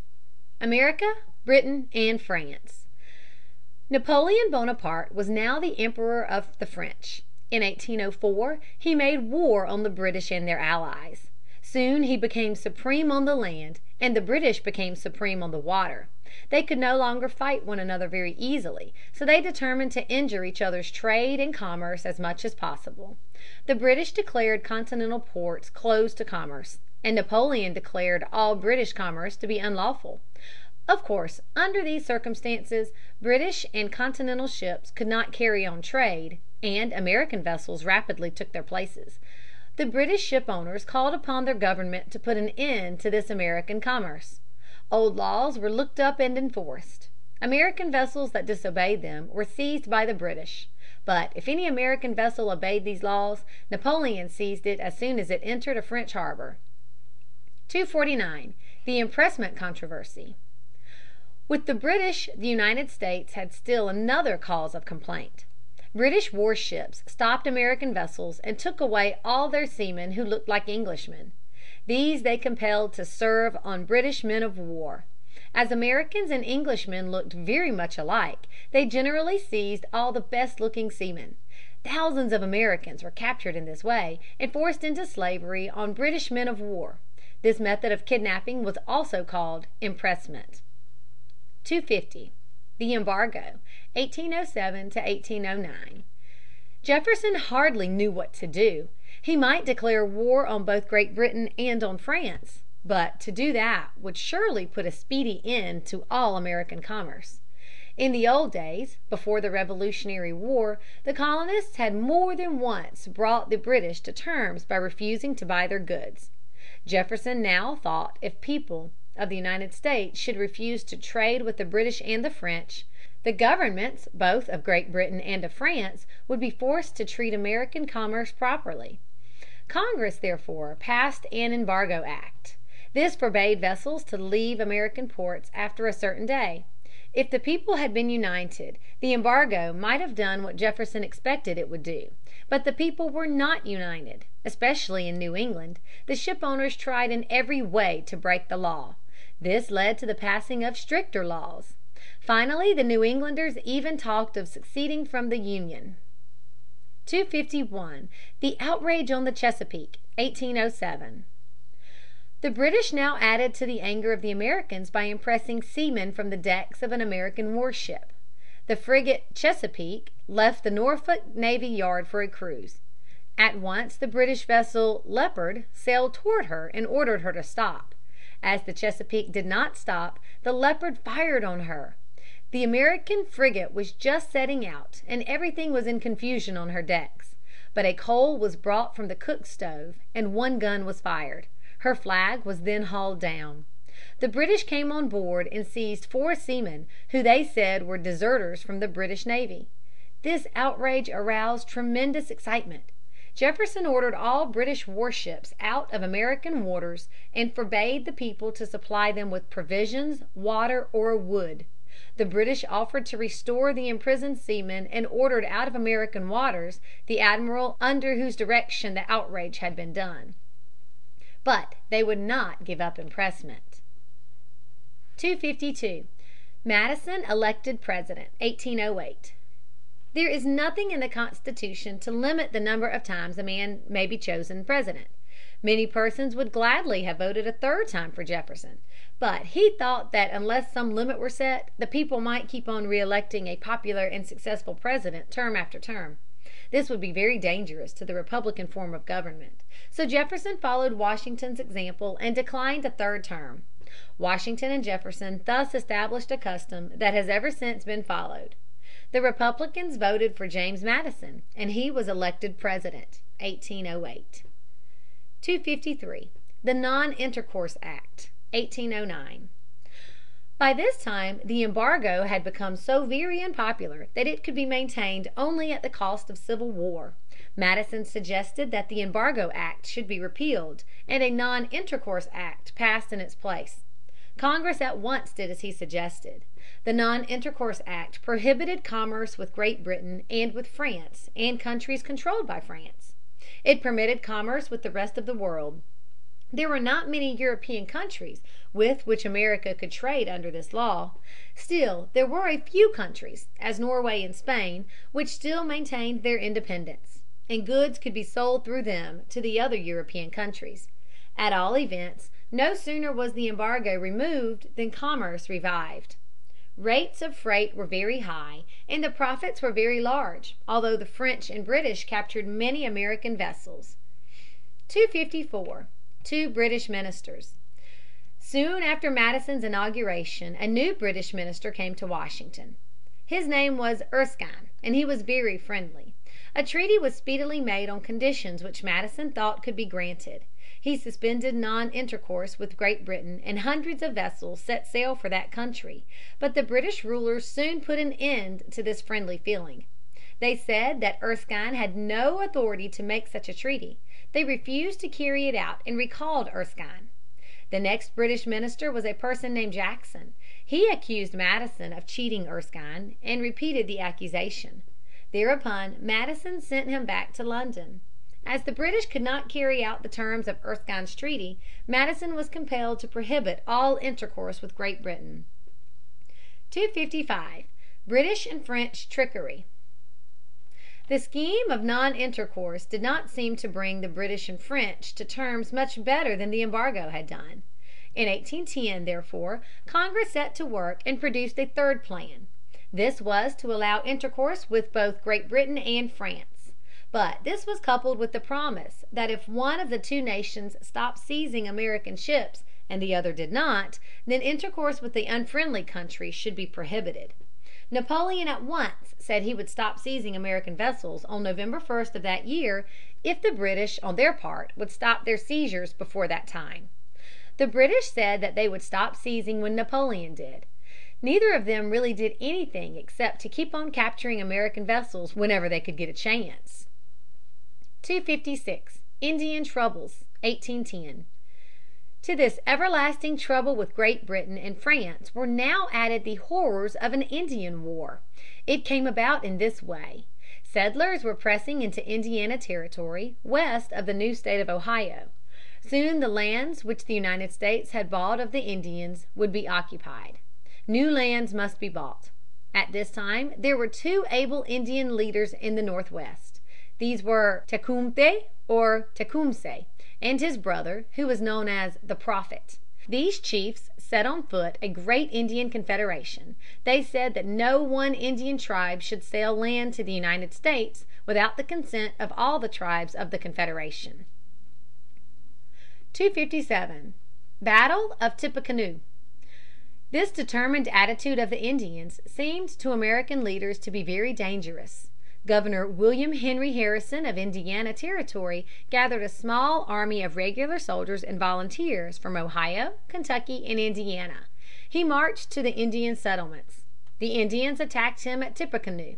He beat them off, and, attacking in his turn, routed them. Tecumthe was not at the battle, but he immediately fled to the British in Canada. The Americans had suspected that the British were stirring up the Indians to resist the United States.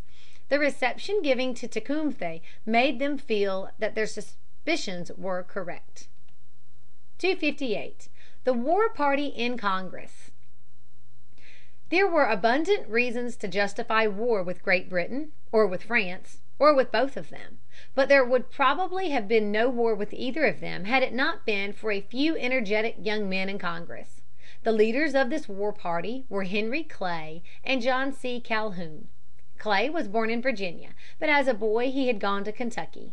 He represented the spirit of the young and growing West. He was a true patriot and felt angry at the way the British spoke of America and Americans, and at the way they acted toward the United States.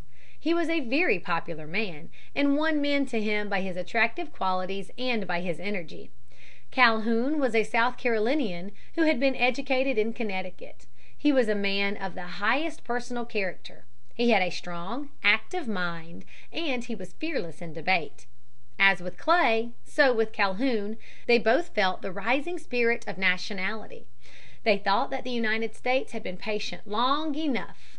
They and their friends gained a majority in Congress and forced Madison to send a warlike message to Congress. [Sidenote: Madison's reasons for war.] 259. Madison's Reasons for War, 1812. In his message Madison stated that the grounds for complaint against the British as follows: 1.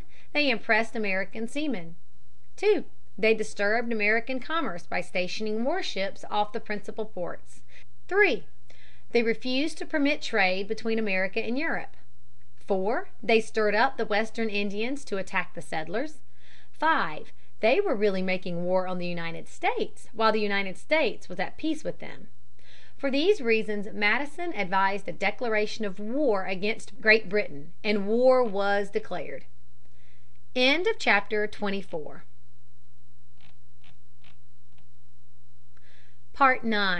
WAR AND PEACE. 1812 to 1829. CHAPTER XXV. THE SECOND WAR OF INDEPENDENCE. 1812 to 1815. 260. Plan of Campaign, 1812. The American plan of campaign was that General Hull should invade Canada from Detroit. He could then march eastward, north of Lake Erie, and meet another army which was to cross the Niagara River. These two armies were to take up the eastward march and join a third army from New York. The three armies would then capture Montreal and Quebec and generally all of Canada. It was a splendid plan. But there were three things in the way of carrying it out. 1. There was no trained American army. 2. There were no supplies for any army when gathered and trained. And 3. There was a small, well trained, and well supplied army in Canada. 261. Hull's surrender of Detroit, 1812. In those days Detroit was separated from the settled parts of Ohio by two hundred miles of wilderness. To get his men and supplies to Detroit, Hull had first of all to cut a road through the forest.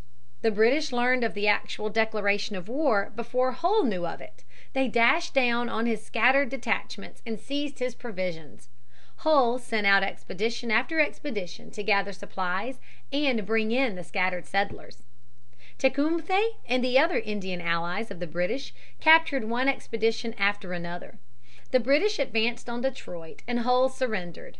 By this disaster the British got control of the upper lakes. They even invaded Ohio. 262. Perry's victory on Lake Erie, 1813. But the British triumph did not last long. In the winter of 1812 13 Captain Oliver Hazard Perry built a fleet of warships on Lake Erie. They were built of green timber cut for the purpose. They were poor vessels, but they were as good as the British vessels. In September, 1813, Perry sailed in search of the British ships. Coming up with them, he hoisted at his masthead a large blue flag with Lawrence's immortal words, "Don't give up the ship," worked upon it. The battle was fiercely fought. Soon Perry's flagship, the Lawrence, was disabled, and only nine of her crew were uninjured. Rowing to another ship, Perry continued the fight. In fifteen minutes more all the British ships surrendered. The control of Lake Erie was now in American hands. The British retreated from the southern side of the lake. General Harrison occupied Detroit. He then crossed into Canada and defeated a British army on the banks of the river Thames. [Sidenote: The frigate Constitution.] 263. The Frigate Constitution. One of the first vessels to get to sea was the Constitution, commanded by Isaac Hull. She sailed from Chesapeake Bay for New York, where she was to serve as a guard ship. On the way she fell in with a British squadron. The Constitution sailed on with the whole British fleet in pursuit. Soon the wind began to die away. The Constitution's sails were soaked with water to make them hold the wind better. Then the wind gave out altogether. Captain Hull lowered his boats and the men began to tow the ship. But the British lowered their boats also. They set a great many boats to towing their fastest ship, and she began to gain on the Constitution. Then Captain Hull found that he was sailing over shoal water, although out of sight of land, so he sent a small anchor ahead in a boat. The anchor was dropped and men on the ship pulled in the anchor line. This was done again and again. The Constitution now began to gain on the British fleet. Then a sudden squall burst on the ships. Captain Hull saw it coming and made every preparation to take advantage of it. When the rain cleared away the Constitution was beyond fear of pursuit. But she could not go to New York, so Captain Hull took her to Boston. The government at once ordered him to stay where he was, but before the orders reached Boston the Constitution was far away. [Sidenote: Constitution and Guerriere, 264. Constitution and Guerriere, 1812. For some time Hull cruised about in the Gulf of St. Lawrence. One day he sighted a British frigate, the Guerriere, one of the ships that had chased the Constitution. But now that Hull found her alone he steered straight for her. In thirty minutes from the firing of the first gun the Guerriere was a ruinous wreck. All of her masts and spars were shot away, and most of her crew were killed or wounded. The Constitution was only slightly injured and was soon ready to fight another British frigate, had there been one to fight. Indeed, the surgeons of the Constitution went on board the Guerriere to help dress the wounds of the British seamen. The Guerriere was a little smaller than the Constitution and had smaller guns, but the real reason for this great victory was that the American ship and the American guns were very much better handled than were the British ship and the British guns. 265. The Wasp and the Frolic, 1812. At almost the same time the American ship Wasp captured the British brig Frolic. The Wasp had three masts and the Frolic had only two masts. But the two vessels were really of about the same size, as the American ship was only five feet longer than her enemy and had the lighter guns. In a few minutes after the beginning of the fight the Frolic was a shattered hulk with only one sound man on her deck. Soon after the conflict a British battleship came up and captured both the Wasp and her prize. The effect of these victories of the Constitution and the Wasp was tremendous. Before the war British naval officers had called the Constitution "a bundle of sticks." Now it was thought to be no longer safe for British frigates to sail in the seas alone. They must go in pairs to protect each other from Old Ironsides. Before long the Constitution, now commanded by Captain Bainbridge, had captured the British frigate Java, and the frigate United States, Captain Decatur, had taken the British ship Macedonian. On the other hand, the Chesapeake was captured by the Shannon. This victory gave great satisfaction to the British, but Captain Lawrence's last words, "Don't give up the ship," have always been a glorious inspiration to American sailors. 266. Brown's Invasion of Canada, 1814. In the first two years of the war the American armies in New York had done nothing. But abler men were now in command. Of these General Jacob Brown, General Macomb, Colonel Winfield Scott, and Colonel Ripley deserve to be remembered. The American plan of campaign was that Brown, with Scott and Ripley, would cross the Niagara River and invade Canada. General Macomb, with a naval force under Macdonough, was to hold the line of Lake Champlain. The British plan was to invade New York by way of Lake Champlain. Brown crossed the Niagara River and fought two brilliant battles at Chippewa and Lundy's Lane. The latter battle was especially glorious because the Americans captured British guns and held them against repeated attacks by British veterans. In the end, however, Brown was obliged to retire. 267. Macdonough's Victory at Plattsburg, 1814. General Prevost, with a fine army of veterans, marched southward from Canada, while a fleet sailed up Lake Champlain. At Plattsburg, on the western side of the lake, was General Macomb, with a force of American soldiers. Anchored before the town was Macdonough's fleet. Prevost attacked Macomb's army and was driven back. The British fleet attacked Macdonough's vessels and was destroyed. That put an end to Prevost's invasion. He retreated back to Canada as fast as he could go. [Sidenote: The British in the Chesapeake, 1814.] 268. The British in the Chesapeake, 1814.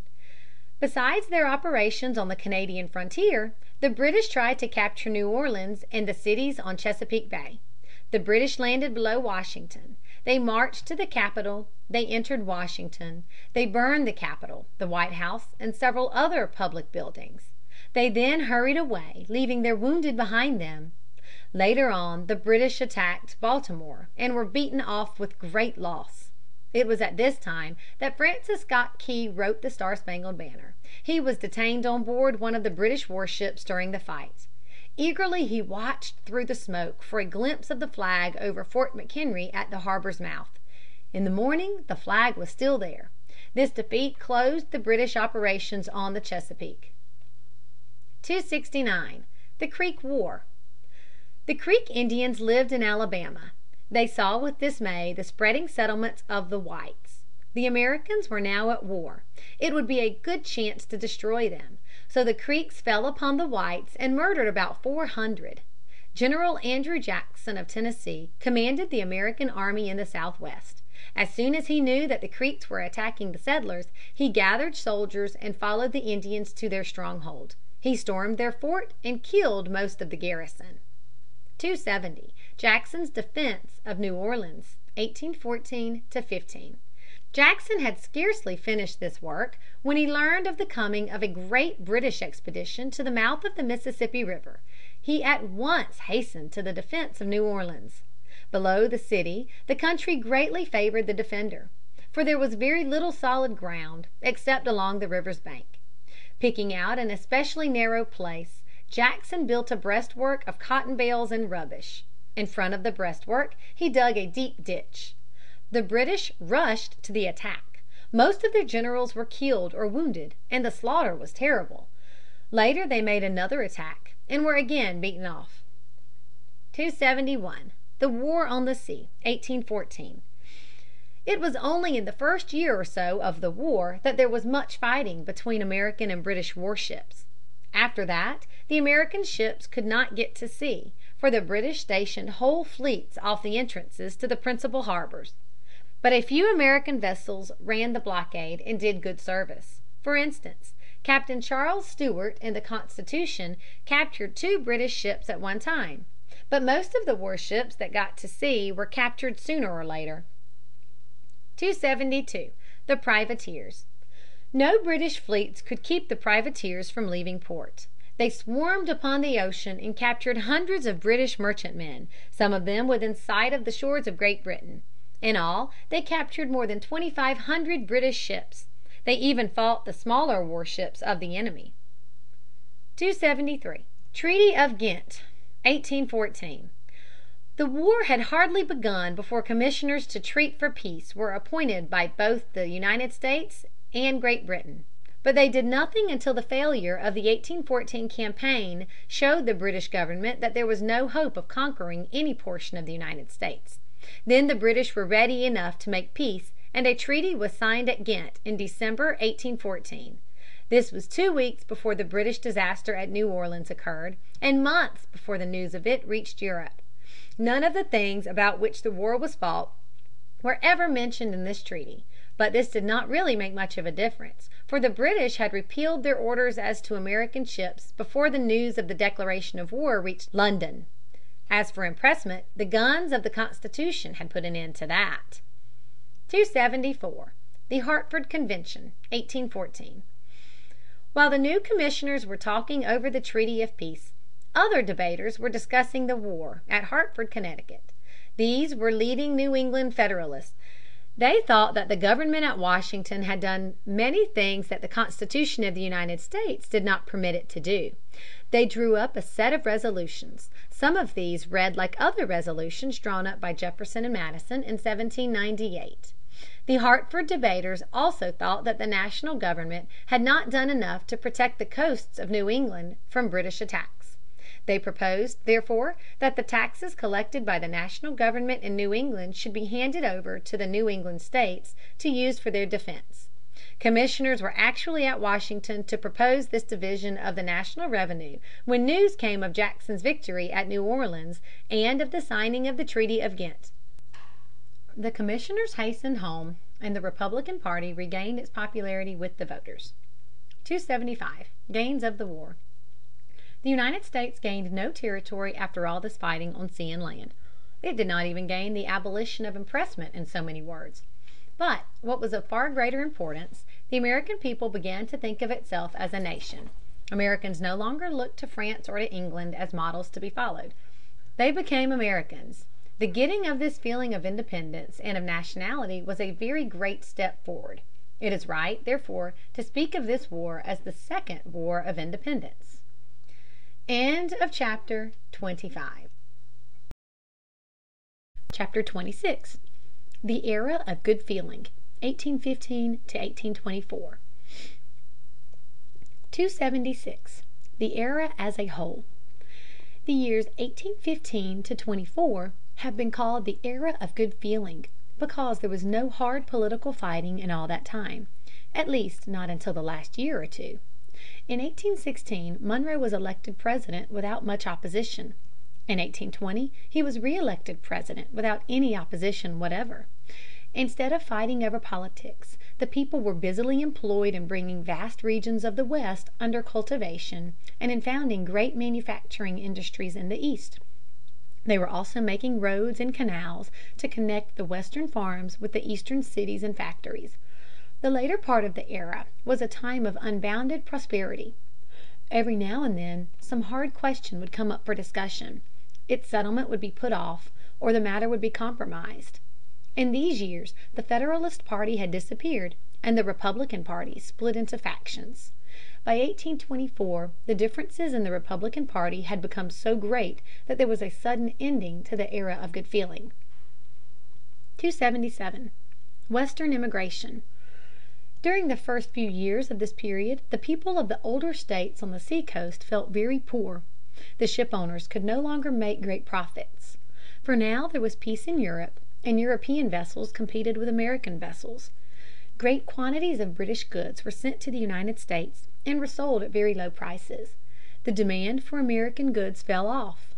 Mill owners closed their mills. Working men and women could find no work to do. The result was a great rush of immigrants from the older states on the seaboard to the new settlements in the West. In the West the immigrants could buy land from the government at a very low rate, and by working hard could support themselves and their families.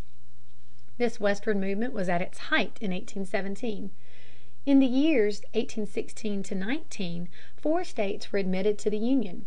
These were Indiana (1816), Mississippi, 1817, Illinois, 1818, and Alabama, 1819. Some of the immigrants even crossed the Mississippi River and settled in Missouri and Arkansas. In 1819 they asked to be admitted to the Union as the state of Missouri, or given a territorial government under the name of Arkansas. The people of Maine also asked Congress to admit them to the Union as the state of Maine. 278. Opposition to the Admission of Missouri. Many people in the North opposed the admission of Missouri because the settlers of the proposed state were slaveholders. Missouri would be a slave state, and these Northerners did not want any more slave states. Originally slavery had existed in all the old thirteen states, but every state north of Maryland had before 1819 either put an end to slavery or had adopted some plan by which slavery would gradually come to an end. Slavery had been excluded from the Northwest by the famous Ordinance of 1787.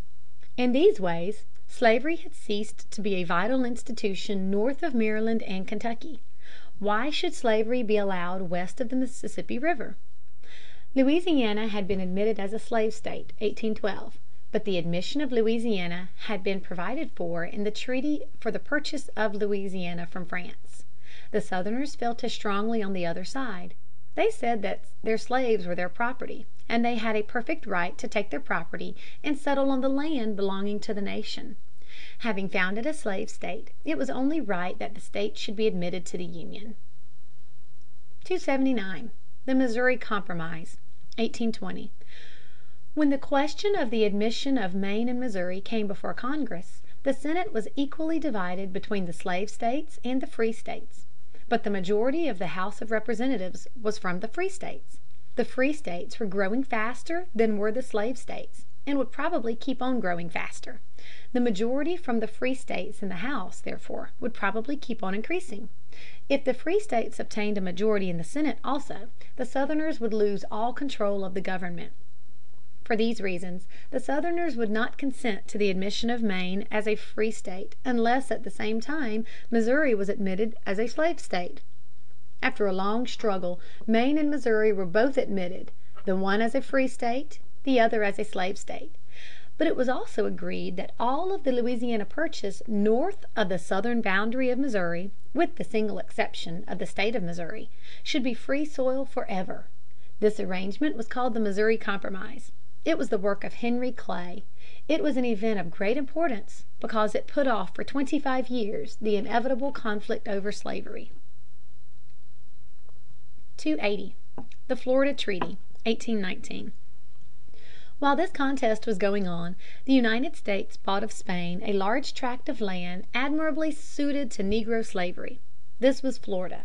It belonged to Spain and was a refuge for all sorts of people, runaway negroes, fugitive Indians, smugglers, and criminals of all kinds. Once in Florida, fugitives generally were safe. But they were not always safe.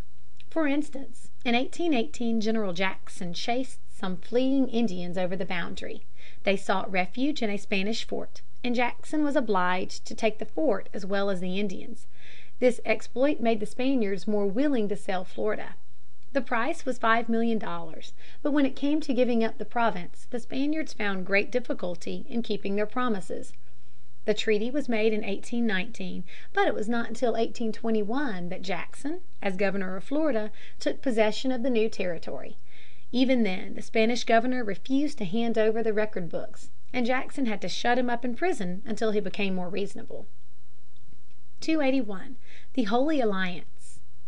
Most of the people of the other Spanish colonies were rebelling against Spain, and there was a rebellion in Spain itself. There were rebellions in other European countries as well as in Spain. In fact, there seemed to be a rebellious spirit nearly everywhere. This alarmed the European emperors and kings. With the exception of the British king, they joined together to put down rebellions. They called their union the Holy Alliance. They soon put the Spanish king back on his throne.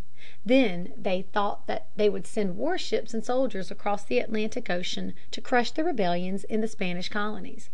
Now the people of the United States sympathized with the Spanish colonists in their desire for independence. They also disliked the idea of Europeans interfering in American affairs. America for Americans was the cry. It also happened that Englishmen desired the freedom of the Spanish colonists. As her subjects, Spain would not let them buy English goods. But if they were free, they could buy goods wherever they pleased.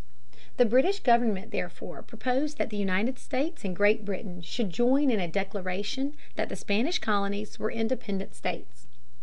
John Quincy Adams, son of John Adams, was Monroe's Secretary of State.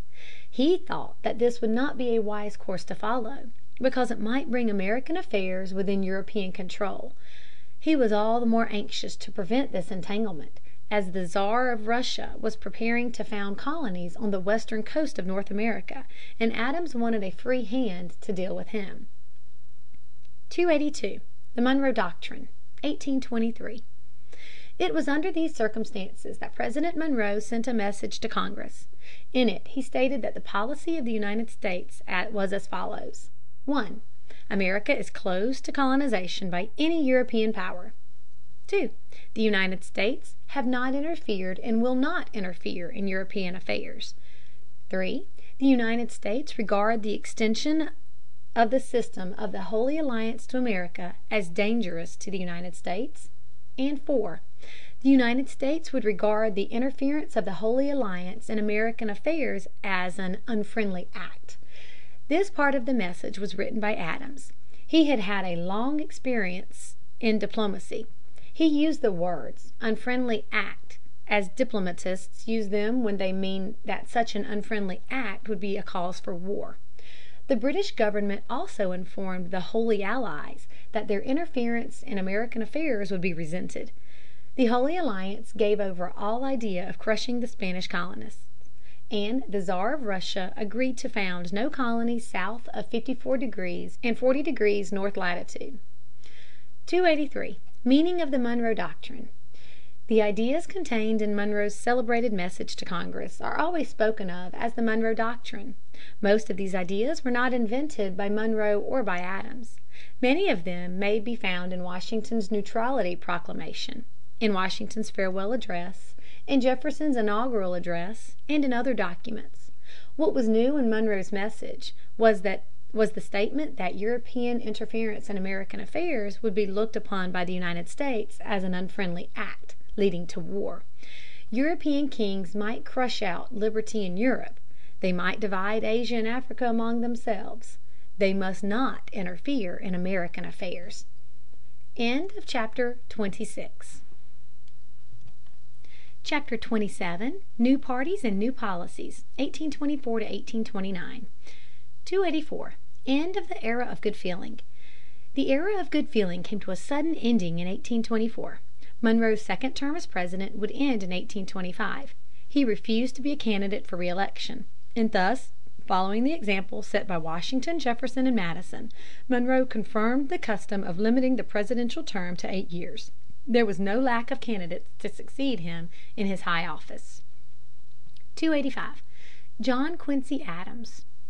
First and foremost was John Quincy Adams of Massachusetts. He was Monroe's Secretary of State, and this office had been a kind of stepping stone to the presidency. Monroe had been Madison's Secretary of State, Madison had been Jefferson's Secretary of State, and Jefferson had been Washington's Secretary of State, although he was Vice President when he was chosen to the first place. John Quincy Adams was a statesman of great experience and of ability. He was a man of the highest honor and intelligence. He was nominated by the legislatures of Massachusetts and of the other New England states. 286. William H. Crawford. Besides Adams, two other members of Monroe's cabinet wished to succeed their chief. These were John C. Calhoun and William H. Crawford. Calhoun soon withdrew from the contest to accept the nomination of all the factions to the place of Vice President. Crawford was from Georgia and was Secretary of the Treasury. As the head of that great department he controlled more appointments than all other members of the cabinet put together. The habit of using public offices to reward political friends had begun in Pennsylvania. Washington in his second term, Adams, and Jefferson had appointed to the office only members of their own party. Jefferson had also removed from office a few political opponents. But there were great difficulties in the way of making removals. Crawford hit upon the plan of appointing officers for four years only. Congress at once fell in with the idea, and passed the Tenure of Office Act, limiting appointments to four years. Crawford promptly used this new power to build up a strong political machine in the Treasury Department, devoted to his personal advancement. He was nominated for the presidency by a congressional caucus and became the regular candidate. 287. Clay and Jackson. Two men outside of the cabinet were also put forward for Monroe's high office. These were Andrew Jackson of Tennessee and Henry Clay of Kentucky. Clay and Calhoun had entered politics about the same time. They had then believed in the same policy. Calhoun had abandoned his early ideas, but Clay held fast to the policy of nationalization. He still favored internal improvements at the national expense. He still favored the protective system. He was the great peacemaker and tried by means of compromises to unite all parts of the Union. He loved his country and had unbounded faith in the American people. The legislatures of Kentucky and other states nominated him for the presidency. The strongest man of all the candidates was Andrew Jackson, the hero of New Orleans. He had never been prominent in politics, But his warlike deeds had made his name and his strength familiar to the voters, especially to those of the West. He was a man of the people, as none of his rivals were. He stood for democracy and the Union. The legislatures of Tennessee and other states nominated Jackson for presidency. 288. Adams chosen President, 1824. The election was held. The presidential electors met in their several states and cast their votes for President and Vice President. The ballots were brought to Washington and were counted. No candidate for the presidency had received a majority of all the votes cast. Jackson had more votes than any other candidate. Next came Adams, then Crawford, and last of all Clay.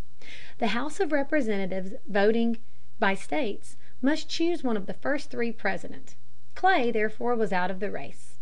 Clay and his friends believed in the same things that Adams and his friends believed in, and had slight sympathy with the views of Jackson or of Crawford. So they joined the Adams men and chose Adams President. The Jackson men were furious. They declared that the Representatives had defeated the will of the people. 289. Misfortunes of Adams's Administration. Adams's first mistake was the appointment of Clay as Secretary of State. It was a mistake because it gave the Jackson men a chance to assert that there had been a "deal" between Adams and Clay. They called Clay the "Judas of the West." They said that the will of the people had been defeated by a corrupt bargain. These charges were repeated over and over again until many people really began to think there must be some reason for them. The Jackson men also most unjustly accused Adams of stealing the nation's money. The British government seized the opportunity of Adams's weak administration to close the West India ports to American shipping. 290. Early Tariffs. Ever since 1789 manufacturers had been protected. The first tariff rates were very low. But the Embargo Act, the Non Intercourse Law, and the War of 1812 put an end to the importation of foreign goods. Capitalists invested large amounts of money in cotton mills, woolen mills, and iron mills. With the return of peace in 1815 British merchants flooded the American markets with cheap goods. The manufacturers appealed to Congress for more protection, and Congress promptly passed a new Tariff Act (1816). This increased the duties over the earlier laws. But it did not give the manufacturers all the protection that they desired. In 1824 another law was drawn up. It raised the duties still higher. The Southerners opposed the passage of this last law, for they clearly saw that protection did them no good. But the Northerners and the Westerners were heartily in favor of the increased duties, and the law was passed. 291. The Tariff of Abominations, 1828. In 1828 another presidential election was to be held. The manufacturers thought that this would be a good time to ask for even higher protective duties, because the politicians would not dare to oppose the passage of the law for fear of losing votes. The Jackson men hit upon a plan by which they would seem to favor higher duties while at the same time they were really opposing them. They therefore proposed high duties on manufactured goods. This would please the Northern manufacturers. They proposed high duties on raw materials. This would please the Western producers. But they thought that the manufacturers would oppose the final passage of the bill because the high duties on raw materials would injure them very much. The bill would fail to pass, and this would please the Southern cotton growers. It was a very shrewd little plan, but it did not work. The manufacturers thought that it would be well at all events to have the high duties on manufactured goods. Perhaps they might before long secure the repeal of the duties on raw materials. The Northern members of Congress voted for the bill, and it passed. 292. Jackson elected President, 1828. In the midst of all this discouragement as to foreign affairs and this contest over the tariff, the presidential campaign of 1828 was held. Adams and Jackson were the only two candidates. Jackson was elected by a large majority of electoral votes, but Adams received only one vote less than he had received in 1824. The contest was very close in the two large states of Pennsylvania and New York. Had a few thousand more voters in those states cast their votes for Adams, the electoral votes of those states would have been given to him, and he would have been elected. It was fortunate that Jackson was chosen, for a great contest between the states and the national government was coming on. It was well that a man of Jackson's commanding strength and great popularity should be at the head of the government. End of chapter 27. CHAPTER XXVIII THE AMERICAN PEOPLE IN 1830 293. A New Race. Between the election of President Jefferson and the election of President Jackson great changes had taken place. The old Revolutionary statesmen had gone. New men had taken their places. The old sleepy life had gone. Everywhere now was a bustle and hurry. In 1800 the Federalists favored the British and the Republicans favored the French. Now no one seemed to care for either the British or the French. At last the people had become Americans. The Federalist party had disappeared. Every one was now either a national Republican and voted for Adams, or a Democrat Republican and voted for Jackson. 294. Numbers and Area. In 1800 there were only five and one half million people in the whole United States. Now there were nearly thirteen million people and they had a very much larger country to live in. In 1800 the area of the United States was about 800,000 square miles, but Louisiana and Florida had been bought since then. Now (1830) the area of the United States was about two million square miles. The population of the old states had greatly increased. Especially the cities had grown. In 1800 New York City held about sixty thousand people. It now held two hundred thousand people. But it was in the West that the greatest growth had taken place. Since 1800 Ohio, Indiana, Illinois, Alabama, Mississippi, Louisiana, and Missouri had all been admitted to the Union. 295. National Roads. Steamboats were now running on the Great Lakes and on all the important rivers of the West. The first result of this new mode of transport was the separation of the West from the East. Steamboats could carry passengers and goods up and down the Mississippi and its branches more cheaply and more comfortably than people and goods could be carried over the Alleghanies. Many persons therefore advised the building of a good wagon road to connect the Potomac with the Ohio. The eastern end of this great road was at Cumberland on the Potomac in Maryland. It is generally called, therefore, the Cumberland road. It was begun at the national expense in 1811. By 1820 the road was built as far as Wheeling on the Ohio River. From that point steamboats could steam to Pittsburgh, Cincinnati, St. Louis, or New Orleans. Later on the road was built farther west, as far as Illinois. Then the coming of the railroad made further building unnecessary. 296. The Erie Canal. The best way to connect one steamboat route with another was to dig a canal.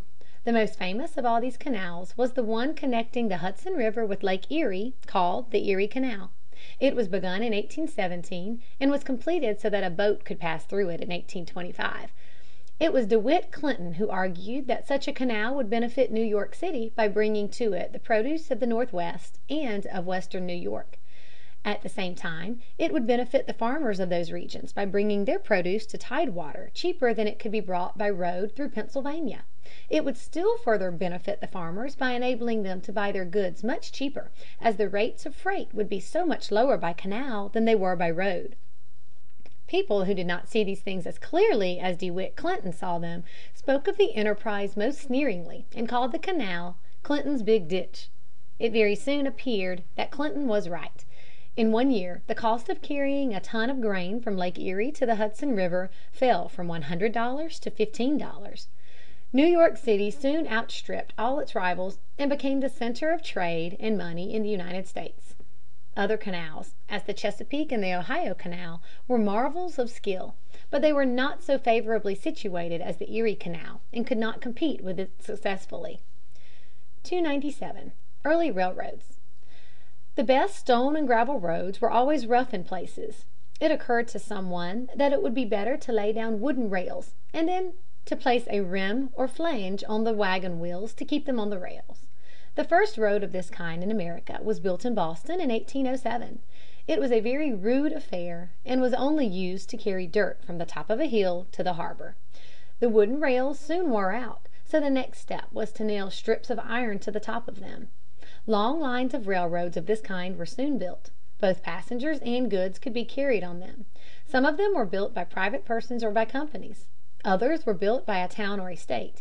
Anyone having horses and wagons with flanged wheels could use the railway on the payment of a small sum of money. This was a condition of affairs when the steam locomotive was invented. 298. The Steam Locomotive. Steam was used to drive boats through the water. Why should not steam be used to haul wagons over a railroad? This was a very easy question to ask, and a very hard one to answer. Year after year inventors worked on the problem. Suddenly, about 1830, it was solved in several places and by several men at nearly the same time. It was some years, however, before the locomotive came into general use. The early railroad trains were rude affairs. The cars were hardly more than stage coaches with flanged wheels. They were fastened together with chains, and when the engine started or stopped there was a terrible bumping and jolting. The smoke pipe of the engine was very tall and was hinged so that it could be let down when coming to a low bridge or a tunnel. Then the smoke and cinders poured straight into the passengers' faces. But these trains went faster than canal boats or steamboats. Soon the railroad began to take the first place as a means of transport. 299. Other Inventions. The coming of the steam locomotive hastened the changes which one saw on every side in 1830. For some time men had known that there was plenty of hard coal or anthracite in Pennsylvania, but it was so hard that it would not burn in the old fashioned stoves or fireplaces. Now a stove was invented that would burn anthracite, and the whole matter of house warming was completely changed. Then means were found to make iron from ore with anthracite. The whole iron industry awoke to new life. Next the use of gas made from coal became common in cities.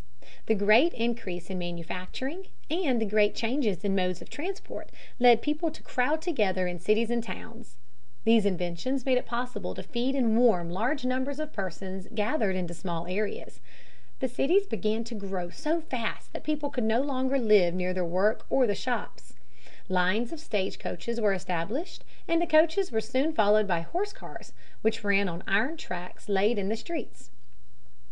300. Progress in Letters. There was also great progress in learning. The school system was constantly improved.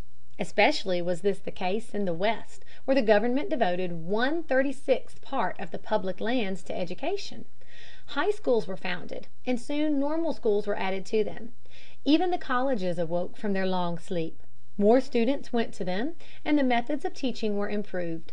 Some slight attention, too, was given to teaching the sciences. In 1828 Noah Webster published the first edition of his great dictionary. Unfortunately, he tried to change the spelling of many words, but in other ways his dictionary was a great improvement.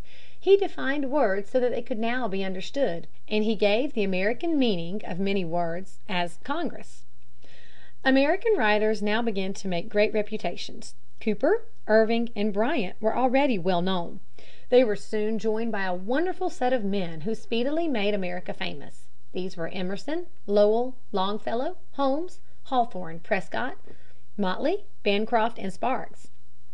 In science also men of mark were beginning their labors, as Peirce, Gray, Silliman, and Dana. Louis Agassiz before long began his wonderful lectures, which did much to make science popular. In short, Jackson's administration marks the time when American life began to take on its modern form. End of chapter XXIX. The Reign of Andrew Jackson, 1829 to 1837. 301. General Jackson. Born in the backwoods of Carolina, Jackson had early crossed the Alleghanies and settled in Tennessee. Whenever trouble came to the Western people, whenever there was need of a stout heart and an iron will, Jackson was at the front. He always did his duty, and he always did his duty well. Honest and sincere, he believed in himself and he believed in the American people. As President, he led the people in one of the stormiest periods in our history.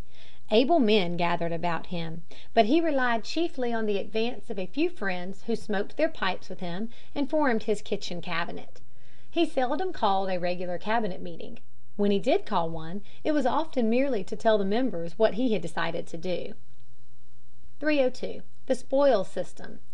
Among the able men who had fought the election for Jackson were Van Buren and Marcy of New York and Buchanan of Pennsylvania.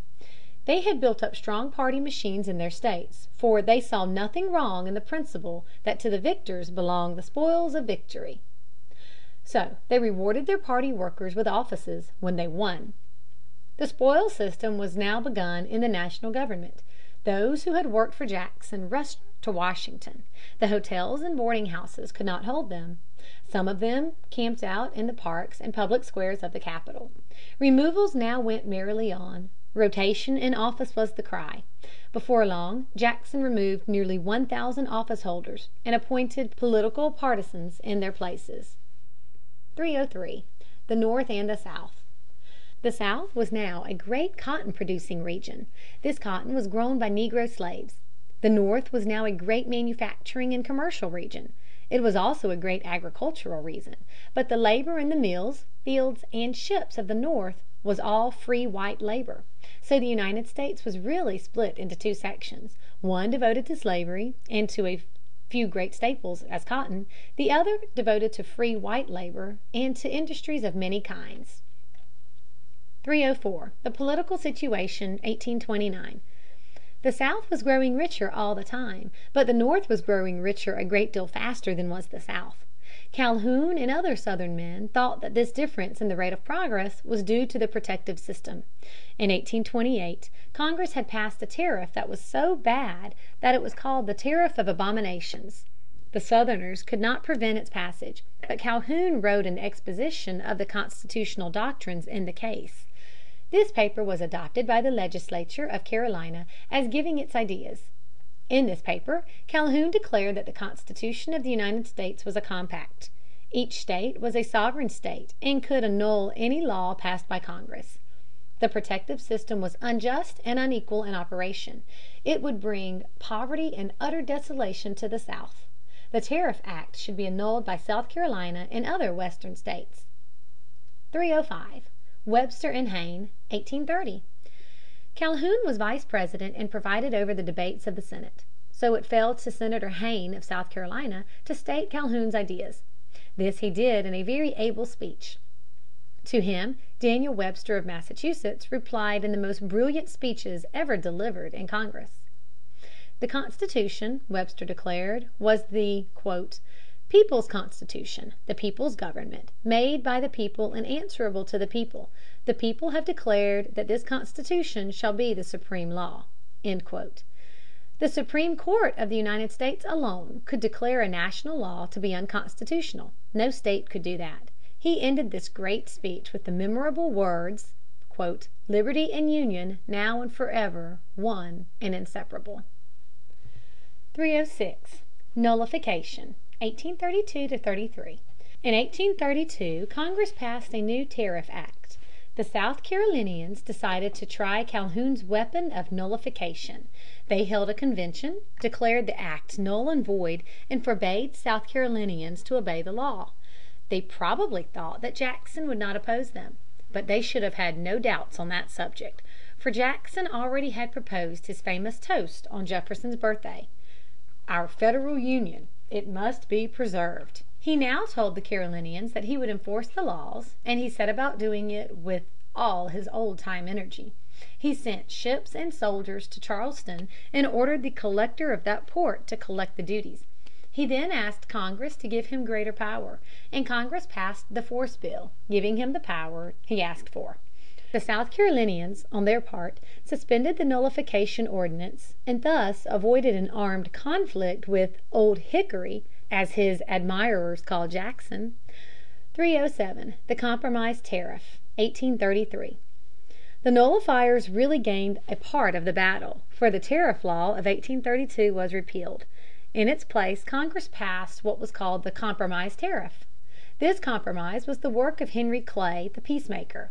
Under it the duties were to be gradually lowered, until in 1842 they would be as low as they were by the Tariff Act of 1816. 308. The Second United States Bank. Nowadays any one with enough money can open a national bank under the protection of the government at Washington.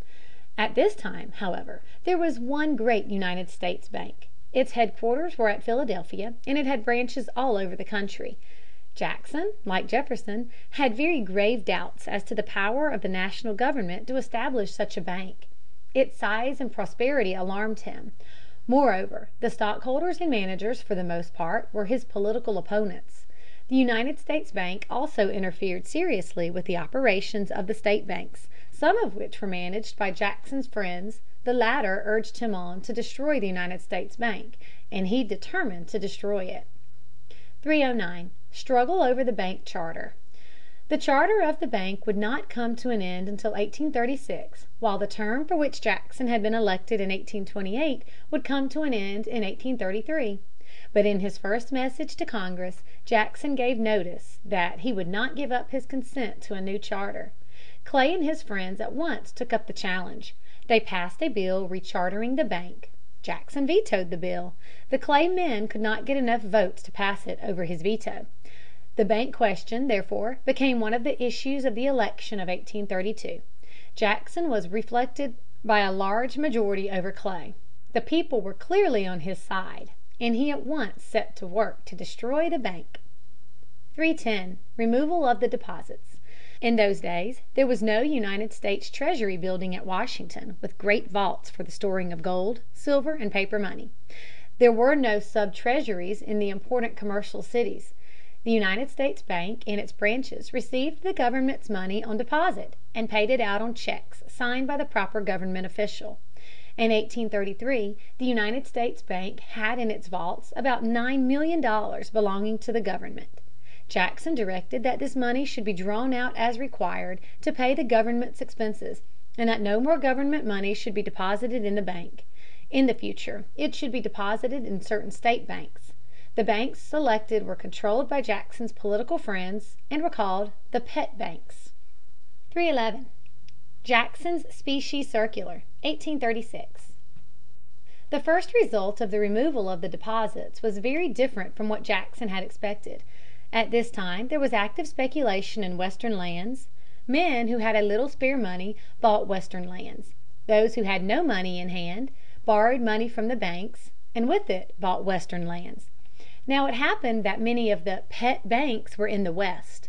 The government's money, deposited with them, tempted their managers to lend money more freely. This in turn increased the ease with which people could speculate. Jackson saw that unless something were done to restrain this speculation, disaster would surely come, so he issued a circular to the United States land officers. This circular was called the Specie Circular because in it the President forbade the land officers to receive anything except gold and silver and certain certificates and payments for public lands. 312. Payment of the Debt, 1837. The national debt had now all been paid. The government was collecting more money than it could use for national purposes and it was compelled to keep on collecting more money than it could use because the compromise tariff made it impossible to reduce duties any faster than a certain amount each year.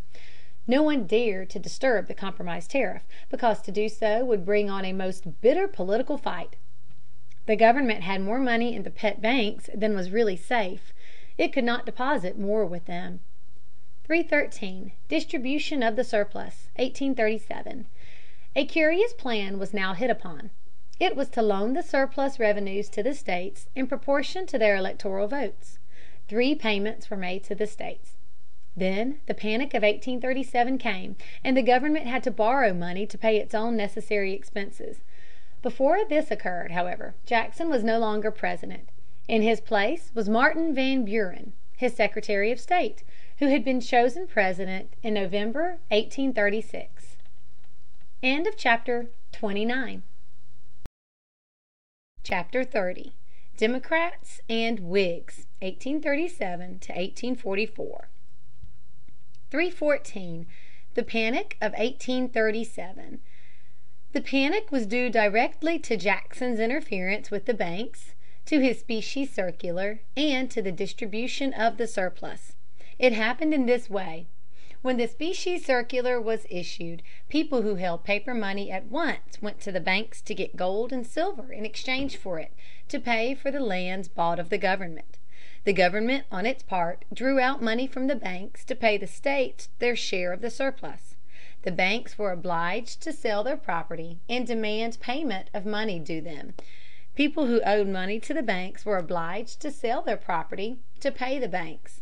So every one wanted to sell and few wanted to buy. Prices of everything went down with a rush. People felt so poor that they would not even buy new clothes. The mills and mines were closed, and the banks suspended payments. Thousands of working men and women were thrown out of work. They could not even buy food for themselves or their families. Terrible bread riots took place. After a time people began to pluck up their courage. But it was a long time before the "good times" came again. 315. The Independent Treasury System. What should be done with the government's money? No one could think of depositing it with the state banks. Clay and his friends thought the best thing to do would be to establish a new United States Bank. But Van Buren was opposed to that. His plan, in short, was to build vaults for storing money in Washington and in the leading cities. The main storehouse, or treasury, was to be in Washington. Subordinate storehouses, or sub treasuries, were to be established in the other cities. To these sub treasuries the collectors of customs would pay the money collected by them. In this way the government would become independent of the general business affairs of the country. In 1840 Congress passed an act for putting this plan into effect. But before it was in working order Van Buren was no longer President. 316. Democrats and Whigs. In the era of good feeling there was but one party, the Republican party. In the confused times of 1824 the several sections of the party took the names of their party leaders, the Adams men, the Jackson men, the Clay men, and so on. Soon the Adams men and the Clay men began to act together and to call themselves National Republicans. They did because they wished to build up the nation's resources at the expense of the nation. The Jackson men called themselves Democrat Republicans because they upheld the rights of the people. Before long they dropped the word Republican and called themselves simply Democrats. The National Republicans dropped the whole of their name and took that of the great English liberal party, the Whigs. This they did because they favored reform. 317. Election of 1840. General William Henry Harrison was the son of Benjamin Harrison of Virginia, one of the signers of the Declaration of Independence. General Harrison had moved to the West and had won distinction at Tippecanoe and also in the War of 1812. The Whigs nominated him in 1836, but he was beaten. They now renominated him for President, with John Tyler of Virginia as candidate for Vice President. Van Buren had made a good President, but his term of office was associated with panic and hard times. He was a rich man and gave great parties. Plainly he was not a "man of the people," as was Harrison. A Democratic orator sneered at Harrison and said all he wanted was a log cabin of his own and a jug of cider. The Whigs eagerly seized on this description. They built log cabins at the street corners and dragged through the streets log cabins on great wagons. They held immense open air meetings at which people sang songs of "Tippecanoe and Tyler too." Harrison and Tyler received nearly all the electoral votes and were chosen President and Vice President.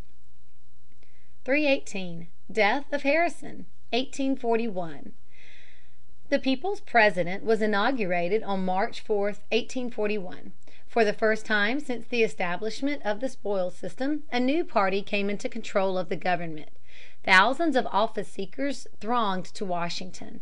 They even slept in out of the way corners of the White House. Day after day, from morning till night, they pressed their claims on Harrison. One morning, early, before the office seekers were astir, he went out for a walk. He caught cold and died suddenly just one month after his inauguration. John Tyler at once became President. 319. Tyler and the Whigs.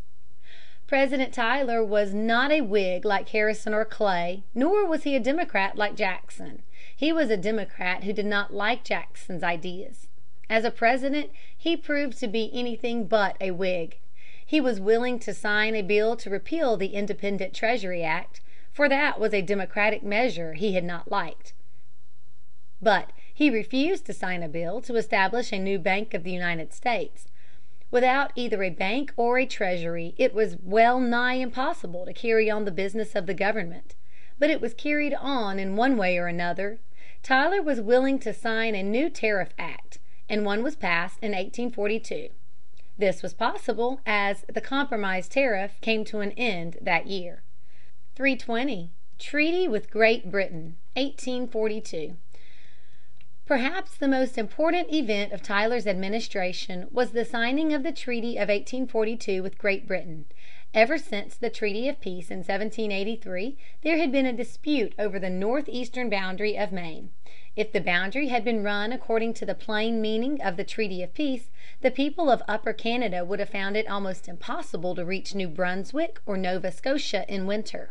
At that time of the year the St. Lawrence River is frozen over, and the true northern boundary of Maine ran so near to the St. Lawrence that it was difficult to build a road which would be wholly in British territory. So the British had tried in every way to avoid settling the matter. It was now arranged that the United States should have a little piece of Canada north of Vermont and New York, and should give up the extreme northeastern corner of Maine. It was also agreed that criminals escaping from one country to the other should be returned. A still further agreement was made for checking the slave trade from the coast of western Africa. 321. The Electric Telegraph. Benjamin Franklin and Joseph Henry made great discoveries in electricity. But Samuel F. B. Morse was the first to use electricity in a practical way. Morse found that if a man at one end of a line of wire pressed down a key, electricity would be made at the same moment to press down another key at the other end of the wire. Moreover, the key at the farther end of the line could be arranged so as to make an impression on a piece of paper that was slowly drawn under it by clockwork. Now if the man at one end of the line held his key down for only an instant, this impression would look like a dot. If he held it down longer, it would look like a short dash. Morse combined these dots and dashes into an alphabet. For instance, one dash meant the letter T, and so on. For a time people only laughed at Morse. But at length Congress gave him enough money to build a line from Baltimore to Washington. It was opened in 1844 and proved to be a success from the beginning. Other lines were soon built, and the Morse system, greatly improved, is still in use. The telegraph made it possible to operate long lines of railroad, as all the trains could be managed from one office so that they would not run into one another. It also made it possible to communicate with people afar off and get an answer in an hour or so. For both these reasons the telegraph was very important and with the railroads did much to unite the people of different portions of the country. 322. The McCormick Reaper. Every great staple depends for its production on some particular tool. For instance, cotton was of slight importance until the invention of the cotton gin made it possible to cheaply separate the seed from the fiber. The success of wheat growing depended upon the ability to quickly harvest the crop. Wheat must be allowed to stand until it is fully ripened. Then it must be quickly reaped and stored away out of the reach of the rain and wet. For a few weeks in each year there was a great demand for labor on the wheat farms, and there was little labor to be had. Cyrus H. McCormick solved this problem for the wheat growers by inventing a horse reaper. The invention was made in 1831, but it was not until 1845 that the reaper came into general use. By 1855 the use of the horse reaper was adding every year $55,000,000 to the wealth of the country. Each year its use moved the fringe of civilization fifty miles farther west. Without harvesting machinery the rapid settlement of the West would have been impossible, and had not the West been rapidly settled by free whites, the whole history of the country between 1845 and 1865 would have been very different from what it has been. The influence of the horse reaper on our political history, therefore, is as important as the influence of the steam locomotive or of the cotton gin. End of chapter XXXI. Section 6. Slavery in the Territories, 1844 to 1859. Chapter 31. Beginning of the anti-slavery agitation. 323. Growth of Slavery in the South. South of Pennsylvania and of the Ohio River slavery had increased greatly since 1787. Washington, Jefferson, Henry, and other great Virginians were opposed to the slave system, but they could find no way to end it. even in Virginia. The South Carolinians and Georgians fought every proposition to limit slavery. They even refused to come into the Union unless they were given representation in Congress for a portion at least of their slaves. And in the first Congress under the Constitution they opposed bitterly every proposal to limit slavery. Then came Whitney's invention of the cotton gin. That at once made slave labor vastly more profitable in the cotton states and put an end to all hopes of peaceful emancipation in the South. 324. Rise of the Abolitionists. About 1830 a new movement in favor of the negroes began. Some persons in the North, as, for example, William Ellery Channing, proposed that slaves should be set free, and their owners paid for their loss. They suggested that the money received from the sale of the public lands might be used in this way. But nothing came of these suggestions. Soon, however, William Lloyd Garrison began at Boston the publication of a paper called the Liberator. He wished for complete abolition without payment. For a time he labored almost alone. Then slowly others came to his aid, and the anti-slavery society was founded. 325. Opposition to the Abolitionists. It must not be thought that the abolitionists were not opposed. They were most vigorously opposed. Very few Northern men wished to have slavery reestablished in the North, but very many Northern men objected to the antislavery agitation because they thought it would injure business. Some persons even argued that the antislavery movement would bring about the destruction of the Union. In this idea there was a good deal of truth, for Garrison grew more and more outspoken. He condemned the Union with slaveholders, and wished to break down the Constitution because it permitted slavery. There were anti-abolitionist riots in New York, New Jersey, and New Hampshire. In Boston the rioters seized Garrison and dragged him about the streets. 326. Slave Rebellion in Virginia, 1831. At about the time that Garrison established the Liberator at Boston, a slave rebellion broke out in Virginia. The rebels were led by a slave named Nat Turner, and the rebellion is often called Nat Turner's Rebellion. It was a very small affair and was easily put down. But the Southerners were alarmed because they felt that the Northern antislavery agitation would surely lead to more rebellions. They called upon the government to forbid the sending of the Liberator and similar incendiary publications through the mails. 327. The Right of Petition. One of the most sacred rights of freedom is the right to petition for redress of grievances. In the old colonial days the British Parliament had refused even to listen to petitions presented by the colonists. But the first amendment to the Constitution forbade Congress to make any law to prevent citizens of the United States from petitioning. John Quincy Adams, once President, was now a member of the House of Representatives. In 1836 he presented petition after petition, praying Congress to forbid slavery in the District of Columbia.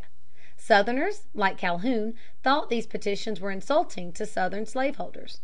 Congress could not prevent the antislavery people petitioning. They could prevent the petitions being read when presented. This they did by passing gag resolutions. Adams protested against these resolutions as an infringement on the rights of his consultants. But the resolutions were passed. Petitions now came pouring into Congress.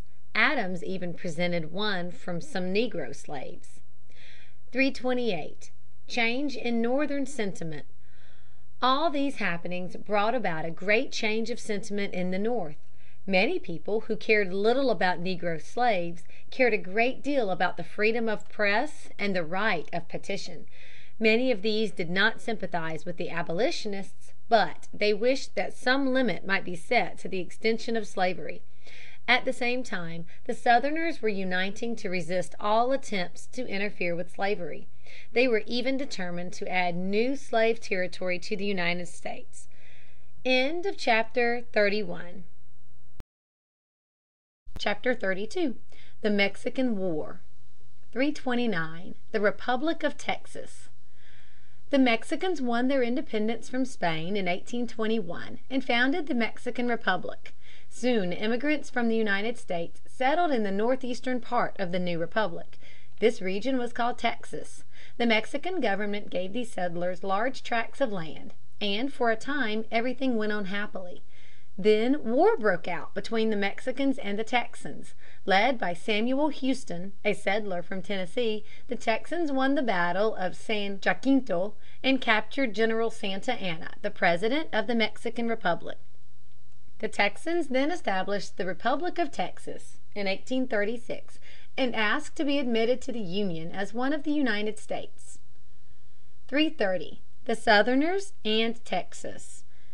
The application of Texas for admission to the Union came as a pleasant surprise to many Southerners. As a part of the Mexican Republic Texas had been free soil. But Texas was well suited to the needs of the cotton plant. If it were admitted to the Union it would surely be a slave state, or perhaps several slave states. The question of admitting Texas first came before Jackson. He saw that the admission of Texas would be strongly opposed in the North. So he put the whole matter to one side and would have nothing to do with it. Tyler acted very differently. Under his direction a treaty was made with Texas. This treaty provided for the admission of Texas to the Union. But the Senate refused to ratify the treaty. The matter therefore became the most important question in the presidential election of 1844. [Sidenote: President Tyler.] 331. Election of 1844. President Tyler would have been glad of a second term. But neither of the great parties wanted him as a leader. The Democrats would have gladly nominated Van Buren had he not opposed the acquisition of Texas. Instead they nominated James K. Polk of Tennessee, an outspoken favorer of the admission of Texas. The Whigs nominated Henry Clay, who had not decided the Whigs nominated Henry Clay, who had no decided views on the Texas question. He said one thing one day, another thing another day. The result was that the opponents of slavery and of Texas formed a new party. They called it the Liberty Party and nominated a candidate for President. The Liberty men did not gain many votes. But they gained enough votes to make Clay's election impossible, and Polk was chosen President. 332. Acquisition of Texas, 1845. Tyler now pressed the admission of Texas upon Congress. The two houses passed a joint resolution. This resolution provided for the admission of Texas, and for the formation from the territory included in Texas of four states, in addition to the states of Texas, and with the consent of that state. Before Texas was actually admitted, Tyler had ceased to be President. But Polk carried out his policy, and on July 4, 1845, Texas became one of the United States. 333. Beginning of the Mexican War, 1846. The Mexicans had never acknowledged the independence of Texas. They now protested against its admission to the United States. Disputes also arose as to the southern boundary of Texas. As no agreement could be reached on this point, President Polk ordered General Zachary Taylor to march to the Rio Grande and occupy the disputed territory. Taylor did as he was ordered, and the Mexicans attacked him. Polk reported these facts to Congress, and Congress authorized the President to push on the fighting on the ground that "war exists, and exists by the act of Mexico herself." 334. Taylor's Campaigns. The Mexican War easily divides itself into three parts: (1) Taylor's forward movement across the Rio Grande; (2) Scott's campaign, which ended in the capture of the City of Mexico; and (3) the seizure of California. Taylor's object was to maintain the line of the Rio Grande, and then to advance into Mexico and injure the Mexicans as much as possible. The battles of Palo Alto and Resaca de la Palma (May 8, 9, 1846) were fought before the actual declaration of war. These victories made Taylor master of the Rio Grande. In September he crossed the Rio Grande. So far all had gone well. But in the winter many of Taylor's soldiers were withdrawn to take part in Scott's campaign. This seemed to be the Mexicans' time. They attacked Taylor with four times as many men as he had in his army. This battle was fought at Buena Vista. February, 1847. Taylor beat back the Mexicans with terrible slaughter. This was the last battle of Taylor's campaign. 335. Scott's Invasion of Mexico. The plan of Scott's campaign was that he should land at Vera Cruz, march to the city of Mexico, two hundred miles away, capture that city, and force the Mexicans to make peace. Everything fell out precisely as it was planned. With the help of the navy, Scott captured Vera Cruz. He only had about one quarter as many men as the Mexicans, but he overthrew them at Cerro Gordo, where the road to the City of Mexico crosses the coast mountains (April, 1847). With the greatest care and skill he pressed on and at length came within sight of the City of Mexico. The capital of the Mexican Republic stood in the midst of marshes, and could only be reached by narrow causeways which joined it to solid land.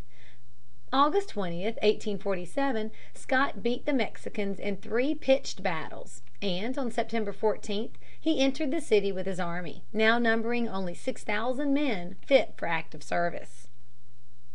[Sidenote: Seizure of California, California was the name given to the Mexican possessions on the Pacific coast north of Mexico itself. There were now many American settlers there, especially at Monterey. Hearing of the outbreak of the Mexican War, they set up a republic of their own. Their flag had a figure of a grizzly bear painted on it, and hence their republic is often spoken of as the Bear Republic. Commodore Stockton, with a small fleet, was on the Pacific coast. He and John C. Frémont assisted the Bear Republicans until soldiers under Colonel Kearney reached them from the United States by way of Santa Fé. 337. Treaty of Peace, 1848. The direct cause of the Mexican War was Mexico's unwillingness to give up Texas without a struggle. But the Mexicans had treated many Americans very unjustly and owed them large sums of money. A treaty of peace was made in 1848. Mexico agreed to abandon her claims to Texas, California, New Mexico, Nevada, Utah, and Colorado. The United States agreed to withdraw its armies from Mexico, to pay Mexico fifteen million dollars, and to pay the claims of American citizens on Mexico. These claims proved to amount to three and one half million dollars. In the end, therefore, the United States paid eighteen and one half million dollars for this enormous and exceedingly valuable addition to its territory. When the time came to run the boundary line, the American and Mexican commissioners could not agree. So the United States paid ten million dollars more and received an additional strip of land between the Rio Grande and the Colorado rivers. This gave the United States its present southern boundary. This agreement was made in 1853 by James Gadsden for the United States, and the land bought is usually called the Gadsden Purchase. 338. The Oregon Question. It was not only in the Southwest that boundaries were disputed. In the Northwest also there was a long controversy which was settled while Polk was President. Oregon was the name given to the whole region between Spanish and Mexican California and the Russian Alaska. The United States and Great Britain each claimed to have the best right to Oregon. As they could not agree as to their claims, they decided to occupy the region jointly. As time went on, American settlers and missionaries began to go over the mountains to Oregon. In 1847 seven thousand Americans were living in the Northwest. 339. The Oregon Treaty, 1846. The matter was now taken up in earnest. "All Oregon or none," "Fifty four forty or flight," became popular cries. The United States gave notice of the ending of the joint occupation. The British government suggested that Oregon should be divided between the two nations. In 1818 the boundary between the United States and British North America had been fixed as the 49th parallel from the Lake of the Woods to the Rocky Mountains. It was now proposed to continue this line to the Pacific. The British government, however, insisted that the western end of the line should follow the channel between Vancouver's Island and the mainland so as to make that island entirely British. The Mexican War was now coming on. It would hardly do to have two wars at one time, so the United States gave way and a treaty was signed in 1846. Instead of all Oregon, the United States received about one half. But it was a splendid region, and included not merely the present state of Oregon, but all the territory west of the Rocky Mountains between the forty second and the forty ninth parallels of latitude. End of chapter XXXIII. The Compromise of 1850. 340. The Wilmot Proviso, 1846. What should be done with Oregon and with the immense territory received from Mexico? Should it be free soil or should it be slave soil? To understand the history of the dispute which arose out of this question we must go back a bit and study the Wilmot Proviso. Even before the Mexican War was fairly begun, this question came before Congress. Every one admitted that Texas must be a slave state. Most people agreed that Oregon would be free soil, for it was far too north for negroes to thrive. But what should be done with California and New Mexico? David Wilmot of Pennsylvania thought they should be free soil. He was a member of the House of Representatives. In 1846 he moved to add to a bill giving the President money to purchase land from Mexico a proviso that none of the territory to be acquired at the national expense should be open to slavery.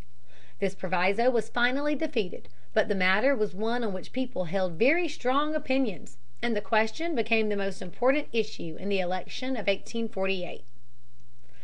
341.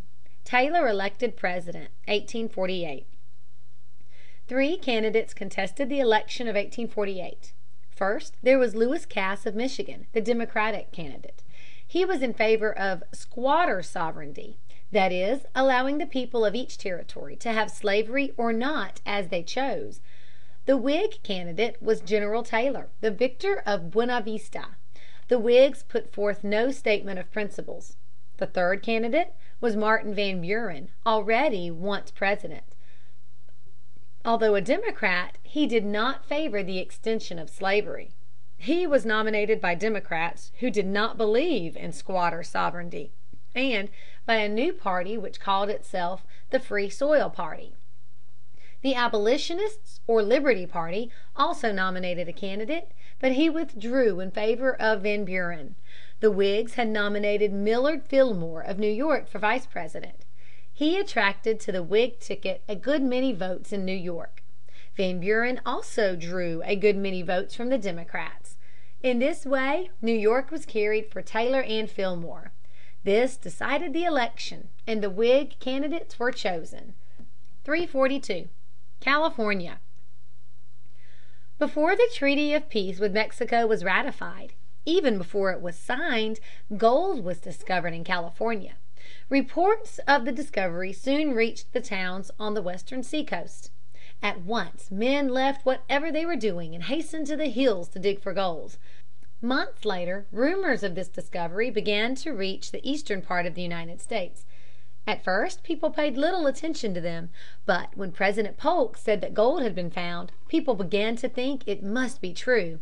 Soon hundreds of gold seekers started for California. Then thousands became eager to go. These first comers were called the Forty Niners because most of them came in the year 1849. By the end of that year there were eighty thousand immigrants in California. 343. California seeks admission to the Union. There were eighty thousand white people in California, and they had almost no government of any kind.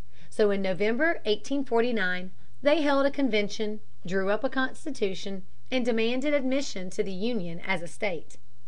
The peculiar thing about this constitution was that it forbade slavery in California. Many of the Forty Niners were Southerners, but even they did not want slavery. The reason was that they wished to dig in the earth and win gold. They would not allow slaveholders to work their mining claims with slave labor, for free white laborers had never been able to work alongside of negro slaves. So they did not want slavery in California. 344. A divided country. This action of the people of California at once brought the question of slavery before the people. Many Southerners were eager to found a slave confederacy apart from the Union. Many abolitionists were eager to found a free republic in the North. Many Northerners, who loved the Union, thought that slavery should be confined to the states where it existed. They thought that slavery should not be permitted in the territories which belonged to the people of the United States as a whole. They argued that if the territories could be kept free, the people of those territories, when they came to form state constitutions, would forbid slavery as the people of California had just done. They were probably right, and for this very reason the Southerners wished to have slavery in the territories. So strong was the feeling over these points that it seemed as if the Union would split into pieces. 345. President Taylor's Policy. General Taylor was now President. He was alarmed by the growing excitement. He determined to settle the matter at once before people could get any more excited. So he sent agents to California and to New Mexico to urge the people to demand admission to the Union at once. When Congress met in 1850 he stated that California demanded admission as a free state. The Southerners were angry, for they had thought that California would surely be a slave state. 346. Clay's Compromise Plan. Henry Clay now stepped forward to bring about a union of hearts. His plan was to end all disputes between Northerners and Southerners by having the people of each section give way to the people of the other section. For example, the Southerners were to permit the admission of California as a free state, and to consent to the abolition of the slave trade in the District of Columbia. In return, the Northerners were to give way to the Southerners on all other points. They were to allow slavery in the District of Columbia. They were to consent to the organization of New Mexico and Utah as territories without any provision for or against slavery. Texas claimed that a part of the proposed territory of New Mexico belonged to her, so Clay suggested that the United States should pay Texas for this land. Finally, Clay proposed that the Congress should pass a severe Fugitive Slave Act. It is easily seen that Clay's plan as a whole was distinctly favorable to the South. Few persons favored the passage of the whole scheme, but when votes were taken on each part separately, they all passed. In the midst of the excitement over this compromise, President Taylor died, and Millard Fillmore, the Vice President, became President. 347. The Fugitive Slave Act. The Constitution provides that persons held to service in one state escaping into another state shall be delivered up upon claim of the person to whom such service may be due. Congress in 1793 had passed an act to carry out this provision of the Constitution. But this law had seldom been enforced because its enforcement had been left to the states, and public opinion in the North was opposed to the return of fugitive slaves. The law of 1850 gave the enforcement of the act to the United States officials. The agents of slave owners claimed many persons as fugitives, but few were returned to the South. The important result of these attempts to enforce the law was to strengthen Northern and public opinion against slavery. It led to redoubled efforts to help runaway slaves through the Northern states to Canada. A regular system was established. This was called the Underground Railway. In short, instead of bringing about a union of hearts, the Compromise of 1850 increased the ill feeling between the people of the two sections of the country. 348. Uncle Tom's Cabin. It was at this time that Mrs. Harriet Beecher Stowe wrote Uncle Tom's Cabin. In this story she set forth the pleasant side of slavery, the light heartedness and kind heartedness of the negroes. In it she also set forth the unpleasant side of slavery, the whipping of human beings, the selling of human beings, the hunting of human beings. Of course there was never such a slave as Uncle Tom. The story is simply a wonderful picture of slavery as it appeared to a brilliant woman of the North. Hundreds of thousands of copies of this book were sold in the South as well as in the North. Plays founded on the book were acted on the stage. Southern people, when reading Uncle Tom, thought little of the unpleasant things in it, and they liked the pleasant things in it. Northern people laughed at the pretty pictures of plantation life. They were moved to tears by the tales of cruelty. Uncle Tom's Cabin and the Fugitive Slave Law convinced the people of the North that bounds must be set to the extension of slavery. End of CHAPTER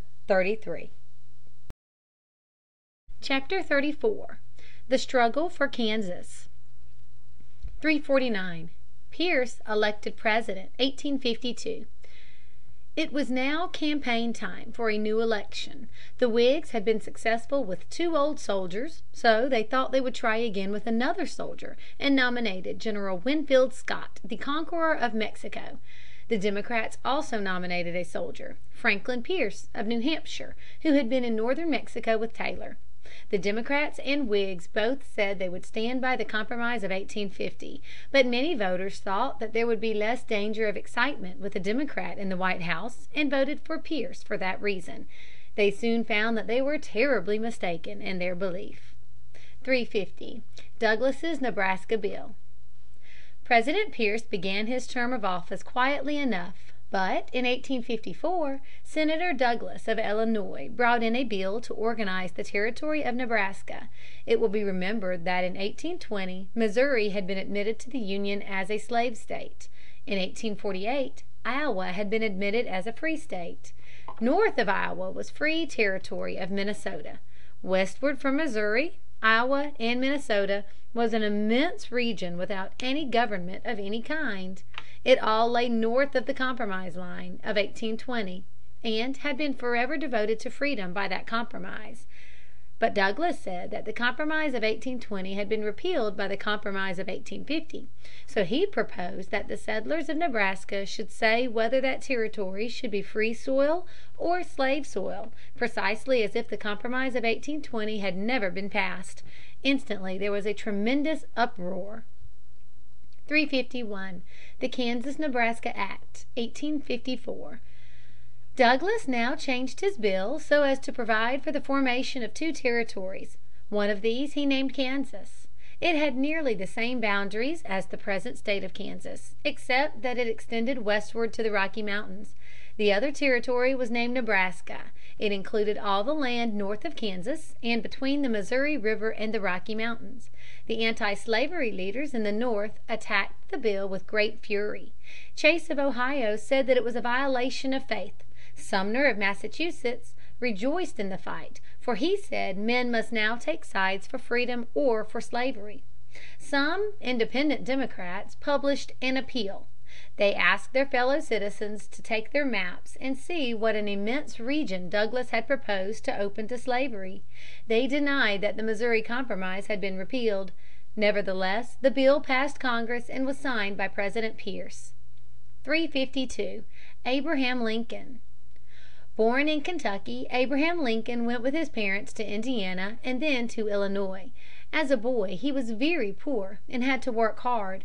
But he lost no opportunity to read and study. At the plow or in the long evenings at home by the firelight he was ever thinking and studying. Growing to manhood he became a lawyer and served one term in Congress. The passage of the Kansas Nebraska Act aroused his indignation as nothing had ever aroused it before.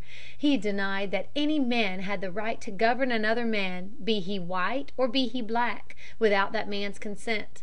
He thought that blood would surely be shed before the slavery question would be settled in Kansas, and the first shedding of blood would be the beginning of the end of the Union. 353. Settlement of Kansas. In the debate on the Kansas Nebraska bill, Senator Seward of New York said to the Southerners, "Come on, then, we will engage in competition for the soil of Kansas, and God give the victory to the side that is strong in numbers as it is in right." Seward spoke truly. The victory came to those opposed to the extension of slavery, but it was a long time in coming. As soon as the act was passed, the armed "Sons of the South" crossed the frontier of Missouri and founded the town of Atchison. Then came large bands of armed settlers from the North and the East. They founded the towns of Lawrence and Topeka. An election was held. Hundreds of men poured over the boundary of Missouri, outvoted the Free Soil settlers in Kansas, and then went home. The territorial legislature, chosen in this way, adopted the laws of Missouri, slave code and all, as the laws of Kansas. It seemed as if Kansas were lost to freedom. 354. The Topeka Convention. The free state voters now held a convention at Topeka. They drew up a constitution and applied to Congress for admission to the Union as a free state of Kansas. The free state men and the slave state men each elected a delegate to Congress. The House of Representatives now took the matter up and appointed a committee of investigation. The committee reported in favor of the free state men, and the House voted to admit Kansas as a free state. But the Senate would not consent to anything of the kind. The contest in Kansas went on and became more bitter every month. 355. The Republican Party. The most important result of the Kansas Nebraska fight was the formation of the Republican party. It was made up of men from all the other parties who agreed in opposing Douglas's Kansas Nebraska policy. Slowly they began to think of themselves as a party, and to adopt the name of the old party of Jefferson, Madison, and Monroe Republican. 356. Buchanan elected President, 1856. The Whigs and the Know Nothings nominated Millard Fillmore for President and said nothing about slavery. The Democrats nominated James Buchanan of Pennsylvania for President, and John C. Breckinridge of Kentucky for Vice President. They declared their approval of the Kansas Nebraska Act and favored a strict construction of the Constitution. The Republicans nominated John C. Fremont. They protested against the extension of slavery and declared for a policy of internal improvements at the expense of the nation. The Democrats won, but the Republicans carried all the Northern states save four. 357. The Dred Scott Decision, 1857. The Supreme Court of the United States now gave a decision in the Dred Scott case that put an end to all hope of compromise on the slavery question. Dred Scott had been born a slave. The majority of the judges declared that a person once a slave could never become a citizen of the United States and bring suit in the United States courts. They also declared that the Missouri Compromise was unlawful. Slave owners had a clear right to carry their property, including slaves, into the territories, and Congress could not stop them. 358. The Lincoln and Douglas Debates, 1858. The question of the reelection of Douglas to the Senate now came before the people of Illinois. Abraham Lincoln stepped forward to contest the election with him. "A house divided against itself cannot stand," said Lincoln. "This government cannot endure half slave and half free. It will become all one thing or all the other." He challenged Douglas to debate the issues with him before the people, and Douglas accepted the challenge. Seven joint debates were held in the presence of immense crowds. Lincoln forced Douglas to defend the doctrine of popular sovereignty. This Douglas did by declaring that the legislatures of the territories could make laws hostile to slavery. This idea, of course, was opposed to the Dred Scott decision. Douglas won the election and was returned to the Senate. But Lincoln had made a national reputation. 359. Bleeding Kansas. Meantime civil war had broken out in Kansas. Slavery men attacked Lawrence, killed a few free state settlers, and burned several buildings. Led by John Brown, an immigrant from New York, free state men attacked a party of slave state men and killed five of them. By 1857 the free state voters had become so numerous that it was no longer possible to outvote them by bringing men from Missouri, and they chose a free state legislature. But the fraudulent slave state legislature had already provided for holding a constitutional convention at Lecompton. This convention was controlled by the slave state men and adopted a constitution providing for slavery. President Buchanan sent this constitution to Congress and asked to have Kansas admitted as a slave state. But Douglas could not bear to see the wishes of the settlers of Kansas outraged. He opposed the proposition vigorously, and it was defeated. It was not until 1861 that Kansas was admitted to the Union as a free state. 360. John Brown's Raid, 1859. While in Kansas John Brown had conceived a bold plan. It was to seize a strong place in the mountains of the South, and there protect any slaves who should run away from their masters. In this way he expected to break slavery in pieces within two years. With only nineteen men he seized Harper's Ferry, in Virginia, and secured the United States arsenal at that place. But he and most of his men were immediately captured. He was executed by the Virginian authorities as a traitor and murderer. The Republican leaders denounced his act as "the gravest of crimes," but the Southern leaders were convinced that now the time had come to secede from the Union and establish a Southern Confederacy. End of CHAPTER XXXV. Secession, 1860 1861. Chapter XXXV. The United States in 1860. 361. Growth of the Country. The United States was now three times as large as it was at Jefferson's election. It contained over three million square miles of land. About one third of this great area was settled. In the sixty years of the century the population had increased even faster than the area had increased.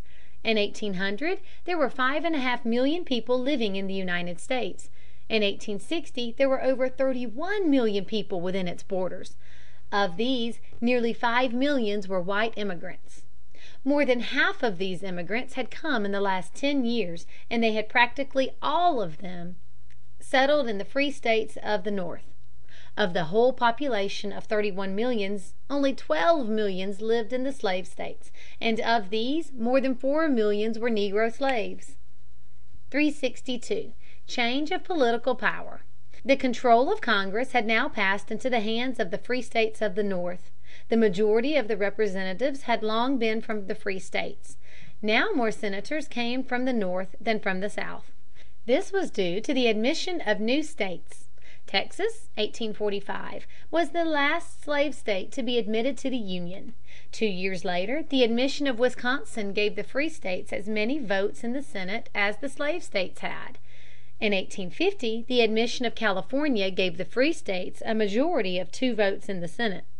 This majority was increased to four by the admission of Minnesota in 1858, and to six by the admission of Oregon in 1859. The control of Congress had slipped forever from the grasp of the slave states. 363. The Cities.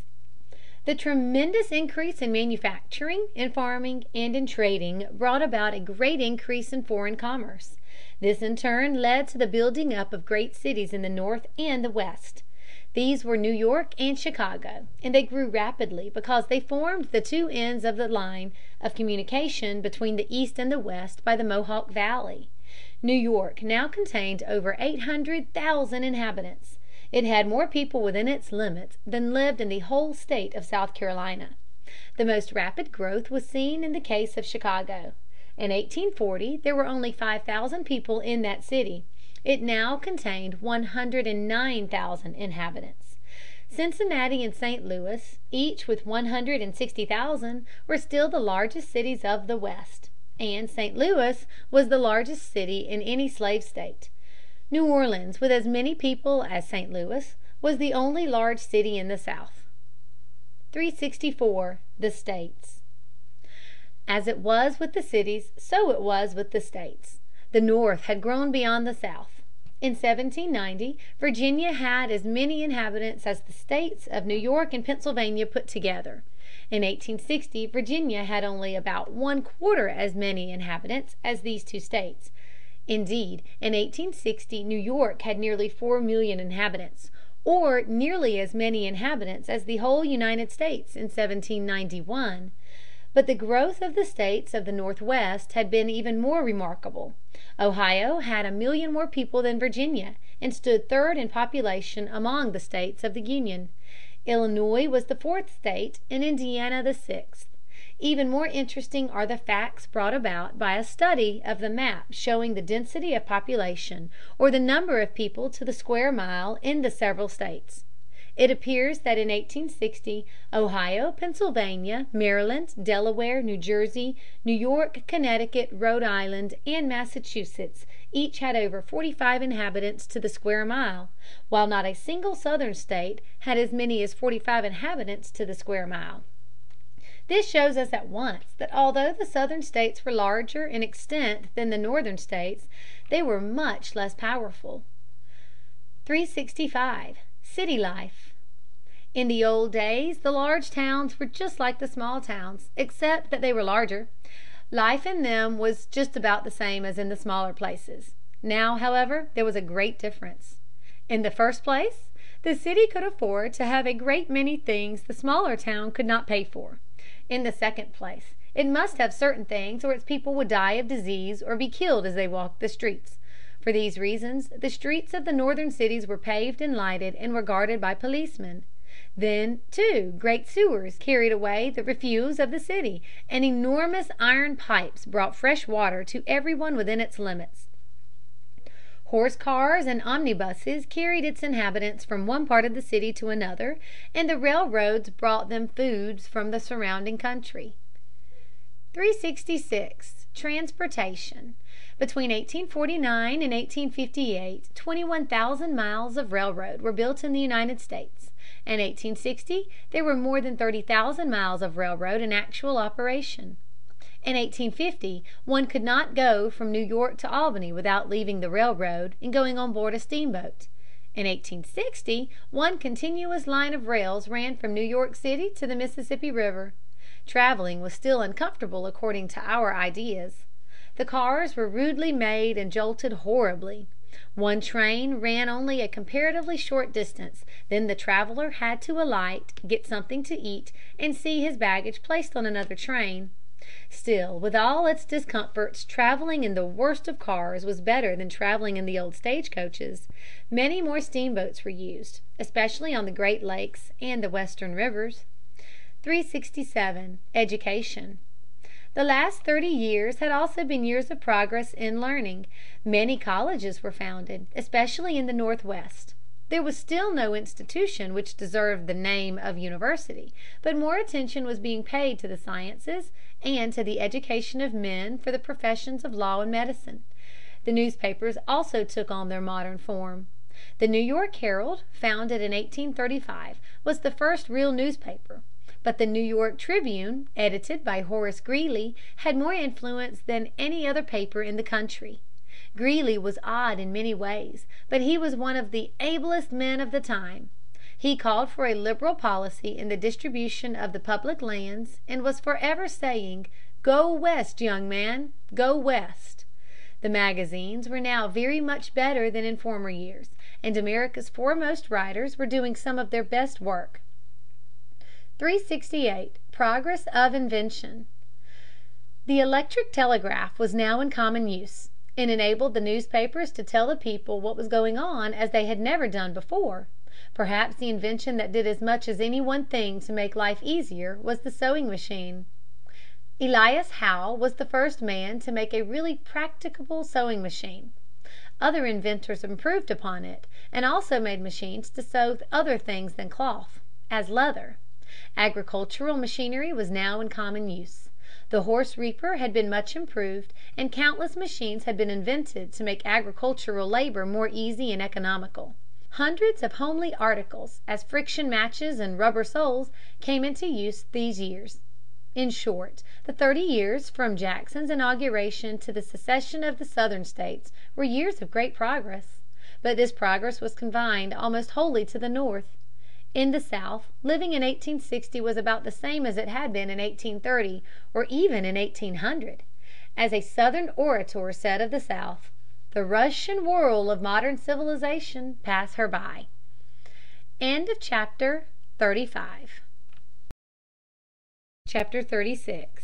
Secession, 1860 1861.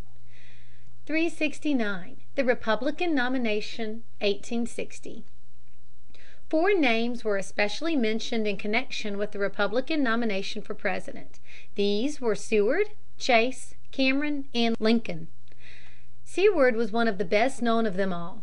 In the debates on the Compromise of 1850 he had declared that there was a higher law than the Constitution, namely, the law of nature in man's heart. In another speech he had termed the slavery contest the irrepressible conflict. These phrases endeared him to the anti-slavery men, but they made it impossible for many moderate Republicans to follow him. Senator Chase of Ohio had also been very outspoken in his condemnation of slavery. Senator Cameron of Pennsylvania was an able political leader, but all of these men were too conspicuous to make a good candidate. They had made many enemies. Lincoln had spoken freely, but he had never been prominent in national politics. He was more likely to attract the votes of moderate men than either of the other candidates. After a fierce contest he was nominated. The Republican platform stated that there was no intention to interfere with slavery in the states where it existed, but it declared the party's opposition to the extension of slavery. The platform favored internal improvements at the national expense. It also approved the protective system. 370. The Democratic Nominations. The Democratic convention met at Charleston, South Carolina. It was soon evident that the Northern Democrats and the Southern Democrats could not agree. The Northerners were willing to accept the Dred Scott decision and to carry it out. But the Southerners demanded that this platform should pledge the party actively to protect slavery in the territories. To this the Northerners would not agree. So the convention broke up to meet again at Baltimore. But there the delegates could come to no agreement. In the end two candidates were named. The Northerners nominated Douglas on a platform advocating popular sovereignty. The Southerners nominated John C. Breckinridge of Kentucky. In their platform they advocated states' rights and the protection of slavery in the territories by the Federal government. 371. The Constitutional Union Party. Besides these three candidates, cautious and timid men of all parties united to form the Constitutional Union party. They nominated Governor John Bell of Tennessee for President. In their platform they declared for the maintenance of the Constitution and the Union, regardless of slavery. 372. Lincoln elected President, 1860. With four candidates in the field and the Democratic party hopelessly divided, there could be little doubt of Lincoln's election. He carried every Northern state except Missouri and New Jersey. He received one hundred and eighty electoral votes. Breckinridge carried every Southern state except the border states of Virginia, Kentucky, and Tennessee, and received seventy two electoral votes. Bell carried the three border Southern states, and Douglas carried Missouri and New Jersey. There was no doubt as to Lincoln's election. He had received a great majority of the electoral votes, but his opponents had received more popular votes than he had received. He was therefore elected by a minority of the voters. 373. The North and the South. Lincoln had been elected by a minority of the people. He had been elected by people of one section. Other Presidents had been chosen by minorities. But Lincoln was the first man to be chosen President by the people of one section.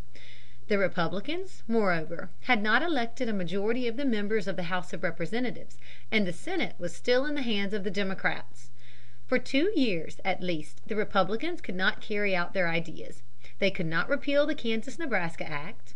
They could not admit Kansas to the Union as a free state. They could not carry out one bit of their policy. In their platform they had declared that they had no intention to interfere with slavery in the states. Lincoln had said over and over again that Congress had no right to meddle with slavery in the states. The Southern leaders knew all these things, but they made up their minds that now the time had come to secede from the Union and to establish a Southern Confederacy. For the first time all the southernmost states were united. No matter what Lincoln and the Republicans might say, the slaveholders believed that slavery was in danger. In advising secession many of them thought that by this means they could force the Northerners to accept their terms as the price of a restored Union. Never were political leaders more mistaken. 374. Threats of Secession, November, 1860. The Constitution permits each state to choose presidential electors as it sees fit.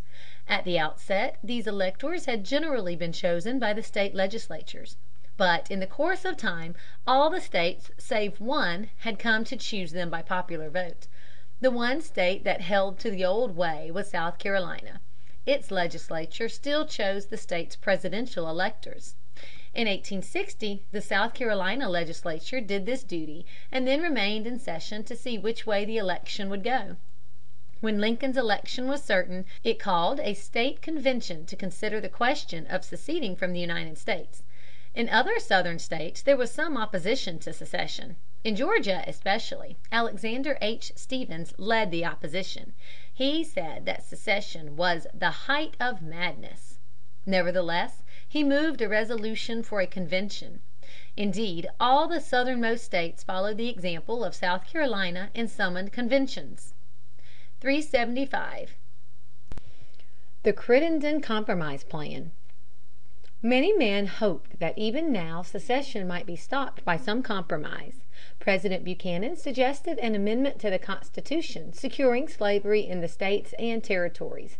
It was unlikely that the Republicans would agree to this suggestion. The most hopeful plan was brought forward in Congress by Senator Crittenden of Kentucky.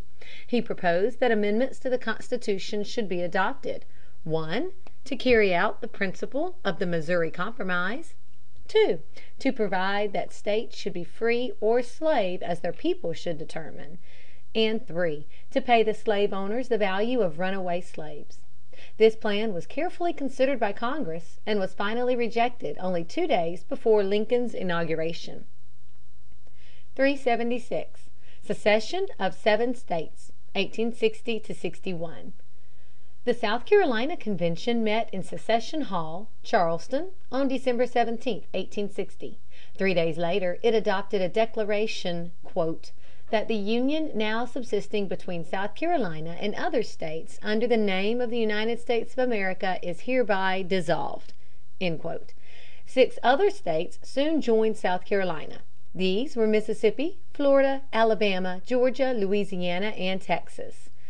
377. The Confederate States of America. The next step was for these states to join together to form a confederation. This work was done by a convention of delegates chosen by the conventions of the seven seceding states. These delegates met at Montgomery, Alabama. Their new constitution closely resembled the Constitution of the United States, but great care was taken to make it perfectly clear that each member of the Confederacy was a sovereign state. Exceeding care was also taken that slavery should be protected in every way. Jefferson Davis of Mississippi was chosen provisional President, and Alexander H. Stephens provisional Vice President. 378. Views of Davis and Stephens. Davis declared that Lincoln had made a distinct declaration of war upon our Southern institutions. His election was "upon the basis of sectional hostility." If "war must come, it must be on Northern and not on Southern soil. We will carry war, where food for the sword and torch awaits our armies in the densely populated cities of the North." For his part, Stephens said that the new government's foundations are laid, its cornerstone rests, upon the great truth that the negro is not equal to the white man. 379. Hesitation in the North. At first it seemed as if Davis was right when he said the Northerners would not fight. General Scott, commanding the army, suggested that the "erring sisters" should be allowed to depart in peace, and Seward seemed to think the same way. The abolitionists welcomed the secession of the slave states. Horace Greeley, for instance, wrote that if those states chose to form an independent nation they had a clear moral right so to do. For his part, President Buchanan thought that no state could constitutionally secede, but if a state should secede he saw no way to compel it to come back to the Union. So he sat patiently by and did nothing. End of chapter XXXVII. THE WAR FOR THE UNION, 1861 to 1865. CHAPTER XXXVII. THE RISING OF THE PEOPLES, 1861. 380. Lincoln's Inauguration. On March 4, 1861, President Lincoln made his first inaugural address. In it he declared: "The Union is much older than the Constitution. No state upon its own motion can lawfully get out of the Union. In view of the Constitution and the laws the Union is unbroken. I shall take care that the laws of the Union be faithfully executed in all states." As to slavery he had "no purpose to interfere with the institution of slavery in the states where it exists." He even saw no objection to adopt an amendment to the Constitution to prohibit the Federal government from interfering with slavery in the states. But he was resolved to preserve, protect, and defend the Constitution of the United States. 381. Fall of Fort Sumter, April, 1861. The strength of Lincoln's resolve was soon tested. When South Carolina seceded, Major Anderson, commanding the United States forces at Charleston, withdrew from the land forts to Fort Sumter, built on a shoal in the harbor. He had with him only eighty fighting men, and was sorely in need of food and ammunition. Buchanan sent a steamer, the Star of the West, to Charleston with supplies and soldiers. But the Confederates fired on her, and she steamed away without landing the soldiers or the supplies. Lincoln waited a month, hoping that the secessionists would come back to the Union of their own accord. He then decided to send supplies to Major Anderson, and told the governor of South Carolina of his decision. Immediately (April 12) the Confederates opened fire on Fort Sumter. On April 14 Anderson surrendered. The next day President Lincoln issued a proclamation calling for seventy five thousand volunteers. [Sidenote: The rising of the North.] 382. The Rising of the North. There was no longer a question of letting the erring sisters depart in peace. The Southerners had fired on Old Glory. There was no longer a dispute over the extension of slavery. The question was now whether the Union should perish or should live. Douglas at once came out for the Union, and so did the former Presidents, Buchanan and Franklin Pierce.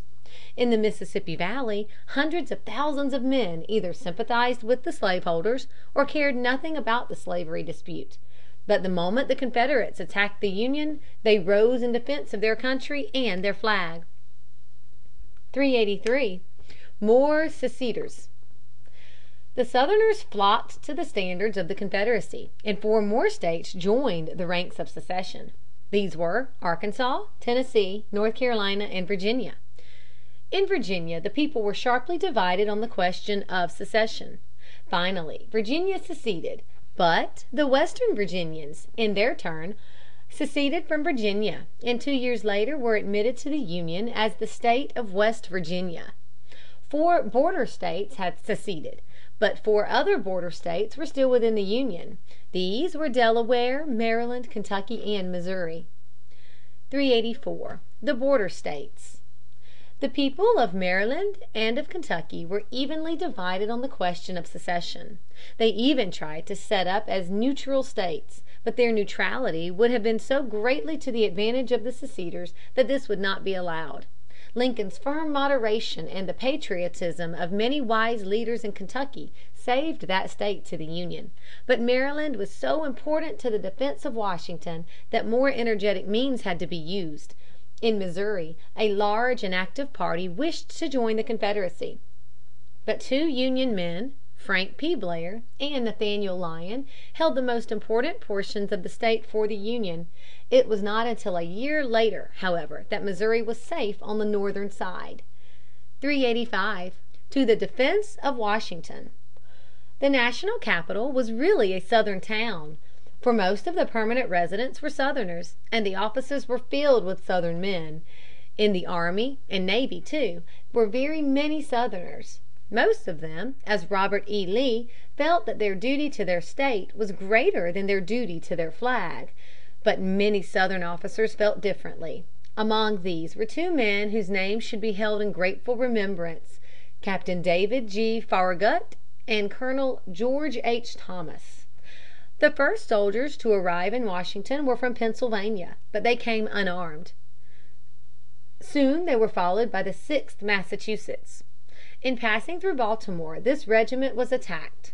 Several men were killed. Others were wounded. This was on April 19, 1861, the anniversary of the battles of Lexington and Concord. It was the first bloodshed of the war. End of chapter XXXVIII.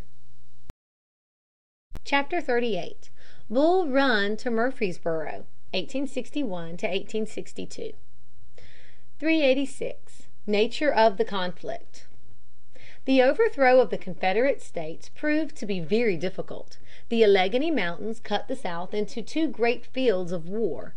Deep and rapid rivers flowed from the mountains into the Atlantic or into the Mississippi. Each of these rivers was a natural line of defense. The first line was the Potomac, in the Ohio, but when the Confederates were driven from this line they soon found another equally good a little farther south. Then again the South was only partly settled. Good roads were rare, but there were many poor roads. The maps gave only the good roads. By these the Northern soldiers had to march, while the Southern armies were often guided through paths unknown to the Northerners, and thus were able to march shorter distances between two battlefields or between two important points. [Sidenote: The Bull Run Campaign, July, 1861.] 387. The Bull Run Campaign, July, 1861. Northern soldiers crossed the Potomac into Virginia and found the Confederates posted at Bull Run near Manassas Junction. Other Northern soldiers pressed into the Shenandoah Valley from Harper's Ferry. They, too, found a Confederate army in front of them. The plan of the Union campaign is now clear. General McDowell was to attack the Confederates at Bull Run, while General Patterson attacked the Confederates in the Valley and kept them so busy that they could not go to the help of their comrades at Bull Run. It fell out otherwise, for Patterson retreated and left the Confederate general, Johnston, free to go to the aid of the sorely pressed Confederates at Bull Run. McDowell attacked vigorously and broke the Confederate line, but he could not maintain his position. The Union troops at first retreated slowly. Then they became frightened and fled, in all haste, back to Washington. The first campaign ended in disaster. [Sidenote: Army of the Potomac.] 388. The Army of the Potomac. While the Bull Run campaign was going on in eastern Virginia, Union soldiers had been winning victories in western Virginia. These were led by General George B. McClellan. He now came to Washington and took command of the troops operating in front of the capital. During the autumn, winter, and spring he drilled his men with great skill and care. In March, 1862, the Army of the Potomac left its camps a splendidly drilled body of soldiers. 389. The Army of Northern Virginia. Meantime the government of the Confederacy had gathered great masses of soldiers. There were not nearly as many white men of fighting age in the South as there were in the North. But what men there were could be placed in the fighting line, because the negro slaves could produce the food needed by the armies and do the hard labor of making forts. The capital of the Confederacy was now established at Richmond, on the James River, in Virginia. The army defending this capital was called the Army of Northern Virginia. It was commanded by Joseph E. Johnston, but its ablest officers were Robert E. Lee and Thomas J. Jackson (Stonewall Jackson). 390. Plan of the Peninsular Campaign. The country between the Potomac and the James was cut up by rivers, as the Rappahannock, the Mattapony, and the Pamunkey, and part of it was a wilderness. McClellan planned to carry his troops by water to the peninsula between the James and the York and Pamunkey rivers. He would then have a clear road to Richmond, with no great rivers to dispute the enemy. Johnston would be obliged to leave his camp at Bull Run and march southward to the defense of Richmond.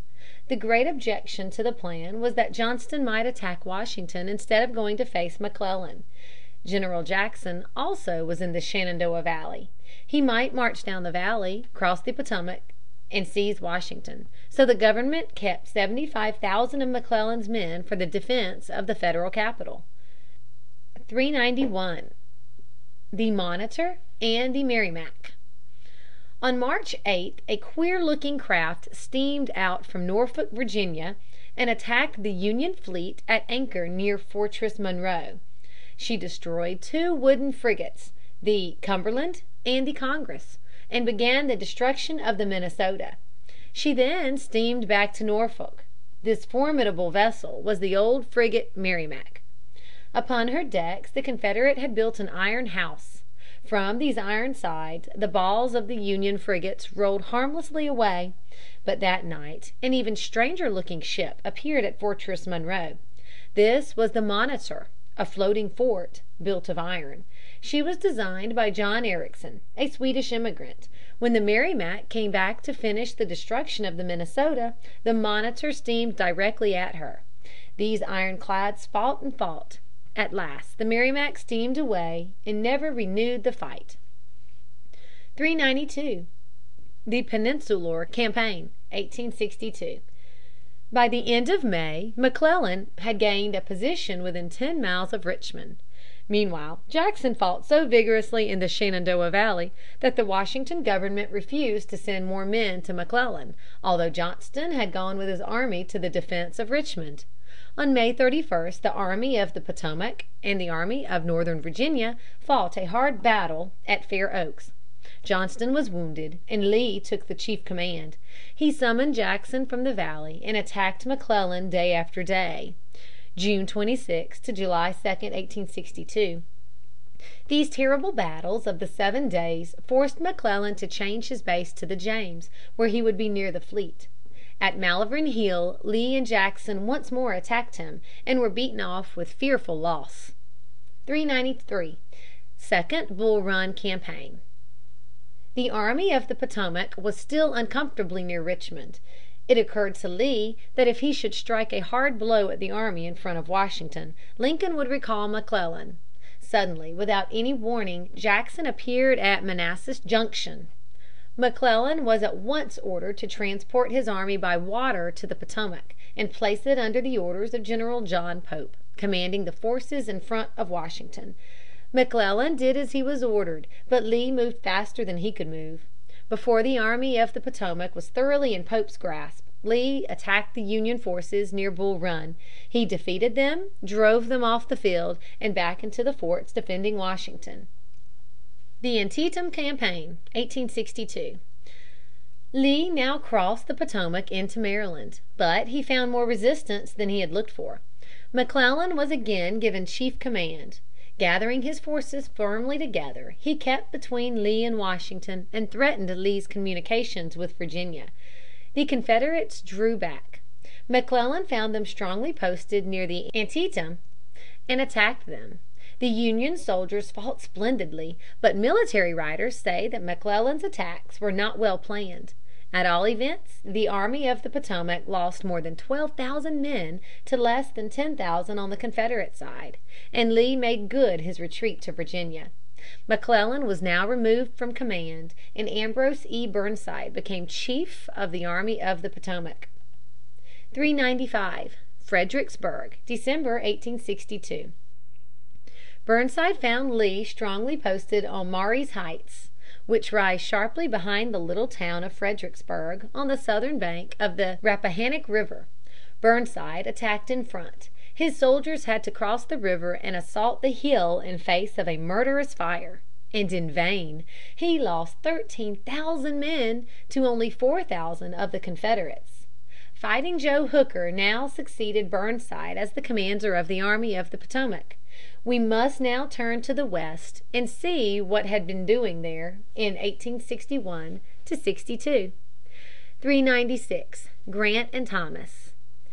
In Illinois there appeared to be a trained soldier of fierce energy and invincible will, Ulysses Simpson Grant. He had been educated at West Point and had served in the Mexican War. In September, 1861, he seized Cairo at the junction of the Ohio and the Mississippi. In January, 1862, General George H. Thomas defeated a Confederate force at Mill Springs in the upper valley of the Cumberland River. In this way Grant and Thomas secured the line of the Ohio and eastern Kentucky for the Union. 397. Forts Henry and Donelson, February, 1862. In February, 1862, General Grant and Commodore Foote attacked two forts which the Confederates had built to keep the Federal gunboats from penetrating the western part of the Confederacy. Fort Henry yielded almost at once, but the Union forces besieged Fort Donelson for a long time. Soon the Confederate defense became hopeless, and General Buckner asked for the terms of surrender. "Unconditional surrender," replied Grant, and Buckner surrendered. The lower Tennessee and the lower Cumberland were now open to the Union forces. 398. Importance of New Orleans. New Orleans and the lower Mississippi were of great importance to both sides, for the possession of this region gave the Southerners access to Texas, and through Texas to Mexico. Union fleets were blockading every important Southern port. But as long as commerce overland with Mexico could be maintained, the South could struggle on. The Mississippi, too, has so many mouths that it was difficult to keep vessels from running in and out. For these reasons the Federal government determined to seize New Orleans and the lower Mississippi. The command of the expedition was given to Farragut, who had passed his boyhood in Louisiana. He was given as good a fleet as could be provided, and a force of soldiers was sent to help him. [Sidenote: Farragut.] [Sidenote: Farragut.] 399. New Orleans captured, April, 1862. Farragut carried his fleet into the Mississippi, but found his way up stream barred by two forts on the river's bank. A great chain stretched across the river below the forts, and a fleet of river gunboats with an ironclad or two was in waiting above the forts. Chain, forts, and gunboats all gave way before Farragut's forceful will. At night he passed the forts amid a terrific cannonade.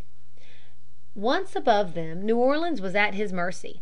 It surrendered, and with the forts was soon occupied by the Union army. The lower Mississippi was lost to the Confederacy. [Sidenote: Shiloh and Corinth.] 400. Shiloh and Corinth, April and May, 1862. General Halleck now directed the operations of the Union armies in the West. He ordered Grant to take his men up the Tennessee to Pittsburg Landing and there await the arrival of Buell with a strong force overland from Nashville. Grant encamped with his troops on the western bank of the Tennessee between Shiloh Church and Pittsburg Landing. Albert Sidney Johnston, the Confederate commander in the West, attacked him suddenly and with great fury. Soon the Union army was pushed back to the river. In his place many a leader would have withdrawn, but Grant, with amazing courage, held on. In the afternoon Buell's leading regiments reached the other side of the river. In the night they were ferried across, and Grant's outlying commands were brought to the front.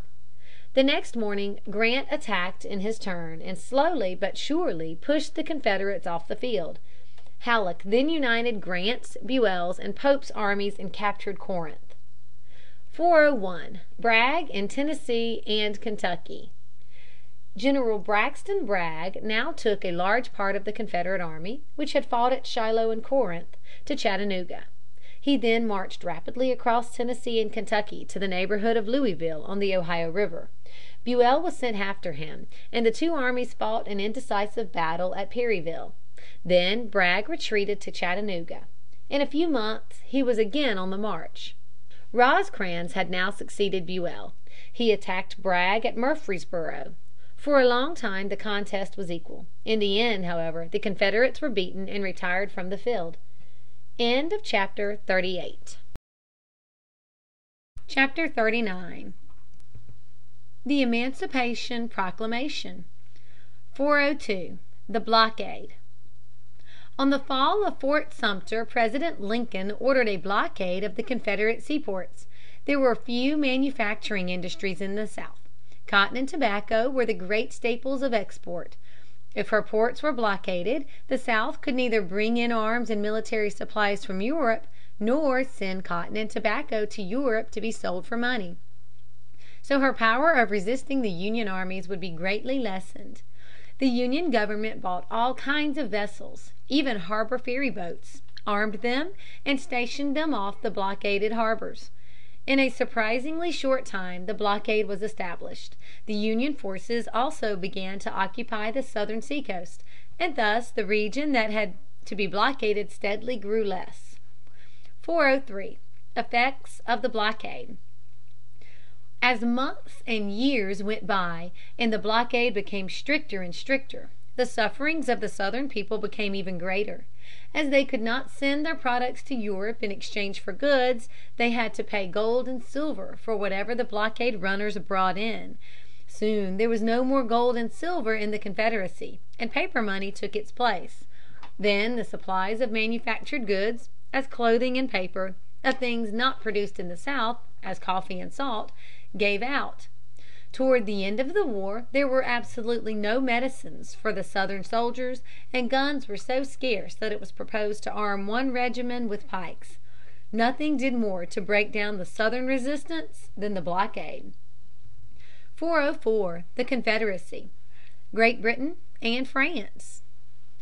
From the beginning of the contest the Confederate leaders believed that the British and the French would interfere to aid them. "Cotton is king," they said. Unless there were a regular supply of cotton, the mills of England and of France must stop. Thousands of mill hands, men, women, and children would soon be starving. The French and British governments would raise the blockade. Perhaps they would even force the United States to acknowledge the independence of the Confederate States. There was a good deal of truth in this belief, for the British and the French governments dreaded the growing power of the American republic and would gladly have seen it broken to pieces. But events fell out far otherwise than the Southern leaders had calculated. Before the supply of American cotton in England was used up, new supplies began to come in from India and from Egypt. The Union armies occupied portions of the cotton belt early in 1862, and American cotton was again exported. But more than all else, the English mill operatives, in all their hardships, would not ask their government to interfere. They saw clearly enough that the North was fighting for the rights of free labor. At times it seemed, however, as if Great Britain or France would interfere. 405. The Trent Affair, 1861.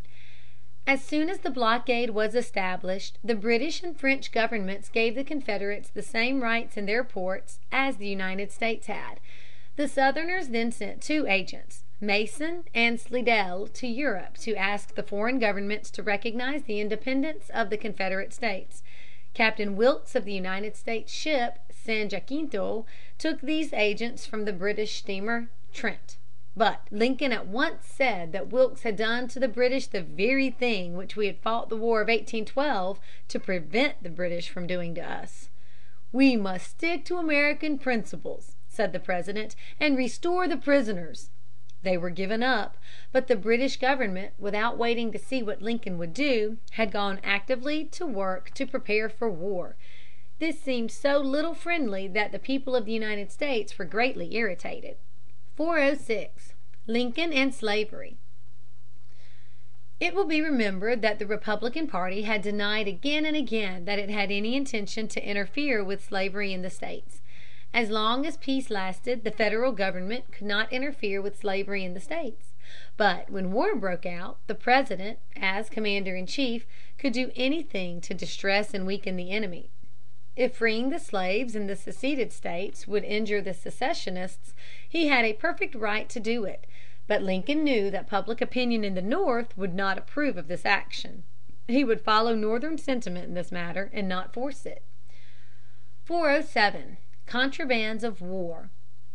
The war had scarcely begun before slaves escaped into the Union lines. One day a Confederate officer came to Fortress Monroe and demanded his runaway slaves under the Fugitive Slave Act. General Butler refused to give them up on the ground that they were "contraband of war." By that phrase he meant that their restoration would be illegal, as their services would be useful to the enemy. President Lincoln approved this decision of General Butler, and escaping slaves soon came to be called "contrabands." 408. First Steps Towards Emancipation, 1862. Lincoln and the Republican party thought that Congress could not interfere with slavery in the states. It might, however, buy slaves and set them free, or help the states to do this. So Congress passed a law offering aid to any state which should abolish slavery within its borders. Congress itself abolished slavery in the District of Columbia with compensation to the owners. It abolished slavery in the territories without compensation. Lincoln had gladly helped to make these laws. Moreover, by August, 1862, he had made up his mind that to free the slaves in the seceded states would help to save the Union, and would therefore be right as a war measure; for every negro taken away from forced labor would weaken the producing powers of the South, and so make the conquest of the South easier. 409. The Emancipation Proclamation, 1863. On September 23, 1862, Lincoln issued a proclamation stating that on the first day of the new year he would declare free all slaves in any portion of the United States then in rebellion. On January 1, 1863, he issued the Emancipation Proclamation. This proclamation could only be forced in those portions of the seceded states which were held by the Union armies. It did not free slaves in loyal states and did not abolish the institution of slavery anywhere. Slavery was abolished by the states of West Virginia, Missouri, and Maryland between 1862 and 1864. Finally, in 1865, it was abolished throughout the United States by the adoption of the Thirteenth Amendment. 410. Northern Opposition to the War. Many persons in the North thought that the Southerners had a perfect right to secede if they wished. Some of these persons sympathized so strongly with the Southerners that they gave them important information and did all they could to prevent the success of the Union forces. It was hard to prove anything against these Southern sympathizers, but it was dangerous to leave them at liberty. So Lincoln ordered many of them to be arrested and locked up. Now the Constitution provides that every citizen shall have a speedy trial. This is brought about by issuing a writ of habeas corpus, compelling the jailer to bring his prisoner into court and show cause why he should not be set at liberty. Lincoln now suspended the operation of the writ of habeas corpus. This action angered many persons who were quite willing that the Southerners should be compelled to obey the law, but did not like to have their neighbors arrested and locked up without trial. 411. The Draft Riots. At the outset both armies were made up of volunteers. Soon there were not enough volunteers. Both governments then drafted men for their armies. That is, they picked out by lot certain men and compelled them to become soldiers. The draft was bitterly resisted in some parts of the North, especially in New York City. End of chapter XL. The Year 1863. 412. Position of the Armies. January, 1863. The Army of the Potomac, now under Hooker, and the Army of Northern Virginia were face to face at Fredericksburg on the Rappahannock. In the West Rosecrans was at Murfreesboro, and Bragg on the way back to Chattanooga. In the Mississippi Valley, Grant and Sherman had already begun the Vicksburg campaign, but as yet they had no success. 413. Beginnings of the Vicksburg campaign. Vicksburg stood on the top of a high bluff directly on the river. Batteries erected at the northern end of the town commanded the river, which at that point ran directly toward the bluff. The best way to attack this formidable place was to proceed overland from Corinth. This Grant tried to do, but the Confederates forced him back. 414. Fall of Vicksburg, July 4, 1863. Grant now carried his whole army down the Mississippi. For months he tried plan after plan, and every time he failed. Finally he marched his army down on the western side of the river, crossed the river below Vicksburg, and approached the fortress from the south and east. In this movement he was greatly aided by the Union fleet under Porter, which protected the army while crossing the river. Pemberton, the Confederate commander, at once came out from Vicksburg, but Grant drove him back and began the siege of the town from the land side. The Confederates made a gallant defense, but slowly and surely they were starved into submission. On July 4, 1863, Pemberton surrendered the fortress and thirty seven thousand men. 415.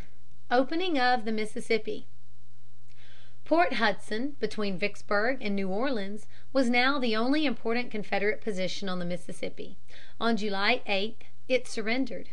A few days later the freight steamer Imperia, from St. Louis, reached New Orleans. The Mississippi at last flowed unvexed to the sea. The Confederacy was cut in twain. 416. Lee's second invasion, 1863. Fighting Joe Hooker was now in command of the Army of the Potomac. Outwitting Lee, he gained the rear of the Confederate lines on Marye's Heights, but Lee fiercely attacked him at Chancellorsville and drove him back across the Rappahannock. Then Lee again crossed the Potomac and invaded the North. This time he penetrated to the heart of Pennsylvania. Hooker moved on parallel lines, always keeping between Lee and the city of Washington. At length in the midst of the campaign Hooker asked to be redelivered, and George G. Meade became the fifth and last chief of the Army of the Potomac. [Sidenote: Gettysburg.] 417.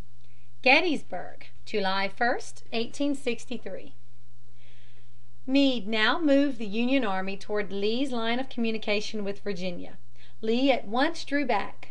Both armies moved toward Gettysburg, where the roads leading southward came together. In this way the two armies came into contact on July 1, 1863. The Southerners were in stronger force at the moment and drove the Union soldiers back through the town to the high land called Cemetery Ridge. This was a remarkably strong position, with Culp's Hill at one end of the line and the Round Tops at the other end. Meade determined to fight the battle at that spot and hurried up all his forces. 418. Gettysburg, July 2, 1863. At first matters seemed to go badly with the Union army. Its left flank extended forward from Little Round Top into the fields at the foot of the ridge. The Confederates drove back this part of the Union line, but they could not seize the Little Round Top. On this day also the Confederates gained a foothold on Culp's Hill. 419. Gettysburg, July 3, 1863. Early on this morning the Union soldiers drove the Confederates away from Culp's Hill and held the whole ridge. Now again, as at Malvern Hill, Lee had fought the Army of the Potomac to a standstill, but he would not admit failure. Led by Pickett of Virginia, thirteen thousand men charged across the valley between the two armies directly at the Union center. Some of them even penetrated the Union lines. But there the line stopped. Slowly it began to waver. Then back the Confederates went, all who escaped. The battle of Gettysburg was won. Lee faced the Army of the Potomac for another day and then retreated. In this tremendous conflict the Confederates lost twenty two thousand five hundred men killed and wounded and five thousand taken prisoners by the Northerners a total loss of twenty eight thousand out of eighty thousand in the battle. The Union army numbered ninety three thousand men and lost twenty three thousand killed and wounded. Vicksburg and Gettysburg cost the South sixty five thousand fighting men a loss that could not be made good. We must now turn to eastern Tennessee. 420. Chickamauga, September, 1863. For six months after Murfreesboro, Rosecrans and Bragg remained in their camps. In the summer of 1863 Rosecrans, by a series of skillful marchings, forced Bragg to abandon Chattanooga. But Bragg was now greatly strengthened by soldiers from the Mississippi and by Longstreet's division from Lee's army in Virginia. He turned on Rosecrans and attacked him at Chickamauga Creek. The right wing of the Union army was driven from the field. But Thomas, "the Rock of Chickamauga," with his men stood fast. Bragg attacked him again and again, and failed every time, although he had double Thomas's numbers. Rosecrans, believing the battle to be lost, had ridden off to Chattanooga, but Sheridan aided Thomas as well as he could. The third day Thomas and Bragg kept their positions, and then the Union soldiers retired unpursued to Chattanooga. The command of the whole army at Chattanooga was now given to Thomas, and Grant was placed in control of all the Western armies. 421. Chattanooga, November, 1863. The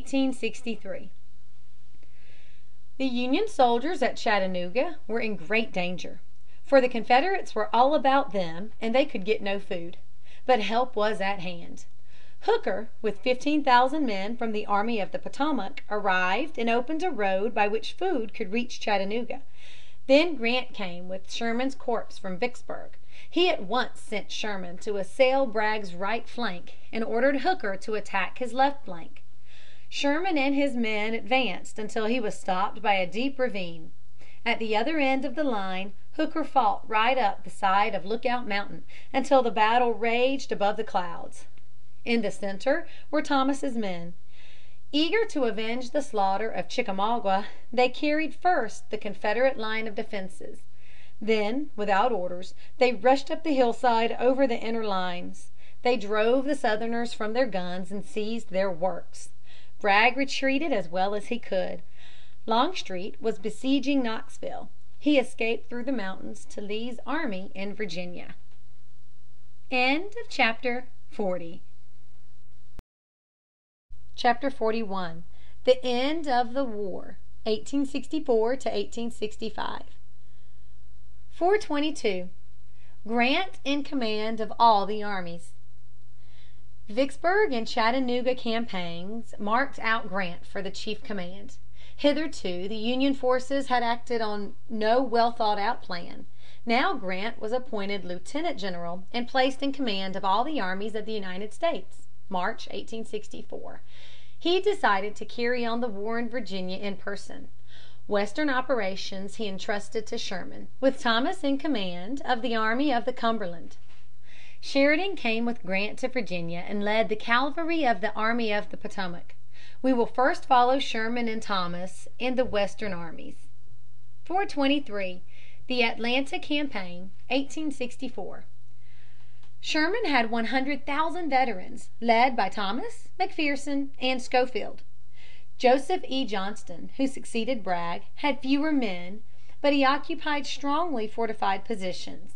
Yet week by week Sherman forced him back, till, after two months of steady fighting, Johnston found himself in the vicinity of Atlanta. This was the most important manufacturing center in the South. The Confederates must keep Atlanta if they possibly could. Johnston plainly could not stop Sherman, so Hood was appointed in his place in the expectation that he would fight. Hood fought his best. Again and again he attacked Sherman only to be beaten off with heavy loss. He then abandoned Atlanta to save his army. From May to September Sherman lost twenty two thousand men, but the Confederates lost thirty five thousand men, and Atlanta too.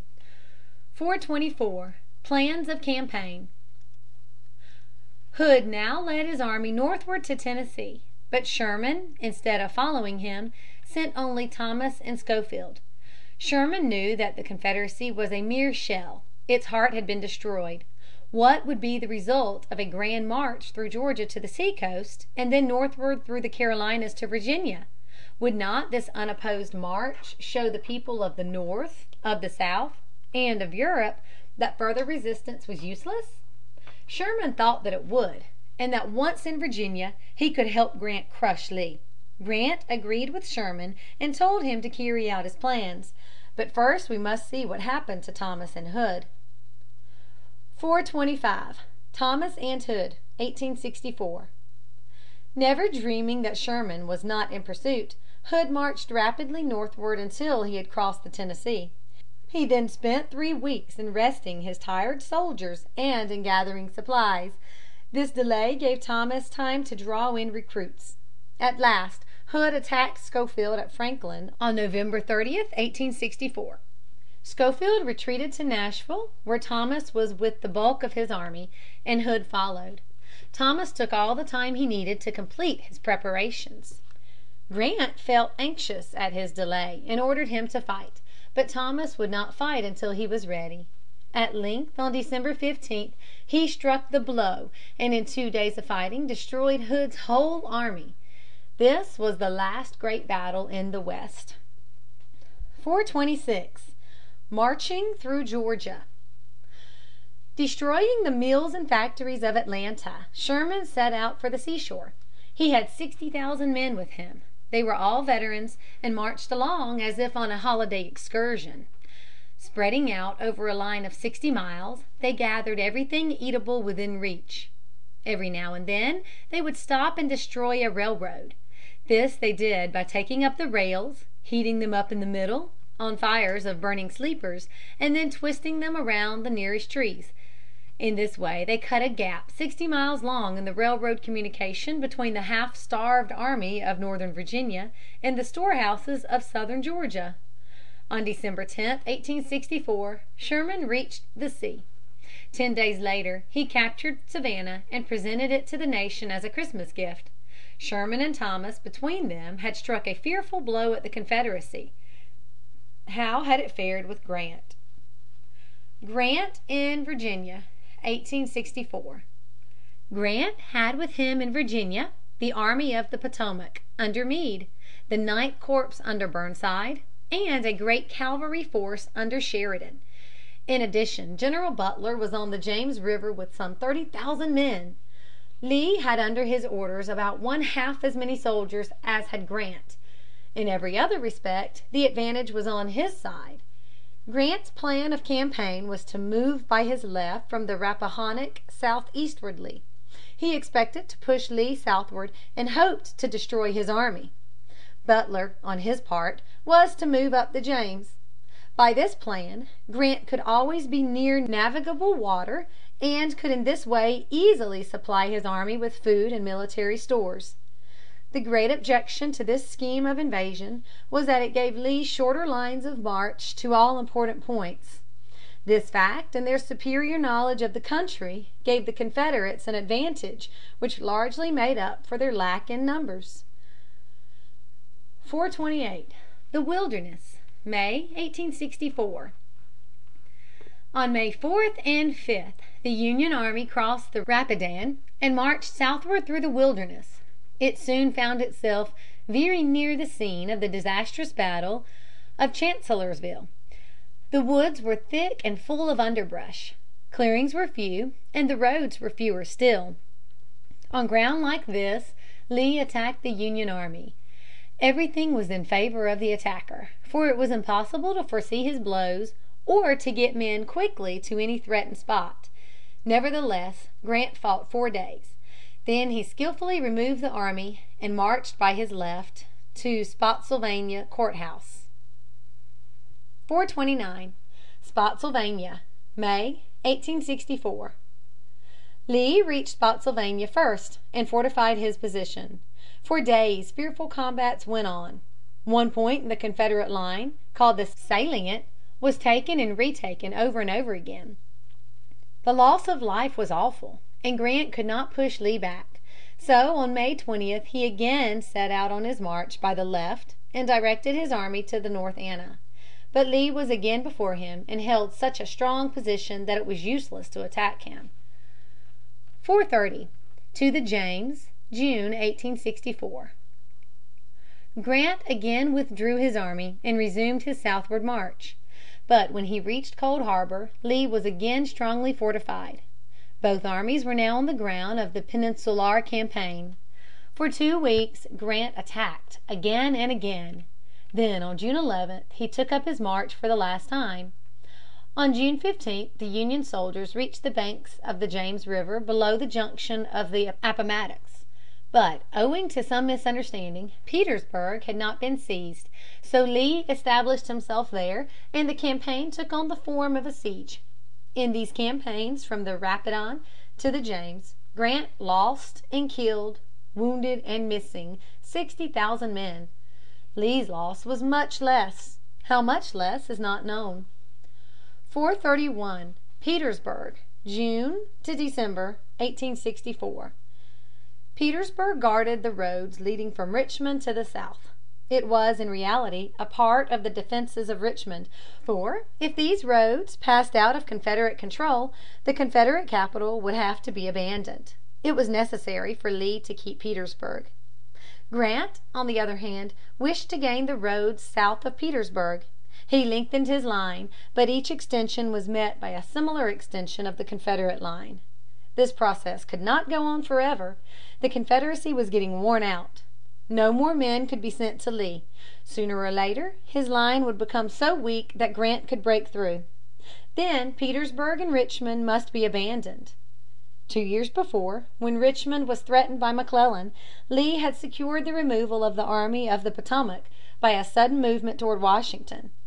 He now detached Jubal Early with a formidable force and sent him through the Shenandoah Valley to Washington. 432. Sheridan's Valley Campaigns, 1864. The conditions now were very unlike the conditions of 1862. Now Grant was in command instead of McClellan or Pope. He controlled the movements of all the armies without interference from Washington, and he had many more men than Lee. Without letting go his hold on Petersburg, Grant sent two army corps by water to Washington. Early was an able and active soldier, but he delayed his attack on Washington until soldiers came from the James. He then withdrew to the Shenandoah Valley.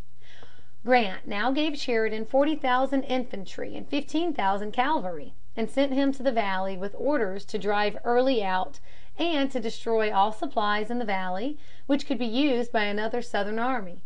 Splendidly Sheridan did his work. At one time, when he was away, the Confederates surprised the Union army. But hearing the roar of the battle, Sheridan rode rapidly to the front. As he rode along, the fugitives turned back. The Confederates, surprised in their turn, were swept from the field and sent whirling up the valley in wild confusion (October 19, 1864). Then Sheridan destroyed everything that could be of service to another invading army and rejoined Grant at Petersburg.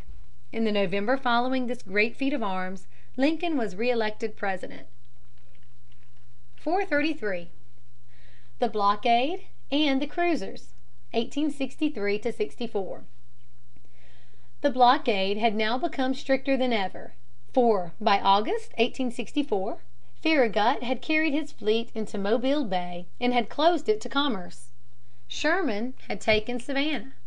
Early in 1865 Charleston was abandoned, for Sherman had it at his mercy, and Terry captured Wilmington. The South was now absolutely dependent on its own resources, and the end could not be far off. On the open sea with England's aid a few vessels flew the Confederate flag. The best known of these vessels was the Alabama. She was built in England, armed with English guns, and largely manned by Englishmen. On June 19, 1864, the United States ship Kearsarge sank off Cherbourg, France. Englishmen were also building two ironclad battleships for the Confederates, but the American minister at London, Mr. Charles Francis Adams, said that if they were allowed to sail it would be war. The English government thereupon bought the vessels. [Sidenote: Sherman's march through the Carolinas.] 434. Sherman's March through the Carolinas, 1865. Early in 1865 Sherman set out on the worst part of his great march. He now directed his steps northward from Savannah toward Virginia. The Confederates prepared to meet him, but Sherman set out before they expected him and thus gained a clear path for the first part of his journey. Joseph E. Johnston now took command of the forces opposed to Sherman and did everything he could to stop him. At one moment it seemed as if he might succeed. He almost crushed the forward end of Sherman's army before the rest of the soldiers could be brought to its rescue. But Sherman's veterans were too old soldiers to be easily defeated. They first beat back the enemy in front and when another force appeared in the rear they jumped to the other side of their field breastworks and defeated that force also. Night then put an end to the combat, and by morning the Union force was too strong to be attacked. Pressing on, Sherman reached Goldsboro' in North Carolina. There he was joined by Terry from Wilmington and by Schofield from Tennessee. Sherman now was strong enough to beat any Confederate army. He moved to Raleigh and completely cut Lee's communications with South Carolina and Georgia in April, 1865.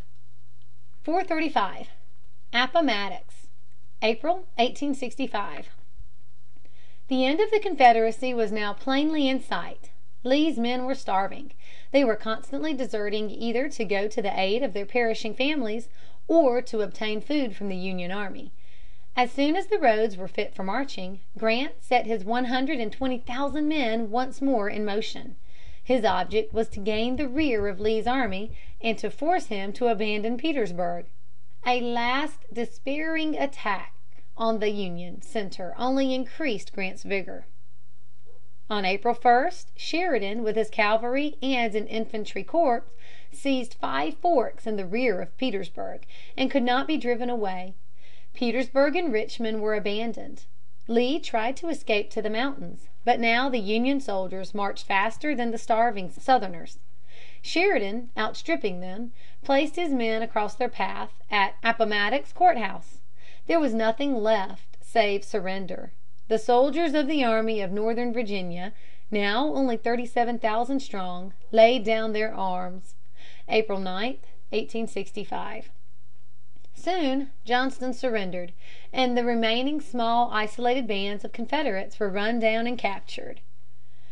[Sidenote: Lincoln murdered, April 14, 1865.] 436. Lincoln murdered, April 14, 1865. The national armies were victorious. President Lincoln, never grander or wiser than in the moment of victory, stood alone between the Southern people and the Northern extremists clamoring for vengeance. On the night of April 14 he was murdered by a sympathizer with slave and secession. No one old enough to remember the morning of April 15, 1865, will ever forget the horror aroused in the North by this unholy murder. In the beginning Lincoln had been a party leader. In the end the simple grandeur of his nature had won for him a place in the hearts of the American people that no other man has ever gained. He was indeed the greatest because the most typical of Americans. Vice President Andrew Johnson, a war Democrat from Tennessee, became President. The vanquished secessionists were soon to taste the bitter dregs of the cup of defeat. CHAPTER XLII. RECONSTRUCTION AND REUNION, 1865 1888. CHAPTER XLII. President Johnson and Reconstruction, 1861 1869. 437. Lincoln's Reconstruction Policy. The great question now before the country was what should be done with the Southern states and people, and what should be done with the freedmen. On these questions people were not agreed. Some people thought the states were indestructible, that they could not secede or get out of the Union. Others thought the Southern states had been conquered and should be treated as part of the national domain. Lincoln thought that it was useless to go into these questions. The Southern states were out of the proper practical relations with the Union. That was clear enough. The thing to do, therefore, was to restore proper practical relations as quickly and quietly as possible. In December, 1863, Lincoln had offered a pardon to all persons, with some exceptions, who should take the oath of allegiance to the United States, and should promise to support the Constitution and the Emancipation Proclamation. Whenever one tenth of the voters in any of the Confederate states should do these things, and should set up a republican form of government, Lincoln promised to recognize that government as the state government. But the admission to Congress of Senators and Representatives from such a reconstructed state would rest with Congress. Several states were reconstructed on this plan. But public opinion was opposed to this quiet reorganization of the seceded states. The people trusted Lincoln, however, and had he lived he might have induced them to accept this plan. 438. President Johnson's Reconstruction Plan. Johnson was an able man and a patriot. But he had none of Lincoln's wise patience. He had none of Lincoln's tact and humor in dealing with men. On the contrary, he always lost his temper when opposed. Although he was a Southerner, he hated slavery and slave owners. On the other hand, he had a Southerner's contempt for the negroes. He practically adopted Lincoln's Reconstruction policy and tried to bring about the reorganization of the seceded states by presidential action. 439. The Thirteenth Amendment, 1865. President Lincoln's Emancipation Proclamation had freed the slaves in those states and parts of states which were in rebellion against the national government. It had not freed the slaves in the loyal states. It had not destroyed slavery as an institution. Any state could reestablish slavery whenever it chose. Slavery could be prohibited only by an amendment to the Constitution. So the Thirteenth Amendment was adopted December, 1865. This amendment declares that neither slavery nor involuntary servitude, except as a punishment for crime, shall exist within the United States or any place subject to their jurisdiction. In this way slavery came to an end throughout the United States. 440. Congress and the President, 1865 to 66. Unhappily, many of the old slave states had passed laws to compel the negroes to work. They had introduced a system of forced labor which was about the same thing as slavery. In December, 1865, the new Congress met. The Republicans were in the majority. They refused to admit the senators and representatives from the reorganized Southern states, and at once set to work to pass laws for the protection of the negroes. In March, 1865, while the war was still going on, and while Lincoln was alive, Congress had established the Freedmen's Bureau to look after the interests of the negroes. Congress now (February, 1866) passed a bill to continue the bureau and to give it much more power.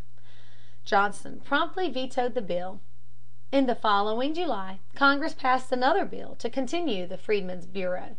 In this bill the officers of the bureau were given greatly enlarged powers, the education of the blacks was provided for, and the army might be used to compel obedience to the law. Johnson vetoed this bill also. 441. The Fourteenth Amendment. While this contest over the Freedmen's Bureau was going on, Congress passed the Civil Rights Bill to protect the freedmen. This bill provided that cases concerning the civil rights of the freedmen should be heard in the United States courts instead of in the state courts. Johnson thought that Congress had no power to do this. He vetoed the bill, and Congress passed it over his veto. Congress then drew up the Fourteenth Amendment. This forbade the states to abridge the rights of the citizens, white or black. It further provided that the representation of any state in Congress should be diminished whenever it denied the franchise to any one except for taking part in the rebellion. Finally, it guaranteed the debt of the United States and declared all debts incurred in support of rebellion null and void. Every Southern state except Tennessee refused to accept this amendment. 442. The Reconstruction Acts, 1867. The congressional elections of November, 1866, were greatly in favor of the Republicans. The Republican members of Congress felt that this showed that the North was with them in their policy as to Reconstruction. Congress met in December, 1866, and at once set to work to carry out this policy. First of all, it passed the Tenure of Office Act to prevent Johnson dismissing Republicans from office. Then it passed the Reconstruction Act. Johnson vetoed both of these measures, and Congress passed them both over his veto. The Reconstruction Act was later amended and strengthened. It will be well to describe here the process of Reconstruction in its final form. First of all, the seceded states, with the exception of Tennessee, were formed into military districts. Each district was ruled by a military officer who had soldiers to carry out his directions. Tennessee was not included in this arrangement because it had accepted the Fourteenth Amendment, but all the other states, which had been reconstructed by Lincoln or by Johnson, were to be reconstructed over again. The franchise was given to all men, white or black, who had lived in any state for one year, excepting criminals and persons who had taken part in rebellion. This exception took the franchise away from the old rulers of the South. These new voters could form a state constitution and elect a legislature which should ratify the Fourteenth Amendment. When all this had been done, senators and representatives from the reconstructed state might be admitted to Congress. 443. Impeachment of Johnson, 1868. President Johnson had vetoed all these bills.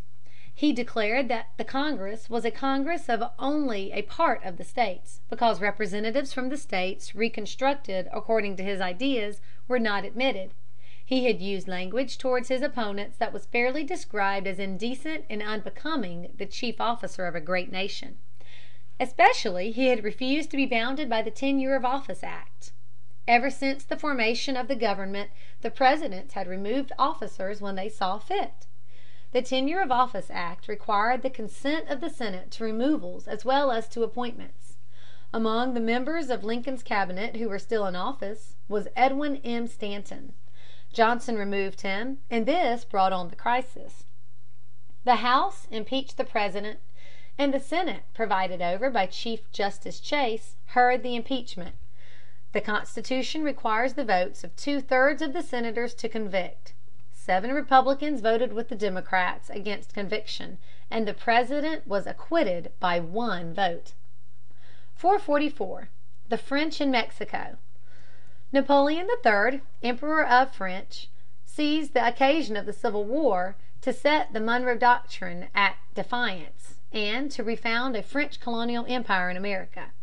At one time, indeed, he seemed to be on the point of interfering, to compel the Union government to withdraw its armies from the Confederate States.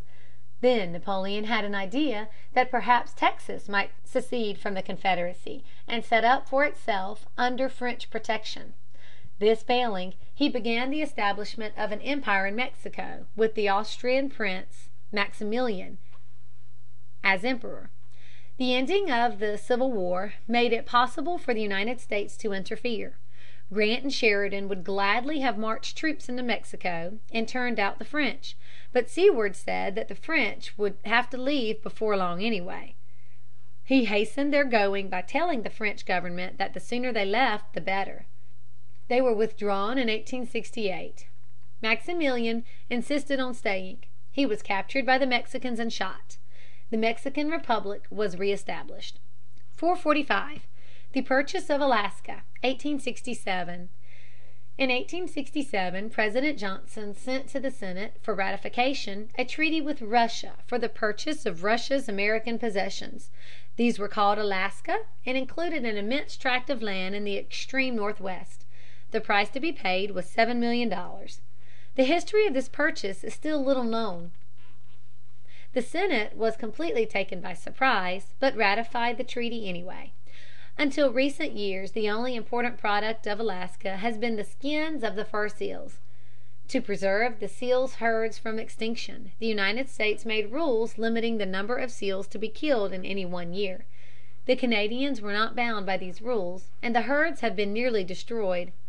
In recent years large deposits of gold have been found in Alaska, and in neighboring portions of Canada, but the Canadian deposits are hard to reach without first going through Alaska. This fact has made it more difficult to agree with Great Britain as to the boundary between Alaska and Canada. 446. Grant elected President, 1868. The excitement over Reconstruction and the bitter contest between the Republicans in Congress and the President had brought about great confusion in politics. The Democrats nominated General F. P. Blair, a gallant soldier, for Vice President. For President they nominated Horatio Seymour of New York. He was a peace Democrat. As governor of New York during the war he had refused to support the national government. The Republicans nominated General Grant.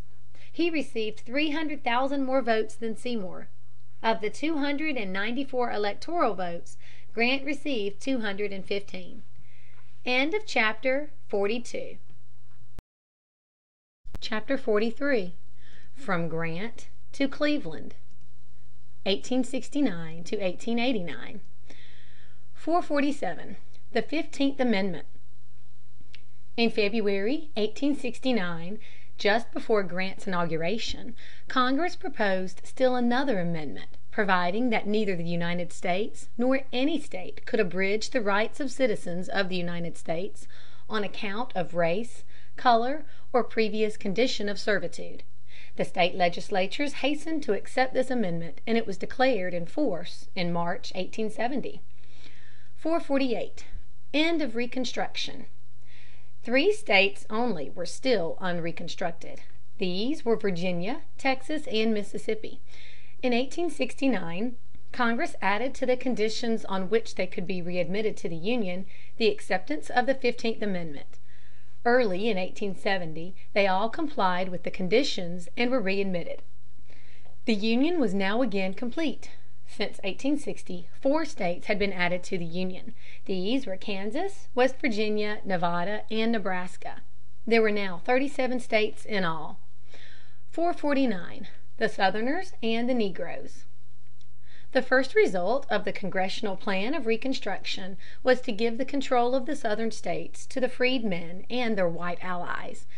Some of these white friends of the freedmen were men of character and ability, but most of them were adventurers who came from the North to make their fortunes.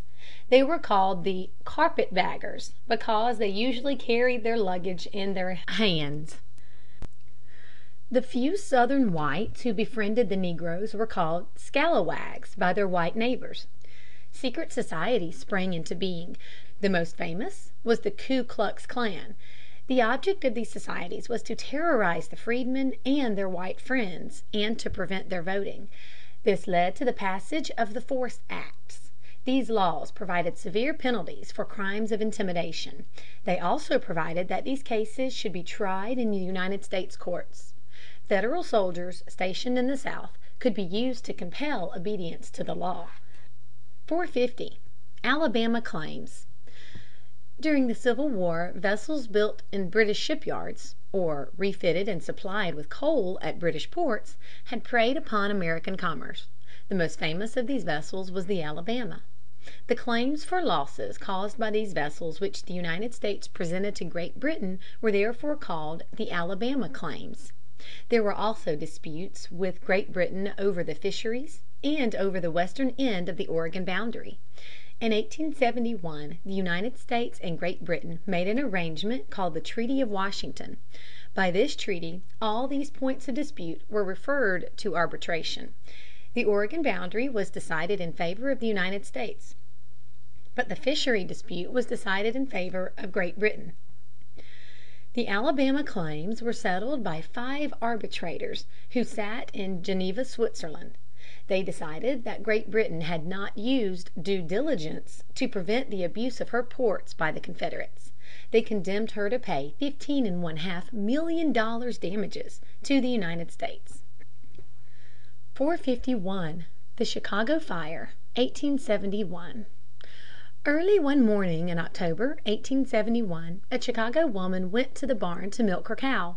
She carried a lighted kerosene lamp, for it was still dark. The cow kicked over the lamp. The barn was soon ablaze. A furious gale carried the burning sparks from one house to another. And so the fire went on spreading all that day and night and the next day. Nearly two hundred million dollars' worth of property was destroyed. The homes of nearly one hundred thousand persons were burned down. In a surprisingly short time the burnt district was rebuilt, and Chicago grew more rapidly than ever before. 452. Corruption in Politics. New York City had no $200,000,000 fire, but a ring of city officers stole more than $150,000,000 of the city's money. In other cities also there was great corruption, nor were the state governments free from bribery and thieving. Many officers in the national government were believed to be mixed up in schemes to defraud people. The truth of the matter was that the Civil War had left behind it the habit of spending money freely. A desire to grow suddenly rich possessed the people. Men did not look closely to see where their money came from. 453. Election of 1872.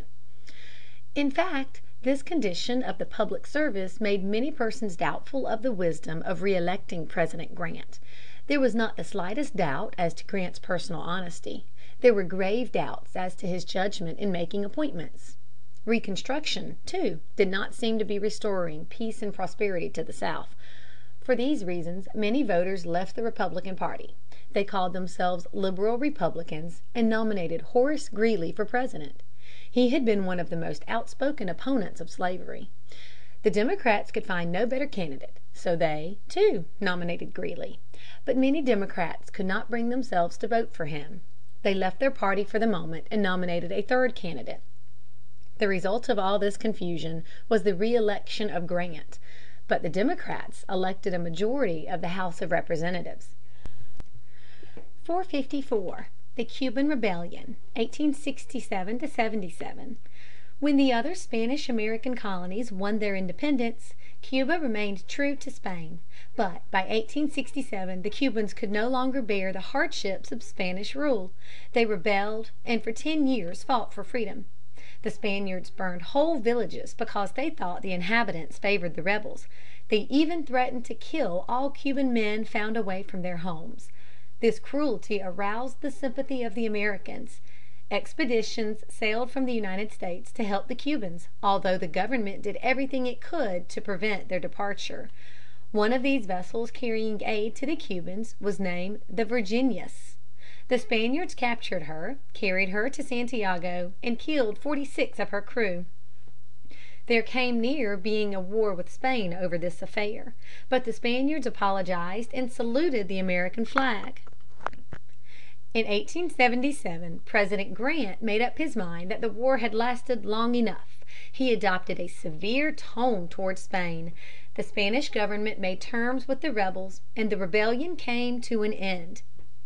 455. Scandals in Political Life.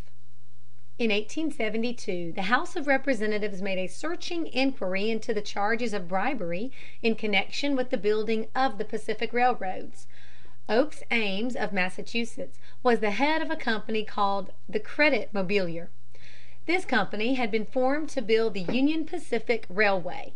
Fearing that Congress would pass laws that might hurt the enterprise, Ames gave stock in the company to members of Congress. But nothing definite could be proved against any members, and the matter dropped. Soon after the beginning of Grant's second term many evil things came to light. One of these was the whiskey ring, which defrauded the government of large sums of money with the aid of the government officials. Grant wished to have a thorough investigation, and said, "Let no guilty man escape." The worst of all, perhaps, was that of W. W. Belknap, Secretary of War, but he escaped punishment by resigning. 456. Anarchy in the South. Meantime Reconstruction was not working well in the South. This was especially true of Louisiana, Arkansas, and South Carolina. In Louisiana, and in Arkansas also, there were two sets of governors and legislatures, and civil war on a small scale was going on. In South Carolina the carpetbaggers and the negroes had gained control. They stole right and left. In other Southern states there were continued outrages on the negroes. President Grant was greatly troubled. "Let us have peace," was his heartfelt wish, but he felt it necessary to keep Federal soldiers in the South, although he knew that public opinion in the North was turning against their employment. It was under these circumstances that the election of 1876 was held. 457. Election of 1876. The Republican candidate was Rutherford B. Hayes of Ohio. He was a gallant soldier of the Civil War, and was a man of the highest personal character. His Democratic opponent was Samuel J. Tilden of New York, a shrewd lawyer who had won distinction as governor of the Empire State. When the electoral returns were brought in there appeared two sets of returns from each of the three Southern states, and the vote of Oregon was doubtful. The Senate was Republican and the House was Democrat. As the two houses could not agree as to how these returns should be counted, they referred the whole matter to an electoral commission. This commission was made up of five senators, five representatives, and five justices of the Supreme Court. Eight of them were Republicans and seven were Democrats. They decided by 8 7 that Hayes was elected, and he was inaugurated President on March 4, 1877. 458. Withdrawal of the soldiers from the South. The people of the North were weary of the ceaseless political agitation in the South. The old Southern leaders had regained control of nearly all the Southern states. They could not be turned out except by a new civil war, and the Northern people were not willing to go to war again. The only other thing that could be done was to withdraw the Federal soldiers and let the Southern people work out their own salvation as well as they could. President Hayes recalled the troops, and all the Southern states at once passed into the control of the Democrats. 459. Strikes and Riots, 1877. The extravagance and speculation of the Civil War in the years following its close ended in a great panic in 1873. After the panic came the "hard times." Production fell off. The demand for labor diminished. Wages were everywhere reduced. Strikes became frequent, and riots followed the strikes. At Pittsburgh, in western Pennsylvania, the rioters seized the railroad. They burned hundreds of railroad cars and locomotives. They destroyed the railroad buildings. At last the riot came to an end, but not until millions of dollars' worth of property had been destroyed. 460. Election of 1880. At the beginning of his administration Hayes had declared that he would not be a candidate for re-election. Who should be the Republican standard bearer? Grant's friends proposed to nominate him for a third term. The politicians who advocated a third term for Grant were opposed to the candidacy of James G. Blaine. They were called the "stalwart Republicans." In the convention they voted steadily and solidly for Grant. Finally their opponents, with the cry of "Anything to beat Grant," suddenly turned to an entirely new man, whose name had been little mentioned. This was James A. Garfield of Ohio. He had won distinction in the Civil War and had served with credit in Congress. For Vice President the Republicans nominated Chester A. Arthur, a New York banker. The Democrats on their part nominated one of the most brilliant and popular soldiers of the Army of the Potomac, General Winfield Scott Hancock. The campaign was very hotly contested. In the end Garfield won. 461. Garfield murdered. Civil Service Reform. President Garfield took oath of office on March 4, 1881. On July 2 he was shot in the back by a disappointed office seeker. Week after week he endured terrible agony. At length on September 19 the martyred President died. Now at last the evils of the spoils system were brought to the attention of the American people. Vice President Arthur became President and entered heartily into the projects of reform. A beginning was soon made, but it was found to be a very difficult thing to bring about any lasting reform. The Constitution gives the President the appointment of officers, subject to the confirmation of the Senate. No act of Congress can diminish the constitutional powers of the President except so far as he consents, and one President cannot bind succeeding Presidents. Any scheme of reform also costs money, which must be voted annually by Congress. It follows, therefore, that the consent of every President and of both houses of every Congress is necessary to make the reform of the civil service permanent. Nevertheless, the reform has made steady progress until now by far the greater part of the civil service is organized on the merit system. 462. Election of 1884. In 1884 the Republicans nominated James G. Blaine of Maine for President. He was a man of magnetic address and had made many friends, but he had also made many enemies. Especially many Republican voters distrusted him. They felt that he had used his position for private gain, although nothing was proved against him. These Republicans were called mugwumps. They bolted the nomination and supported the Democratic candidate Grover Cleveland. As mayor of Buffalo, Cleveland had done very well. He had then been elected governor of New York by a very large majority. The campaign of 1884 was conducted on the lines of personal abuse that recall the campaigns of 1800 and 1828. Cleveland carried four large Northern states and the solid South, and was elected. 463. Cleveland's administration, 1885 89. The great contest of Cleveland's first term was a fierce struggle over the tariff. The government's need of money during the Civil War had compelled Congress to raise large sums by means of internal revenue taxes. These taxes in turn had brought about a great increase in the tariff rates on goods imported from foreign countries. The internal revenue taxes had been almost entirely removed, but the war tariff substantially remained in force. In 1887 Cleveland laid the whole question before Congress. For a time it seemed probable that something would be done.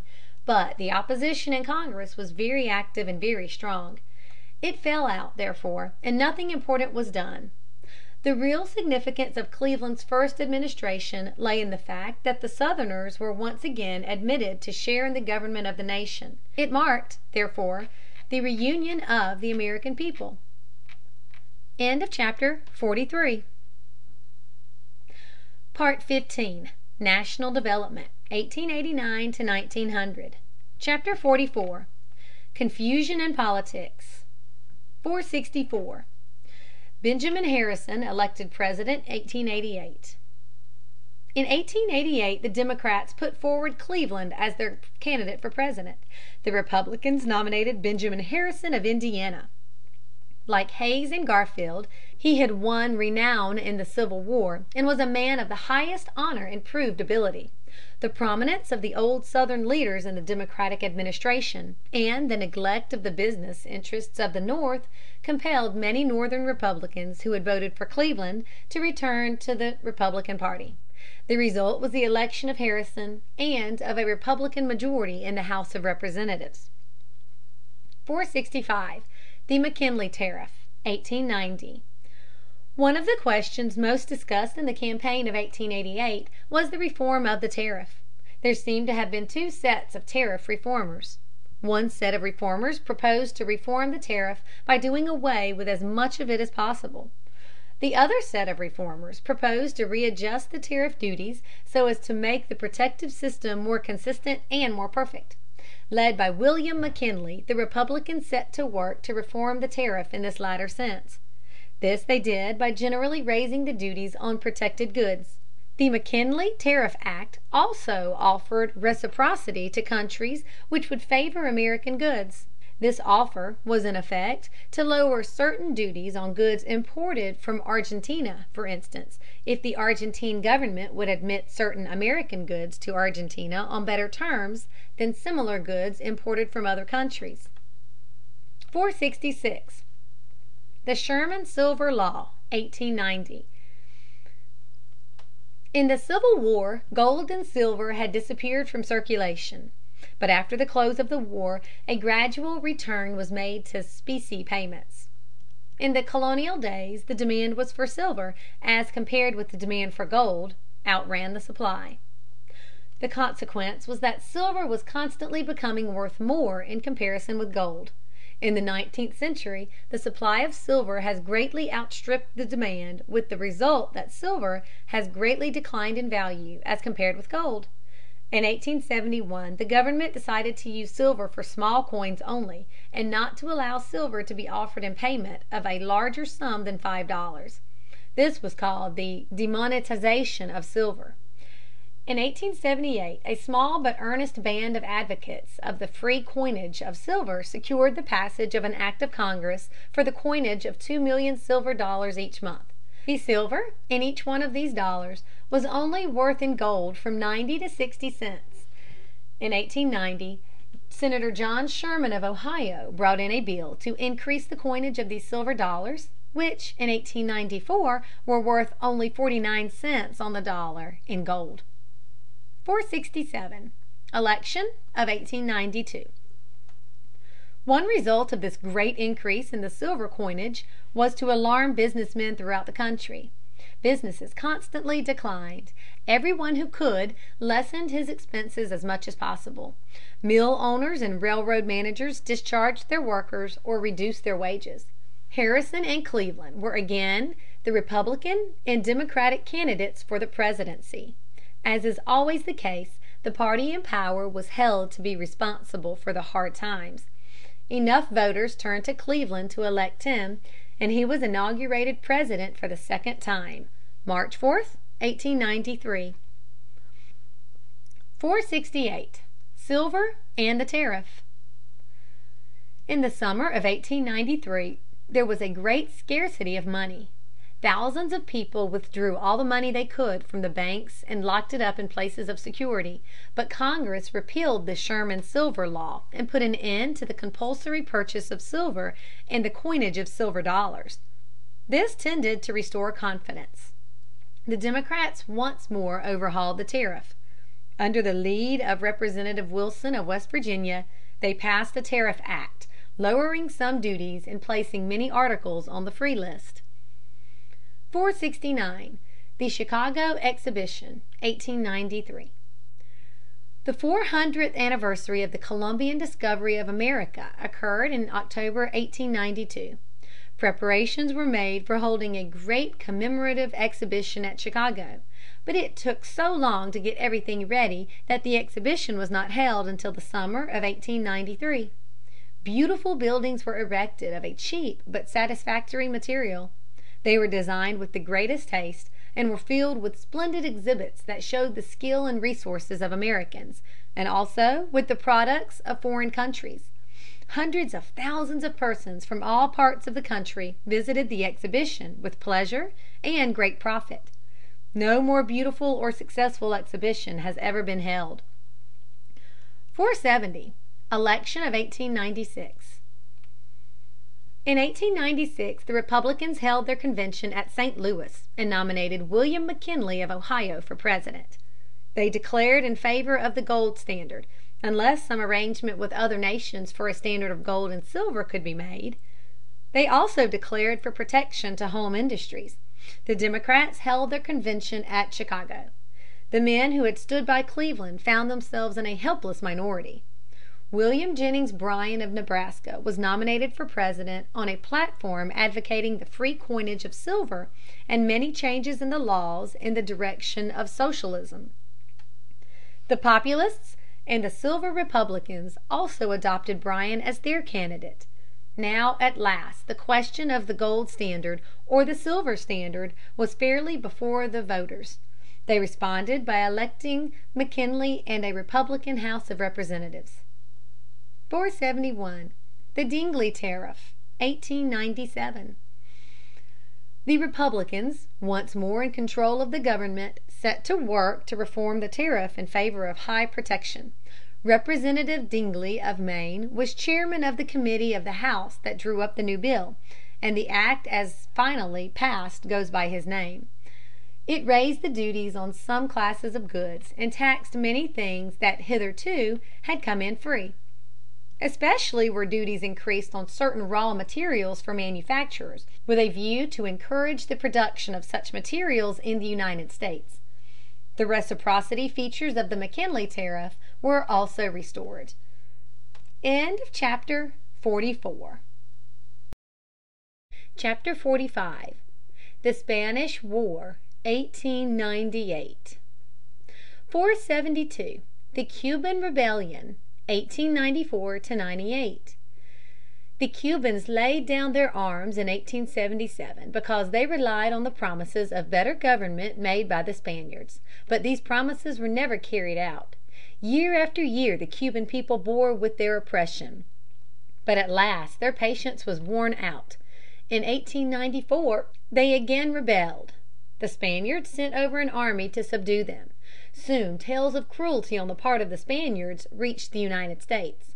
Finally the Spanish governor, General Weyler, adopted the cruel measure of driving the old men, the women, and the children from the country villages and huddling them together in the seaboard towns. Without money, without food, with scant shelter, these poor people endured every hardship. They died by thousands. The American people sent relief, but little could be done to help them. The Cubans also fitted out expeditions in American ports to carry arms and supplies to the rebels. The government did everything in its power to stop these expeditions, but the coast line of the United States is so long that it was impossible to stop them all, especially as large numbers of the American people heartily sympathized with the Cubans. Constant disputes with Spain over the Cuban question naturally came up and gave rise to irritation in the United States and in Spain. 473. The Declaration of War, 1898. On January 5, 1898, the American battleship Maine anchored in Havana harbor. On February 15 she was destroyed by an explosion and sank with two hundred and fifty three of her crew. A most competent court of inquiry was appointed. It reported that the Maine had been blown up from the outside.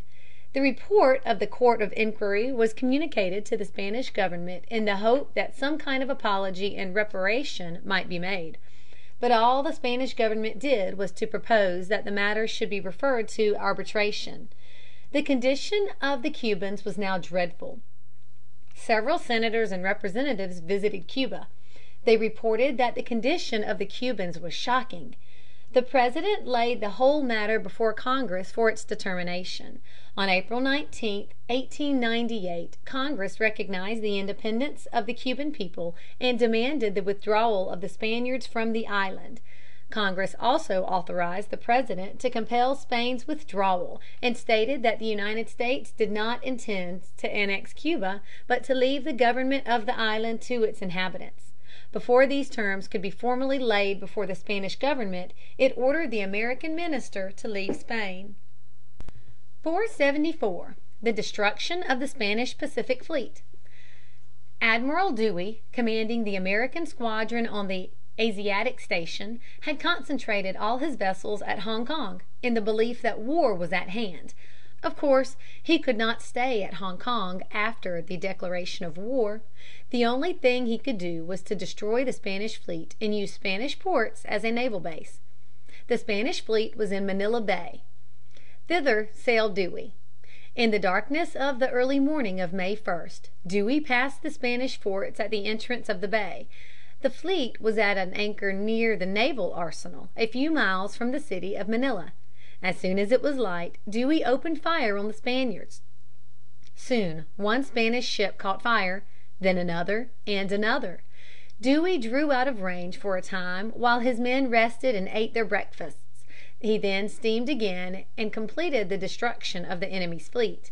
Not an American ship was seriously injured. Not one American sailor was killed.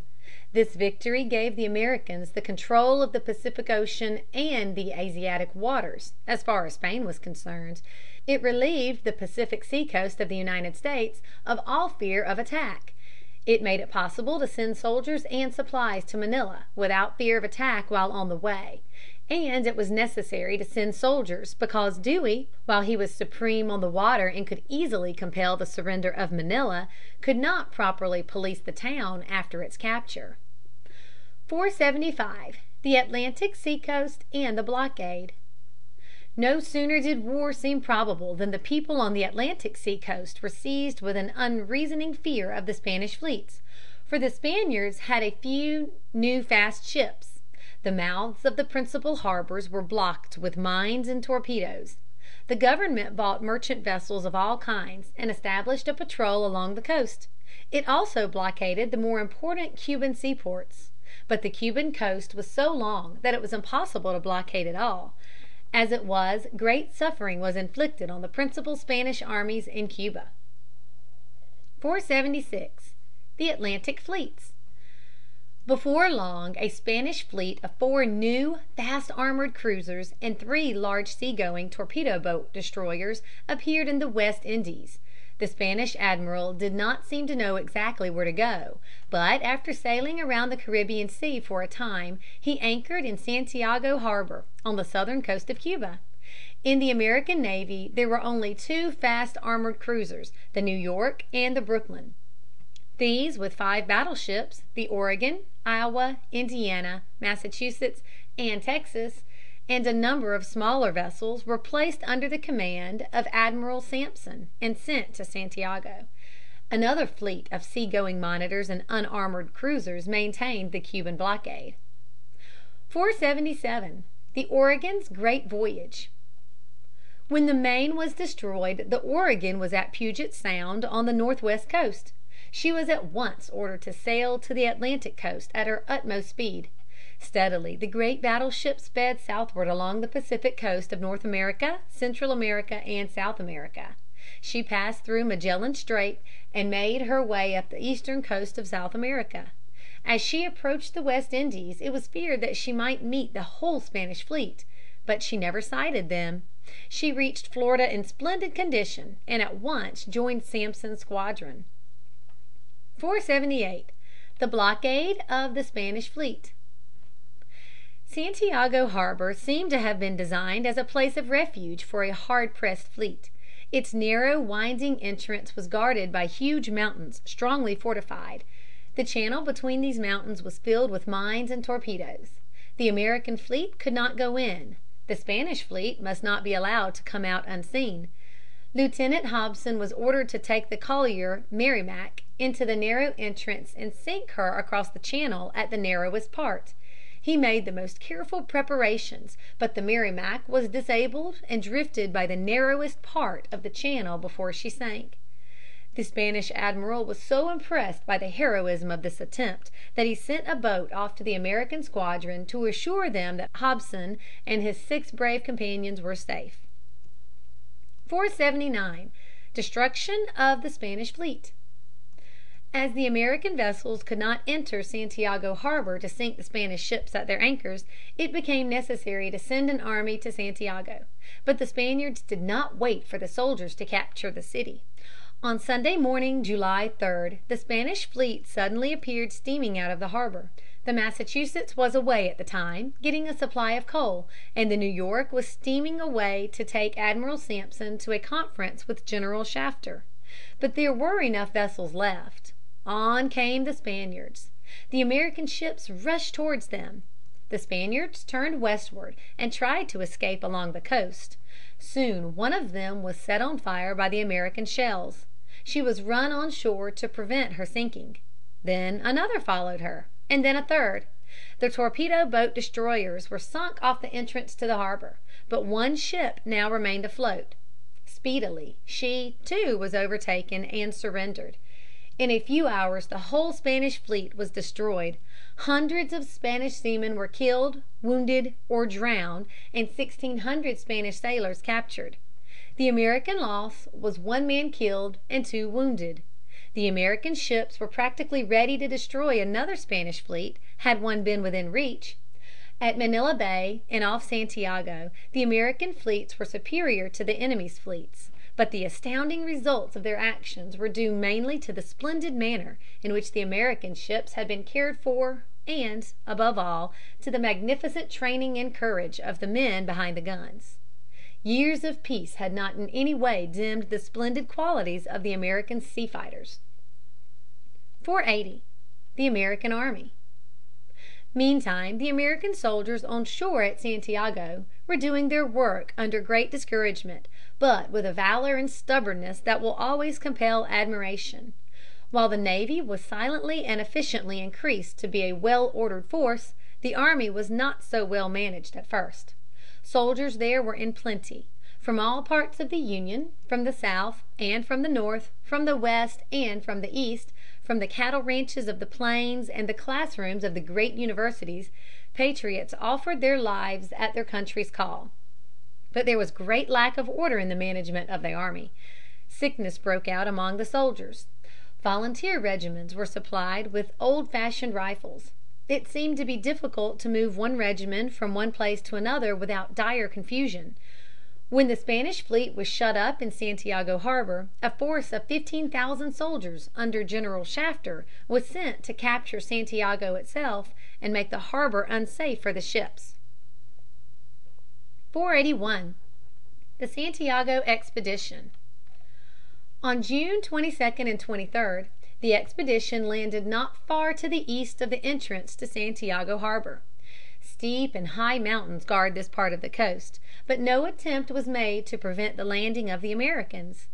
Dismounted cavalrymen of the regular army and Roosevelt's Rough Riders, also on foot, at once pushed on toward Santiago. At La Guasimas the Spaniards tried to stop them, but the regulars and the Rough Riders drove them away, and the army pushed on. By July 28 it had reached a point within a few miles of the city. The Spaniards occupied two very strong positions at San Juan and Caney. On July 1 they were driven from them. The regulars and the volunteers showed the greatest courage and heroism. They crossed long open spaces in the face of a terrible fire from the Spaniards, who were armed with modern rifles. The rains now set in, and the sufferings of the troops became terrible. On July 3 the Spanish fleet sailed out of the harbor to meet its doom from the guns of the American warships. Reinforcements were sent to Shafter, and heavy guns were dragged over the mountain roads and placed in positions commanding the enemy's lines. The Spaniards surrendered, and on July 17 the Americans entered the captured city. 482. The PUERTO Rico Campaign. The only other important colony still remaining to Spain in America was Porto Rico. General Nelson A. Miles led a strong force to its conquest. Instead of landing on the northern coast near San Juan, the only strongly fortified position on the seacoast, General Miles landed his men on the southern coast near Ponce. The inhabitants received the Americans with the heartiest welcome. This was on August 1. The American army then set out to cross the island, but before they had gone very far news came of the ending of the hostilities. 483. Fall of Manila. When the news of Dewey's victory reached the United States, soldiers were sent to his aid. But this took time, for it was a very long way from San Francisco to the Philippines, and vessels suited for transports were not easily procured on the Pacific coast. General Wesley Merritt was given command of the land forces. Meantime, for months Dewey with his fleet blockaded Manila from the water side, while Philippine insurgents blockaded it from the land side. Foreign vessels, especially German vessels, jealously watched the operations of the American fleet and severely taxed Dewey's patience. On August 17 Merritt felt strong enough to attack the city. It was at once surrendered to him. 484. End of the War. The destruction of the Spanish Atlantic fleet and the fall of Santiago convinced the Spaniards that further resistance was useless. So it was agreed that the fighting should be stopped. This was in July, 1898. But the actual treaty of peace was not made until the following December. The conditions were that Spain should abandon Cuba, should cede to the United States Puerto Rico, the Philippines, and some smaller islands, and should receive from the United States twenty million dollars. For many years American missionaries, merchants, and planters had been interested in the Hawaiian Islands. The war showed the importance of these islands to the United States as a military and naval station, and they were annexed. 485. Prosperity. The years 1898 to 1900 have been a period of unbounded prosperity for the American people. Foreign trade has increased enormously, and the manufactures of the United States are finding a ready market in other countries. A rebellion has been going on in the Philippines, but it seems to be slowly dying out. February, 1900. End of chapter 45. The Constitution of the United States of America. We the people of the United States, in order to form a more perfect union, establish justice, insure domestic tranquillity, provide for the common defense, promote the general welfare, and secure the blessings of liberty to ourselves and our posterity, do ordain and establish this Constitution for the United States of America. Article I. Section 1. All legislative powers herein granted shall be vested in a Congress of the United States, which shall consist of a Senate and a House of Representatives. Section 2.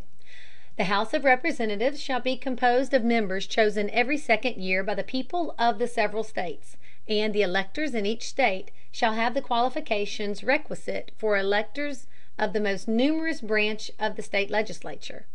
No person shall be a Representative who shall not have attained to the age of twenty five years, and been seven years a citizen of the United States, and who shall not, when elected, be an inhabitant of that state in which he shall be chosen. Representatives and direct taxes shall be apportioned among the several states which may be included within this Union, according to their respective numbers, which shall be determined by adding to the whole number of free persons including those bound to service for a term of years, and excluding Indians not taxed, three fifths of all other persons. The actual enumeration shall be made within three years after the first meeting of the Congress of the United States, and within every subsequent term of ten years, in such manner as they shall by law direct.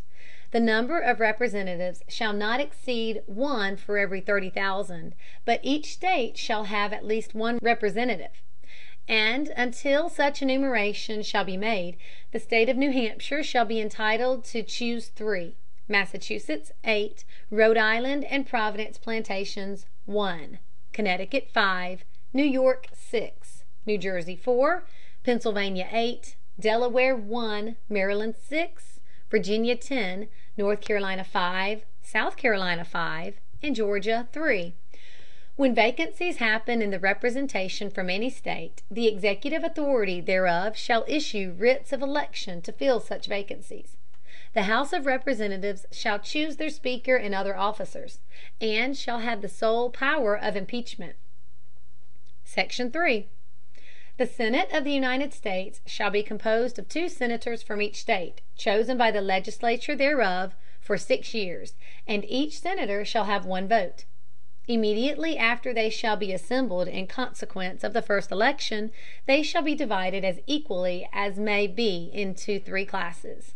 The seats of the Senators of the first class shall be vacated at the expiration of the second year; of the second class, at the expiration of the fourth year; and of the third class, at the expiration of the sixth year, so that one third may be chosen every second year; and if vacancies happen by resignation or otherwise, during the recess of the legislature of any state, the executive thereof may make temporary appointments until the next meeting of the legislature, which shall then fill such vacancies. No person shall be a Senator who shall not have attained to the age of thirty years, and been nine years a citizen of the United States, and who shall not, when elected, be an inhabitant of that state for which he shall be chosen. The Vice President of the United States shall be the President of the Senate, but shall have no vote unless they be equally divided. The Senate shall choose their other officers, and also a President pro tempore, in the absence of the Vice President, or when he shall exercise the office of President of the United States. The Senate shall have the sole power to try all impeachments. When sitting for that purpose they shall be on oath or affirmation. When the President of the United States is tried, the Chief Justice shall preside, and no person shall be convicted without the concurrence of two thirds of the members present. Judgment in cases of impeachment shall not extend further than to removal from office, and disqualification to hold and enjoy any office of honor, trust or profit under the United States; but the party convicted shall nevertheless be liable, and subject to indictment, trial, judgment, and punishment according to law. SECTION 4. The times, places, and manner of holding elections for Senators and Representatives shall be prescribed in each state by the legislature thereof; but the Congress may at any time by law make or alter such regulations, except as to the places of choosing Senators. The Congress shall assemble at least once in every year, and such meeting shall be on the first Monday in December, unless they shall by law appoint a different day. SECTION 5. Each house shall be the judge of the elections, returns, and qualifications of its own members, and a majority of each shall constitute a quorum to do business; but a smaller number may adjourn from day to day, and may be authorized to compel the attendance of absent members, in such manner, and under such penalties as each house may provide. Each house may determine the rules of its proceedings, punish its members for disorderly behavior, and, with the concurrence of two thirds, expel a member. Each house shall keep a journal of its proceedings, and from time to time publish the same, excepting such parts as may in their judgment require secrecy; and the yeas and nays of the members of either house on any question shall, at the desire of one fifth of those present, be entered on the journal. Neither house, during the session of Congress, shall, without the consent of the other, adjourn for more than three days, nor to any other place than that in which the two houses shall be sitting. SECTION 6. The Senators and Representatives shall receive a compensation for their services, to be ascertained by law, and paid out of the Treasury of the United States. They shall in all cases, except treason, felony, and breach of the peace, be privileged from arrest during their attendance at the session of their respective houses, and in going to and returning from the same; and for any speech or debate in either house they shall not be questioned in any other place. No Senator or Representative shall, during the time for which he was elected, be appointed to any civil office under the authority of the United States, which shall have been created, or the emoluments whereof shall have been increased during such time; and no person holding any office under the United States shall be a member of either house during his continuance in office. SECTION 7. All bills for raising revenue shall originate in the House of Representatives, but the Senate may propose or concur with amendments as on other bills. Every bill which shall have passed the House of Representatives and the Senate, shall, before it become a law, be presented to the President of the United States.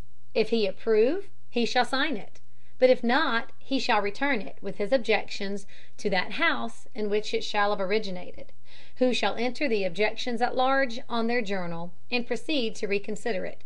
If after such reconsideration two thirds of that House shall agree to pass the bill, it shall be sent together with the objections, to the other house, by which it shall likewise be reconsidered; and if approved by two thirds of that House, it shall become law. But in all such cases the votes of both houses shall be determined by yeas and nays, and the names of the person voting for and against the bill shall be entered on the journal of each house respectively. If any bill shall not be returned by the President within ten days, Sundays excepted, after it shall have been presented to him, the same shall be a law, in like manner as if he had signed it, unless the Congress by their adjournment prevent its return, in which case it shall not be a law. Every order, resolution, or vote to which the concurrence of the Senate and the House of Representatives may be necessary, except on a question of adjournment, shall be presented to the President of the United States, and before the same shall take effect shall be approved by him, or being disapproved by him shall be repassed by two thirds of the Senate and the House of Representatives, according to the rules and limitations prescribed in the case of a bill. SECTION 8. The Congress shall have the power to lay and collect taxes, duties, imposts, and excises, to pay the debts, and provide for the common defense and general welfare of the United States. But all duties, imposts, and excises shall be uniform throughout the United States. To borrow money, on the credit of the United States, to regulate commerce with foreign nations and among the several states, and with the Indian tribes, to establish a uniform rule of naturalization, and uniform laws on the subject of bankruptcies throughout the United States, to coin money, regulate the value thereof and of foreign coin, and fix the standard of weights and measures, to provide for the punishment of counterfeiting the securities and current coin of the United States, to establish post offices and post roads, to promote the progress of science and useful arts by securing for limited times to authors and inventors the exclusive right to their respective writings and discoveries, to constitute tribunals inferior to the Supreme Court, to define and punish piracies and felonies committed on the high seas and offenses against the law of nations, to declare war, grant letters of marque and reprisal, and make rules concerning captures on land and water; to raise and support armies, but no appropriation of money to that use shall be for a longer term than two years; to provide and maintain a navy; to make rules for the government and regulation of the land and naval forces; to provide for calling forth the militia, to execute the laws of the Union, suppress insurrections, and repel invasions to provide for organizing, arming, and disciplining the militia, and for governing such part of them as may be employed in the service of the United States, reserving to the States respectively the appointment of the officers, and the authority of training the militia according to the discipline prescribed by Congress; to exercise exclusive legislation in all cases whatsoever, over such district, not exceeding ten miles square, as may, by cession of particular states, and the acceptance of Congress, become the seat of the government of the United States, and to exercise like authority over all places purchased by the consent of the legislature of the state in which the same shall be, for the erection of forts, magazines, arsenals, dockyards, and other needful buildings and to make all laws which shall be necessary and proper for carrying into execution the foregoing powers and all other powers vested by this Constitution in the Government of the United States or in any department or officer thereof. SECTION 9. The migration or importation of such persons as any of the states now existing shall think proper to admit shall not be prohibited by the Congress prior to the year one thousand eight hundred and eight; but a tax or duty may be imposed on such importation, not exceeding ten dollars for each person. The privilege of the writ of habeas corpus shall not be suspended, unless when in cases of rebellion or invasion the public safety may require it. No bill of attainder or ex post facto law shall be passed. No capitation or other direct tax shall be laid, unless in proportion to the census or enumeration herein before directed to be taken. No tax or duty shall be laid on articles exported from any state. No preference shall be given by any regulation of commerce or revenue to the ports of one state over those of another, nor shall vessels bound to or from one state be obliged to enter, clear, or pay duties in another. No money shall be drawn from the Treasury, but in consequence of appropriations made by law; and a regular statement and account of the receipts and expenditures of all public money shall be published from time to time. No title of nobility shall be granted by the United States, and no person holding any office or of profit or trust under them shall, without the consent of the Congress, accept of any present, emolument, office, or title of any kind whatever from a king, prince, or foreign state. SECTION 10. No state shall enter into any treaty, alliance, or confederation, grant letters of marque and reprisal, coin money, emit bills of credit, make anything but gold and silver coin a tender in payment of debts, pass any bill of attainder, ex post facto law, or law impairing the obligation of contracts, or grant any title of nobility. No state shall, without the consent of Congress, lay any imposts or duties on imports or exports, except what may be absolutely necessary for executing its inspection laws and the net produce of all duties and imposts laid by any state on imports or exports shall be for the use of the Treasury of the United States, and all such laws shall be subject to the revision and control of the Congress. No state shall, without the consent of Congress, lay any duty of tonnage, keep troops or ships of war in time of peace, enter into any agreement or compact with another state, or with a foreign power, or engage in war, unless actually invaded, or in such imminent danger as will not admit of delay. Article 2, Section 1.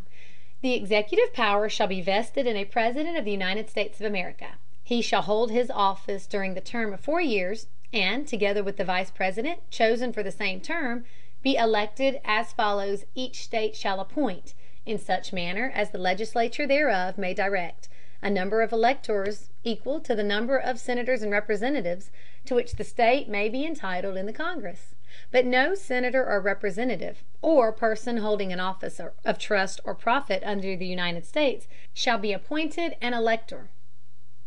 The electors shall meet in their respective states, and vote by ballot for two persons, of whom one at least shall not be an inhabitant of the same state themselves; and they shall make a list of all the persons voted for, and of the number of votes for each; which list they shall sign and certify, and transmit sealed to the seat of the Government of the United States, directed to the President of the Senate. The President of the Senate shall, in the presence of the Senate and the House of Representatives, open all the certificates, and the votes shall then be counted. The person having the greatest number of votes shall be the President, if such number be a majority of the whole number of electors appointed; and if there be more than one who have such a majority, and have an equal number of votes, then the House of Representatives shall immediately choose by ballot one of them for President; and if no person have a majority, then from the five highest on the list the said House shall in like manner choose the President. But in choosing the President the votes shall be taken by the states, the representation from each state having one vote. A quorum for this purpose shall consist of a member or members from two thirds of the states, and a majority of all the states shall be necessary to a choice. In every case, after the choice of the President, the person having the greatest number of votes of the electors shall be the Vice President. But if there should remain two or more who have equal votes, the Senate shall choose from them by ballot the Vice President. The Congress may determine the time of choosing the electors, and the day on which they shall give their votes, which day shall be the same throughout the United States. No person, except a natural born citizen, or a citizen of the United States at the time of the adoption of this Constitution, shall be eligible to the office of President neither shall any person be eligible to that office who shall have not have attained to the age of thirty five years, and been fourteen years a resident within the United States. In case of the removal of the President from office, or of his death, resignation, or inability to discharge the powers and duties of the said office, the same shall devolve on the Vice President, and the Congress may by law provide for the case of removal, death, resignation, or inability, both of the President and the Vice President, declaring what officer shall then act as President, and such officer shall act accordingly until the disability be removed or a President shall be elected. The President shall, at stated times, receive for his services a compensation, which shall neither be increased nor diminished during the period for which he shall have been elected, and he shall not receive within that period any other emolument from the United States, or any of them. Before he enter on the execution of his office, he shall take the following oath or affirmation: I do solemnly swear or affirm that I will faithfully execute the office of the President of the United States, and will to the best of my ability preserve, protect, and defend the Constitution of the United States. SECTION 2. The President shall be Commander in Chief of the Army and Navy of the United States, and of the militia of the several States, when called into the actual service of the United States. He may require the opinion, in writing, of the principal officer in each of the executive departments, upon any subject relating to the duties of their respective offices; and he shall have the power to grant reprieves and pardons for offenses against the United States, except in cases of impeachment. He shall have power, by and with the advice and consent of the Senate, to make treaties provided two thirds of the Senators present concur; and he shall nominate, and by and with the advice and consent of the Senate shall appoint ambassadors, other public ministers and consuls, judges of the Supreme Court, and all other officers of the United States, whose appointments are not herein otherwise provided for, and which shall be established by law; but the Congress may by law vest the appointment of such inferior officers, as they think proper, in the President alone, in the courts of law, or in the heads of departments. The President shall have power to fill up all vacancies that may happen during the recess of the Senate by granting commissions which shall expire at the end of their next session. SECTION 3. He shall from time to time give to the Congress information of the state of the Union, and recommend to their consideration such measures as he shall judge necessary and expedient. He may, on extraordinary occasions, convene both houses, or either of them, and in case of disagreement between them with respect to the time of adjournment, he may adjourn them to such time as he shall think proper. He shall receive ambassadors and other public ministers. He shall take care that the laws be faithfully executed, and shall commission all the officers of the United States. Section 4. The President and Vice President and all civil officers of the United States shall be removed from office on impeachment for, and conviction of, treason, bribery, or other high crimes or misdemeanors. Article III. Section 1. The judicial power of the United States shall be vested in one Supreme Court, and in such inferior courts as the Congress may from time to time ordain and establish. The judges, both of the supreme and inferior courts, shall hold their offices during good behavior, and shall, at stated times, receive for their services a compensation which shall not be diminished during their continuance in office. Section 2.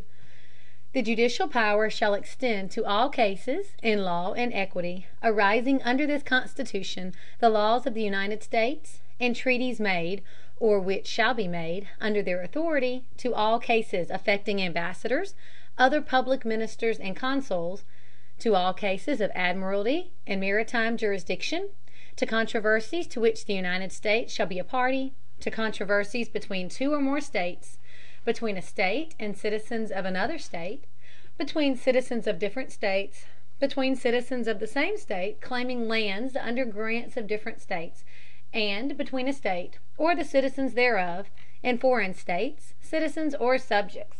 In all cases affecting ambassadors, other public ministers and consuls, and those in which a state shall be party, the Supreme Court shall have original jurisdiction.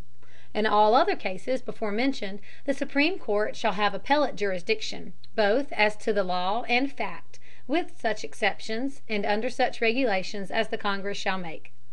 The trial of all crimes, except in cases of impeachment, shall be by jury; and such trial shall be held in the state where the said crime shall have been committed.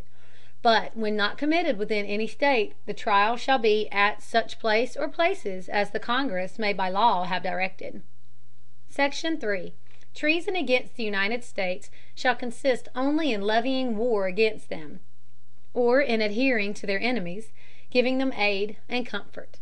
No person shall be convicted of treason unless on the testimony of two witnesses to the same overt act, or on confession in open court. The Congress shall have power to declare the punishment of treason, but no attainder of treason shall work corruption of blood, or forfeiture except during the life of the person attainted. ARTICLE IV. SECTION 1. Full faith and credit shall be given in each state to the public acts, records, and judicial proceedings of every other state; and the Congress may by general laws prescribe the manner in which such acts, records, and proceedings shall be proved, and the effect thereof. SECTION 2. The citizens of each state shall be entitled to all privileges and immunities of citizens in the several states. A person charged in any state with treason, felony, or other crime, who shall flee from justice and be found in another state, shall on demand of the executive authority of the state from which he fled, be delivered up, to be removed to the state having jurisdiction of the crime. No person held to service or labor in one state, under the laws thereof, escaping into another, shall, in consequence of any law or regulation therein, be discharged from such service or labor, but shall be delivered up on claim of the party to whom such service or labor may be due. SECTION 3. New states may be admitted by the Congress into this Union, but no new state shall be formed or erected within the jurisdiction of any other state, nor any state be formed by the junction of two or more states, or parts of states, without the consent of the legislatures of the states concerned as well as of the Congress. The Congress shall have the power to dispose of and make all needful rules and regulations respecting the territory or other property belonging to the United States, and nothing in this Constitution shall be so construed as to prejudice any claims of the United States or of any particular state. SECTION 4. The United States shall guarantee to every state in this Union a republican form of government, and shall protect each of them against invasion, and, on application of the legislature, or of the executive (when the legislature cannot be convened), against domestic violence. Article V.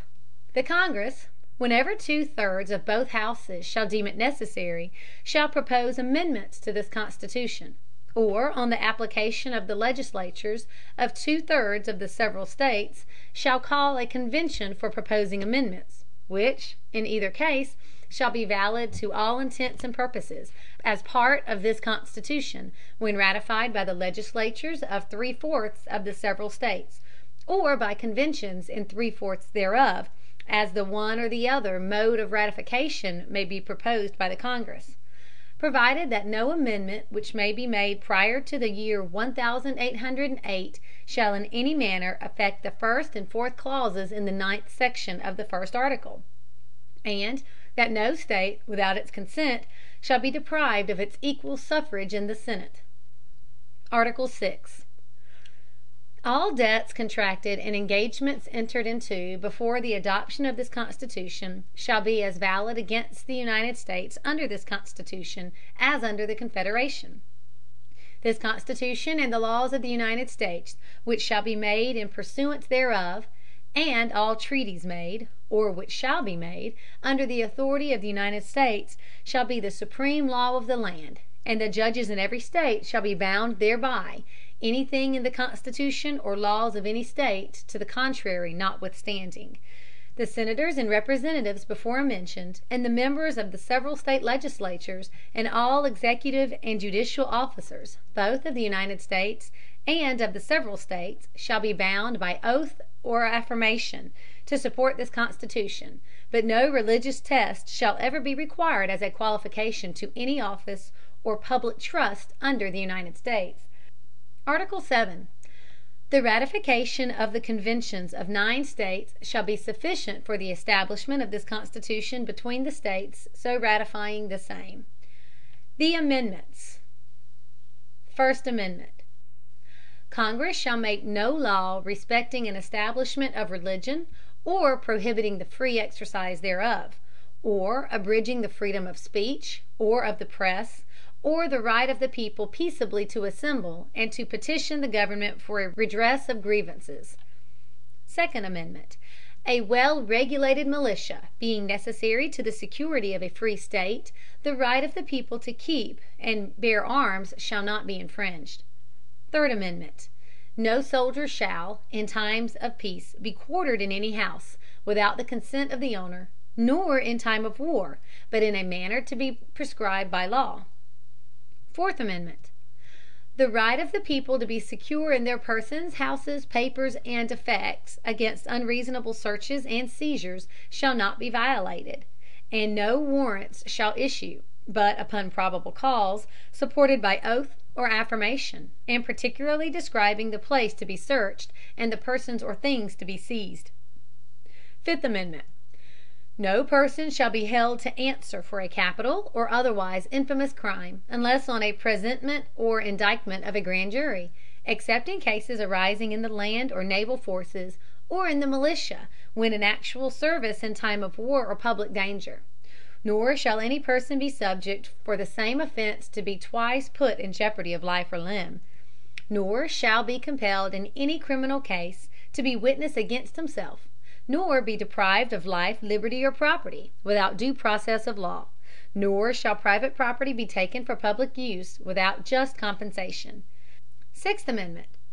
In all criminal prosecutions the accused shall enjoy the right to a speedy and public trial by an impartial jury of the State and district wherein the crime shall have been committed which district shall have been previously ascertained by law, and to be informed of the nature and cause of the accusation, to be confronted with the witnesses against him, to have compulsory process for obtaining witnesses in his favor, and to have the assistance of counsel for his defense. Seventh Amendment. In suits at common law, where the value in controversy shall exceed twenty dollars, the right of a trial by jury shall be preserved, and no fact tried by a jury shall be otherwise re examined in any court of the United States than according to the rules of the common law. Eighth Amendment. Excessive bail shall not be required, nor excessive fines imposed, nor cruel and unusual punishments inflicted. Ninth Amendment. The enumeration in the Constitution of certain rights shall not be construed to deny or disparage others retained by the people. Tenth Amendment.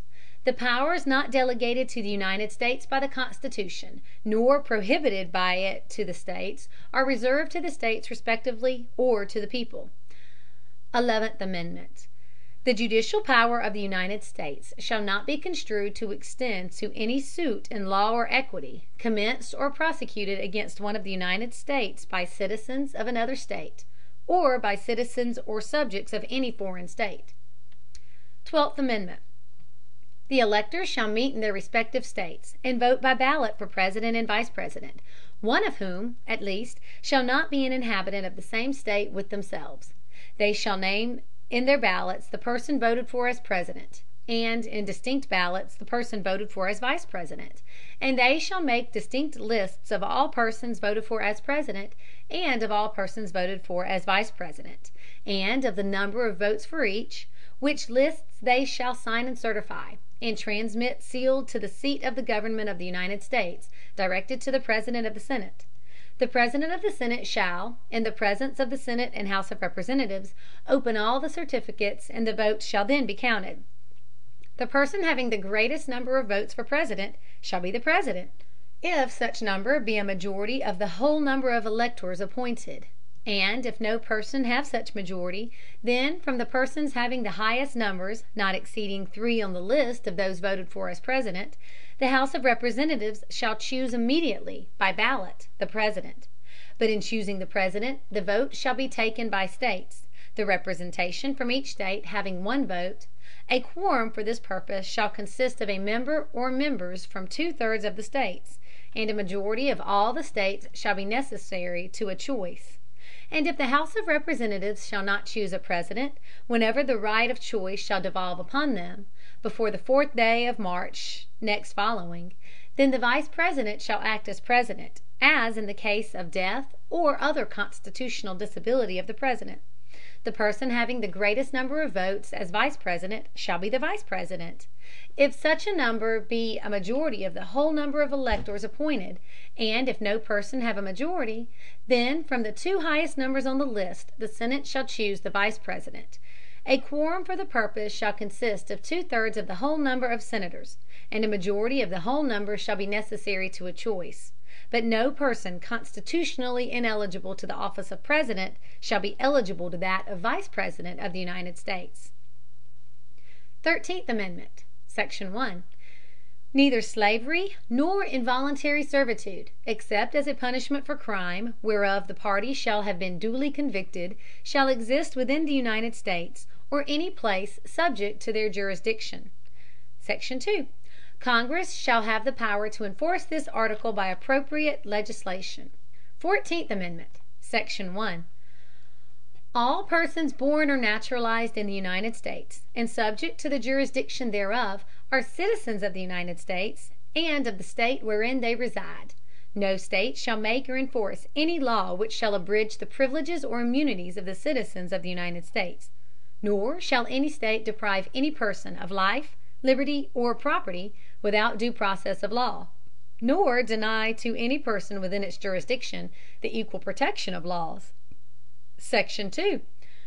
Representatives shall be apportioned among the several states according to their respective numbers, counting the whole number of persons in each state, excluding Indians not taxed.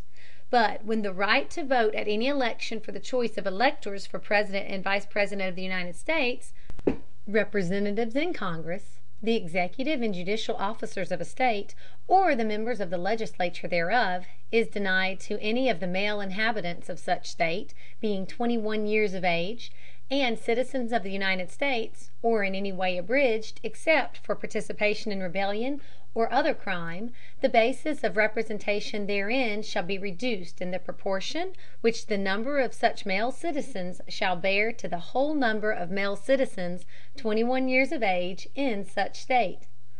Section 3.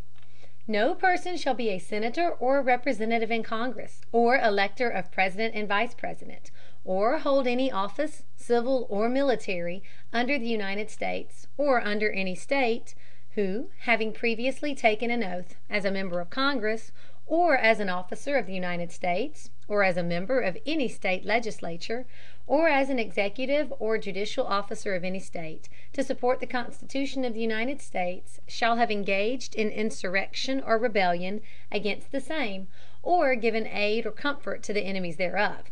But Congress may by a vote of two thirds of each house remove such a disability. Section 4. The validity of the public debt of the United States, authorized by law, including debts incurred for payment of pensions and bounties for services in suppressing insurrection or rebellion, shall not be questioned.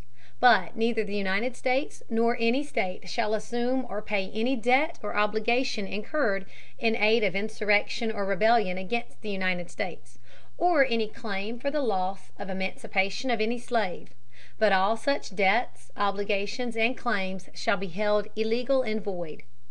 Section 5. The Congress shall have the power to enforce, by appropriate legislation, the provisions of this article. Fifteenth Amendment, Section 1.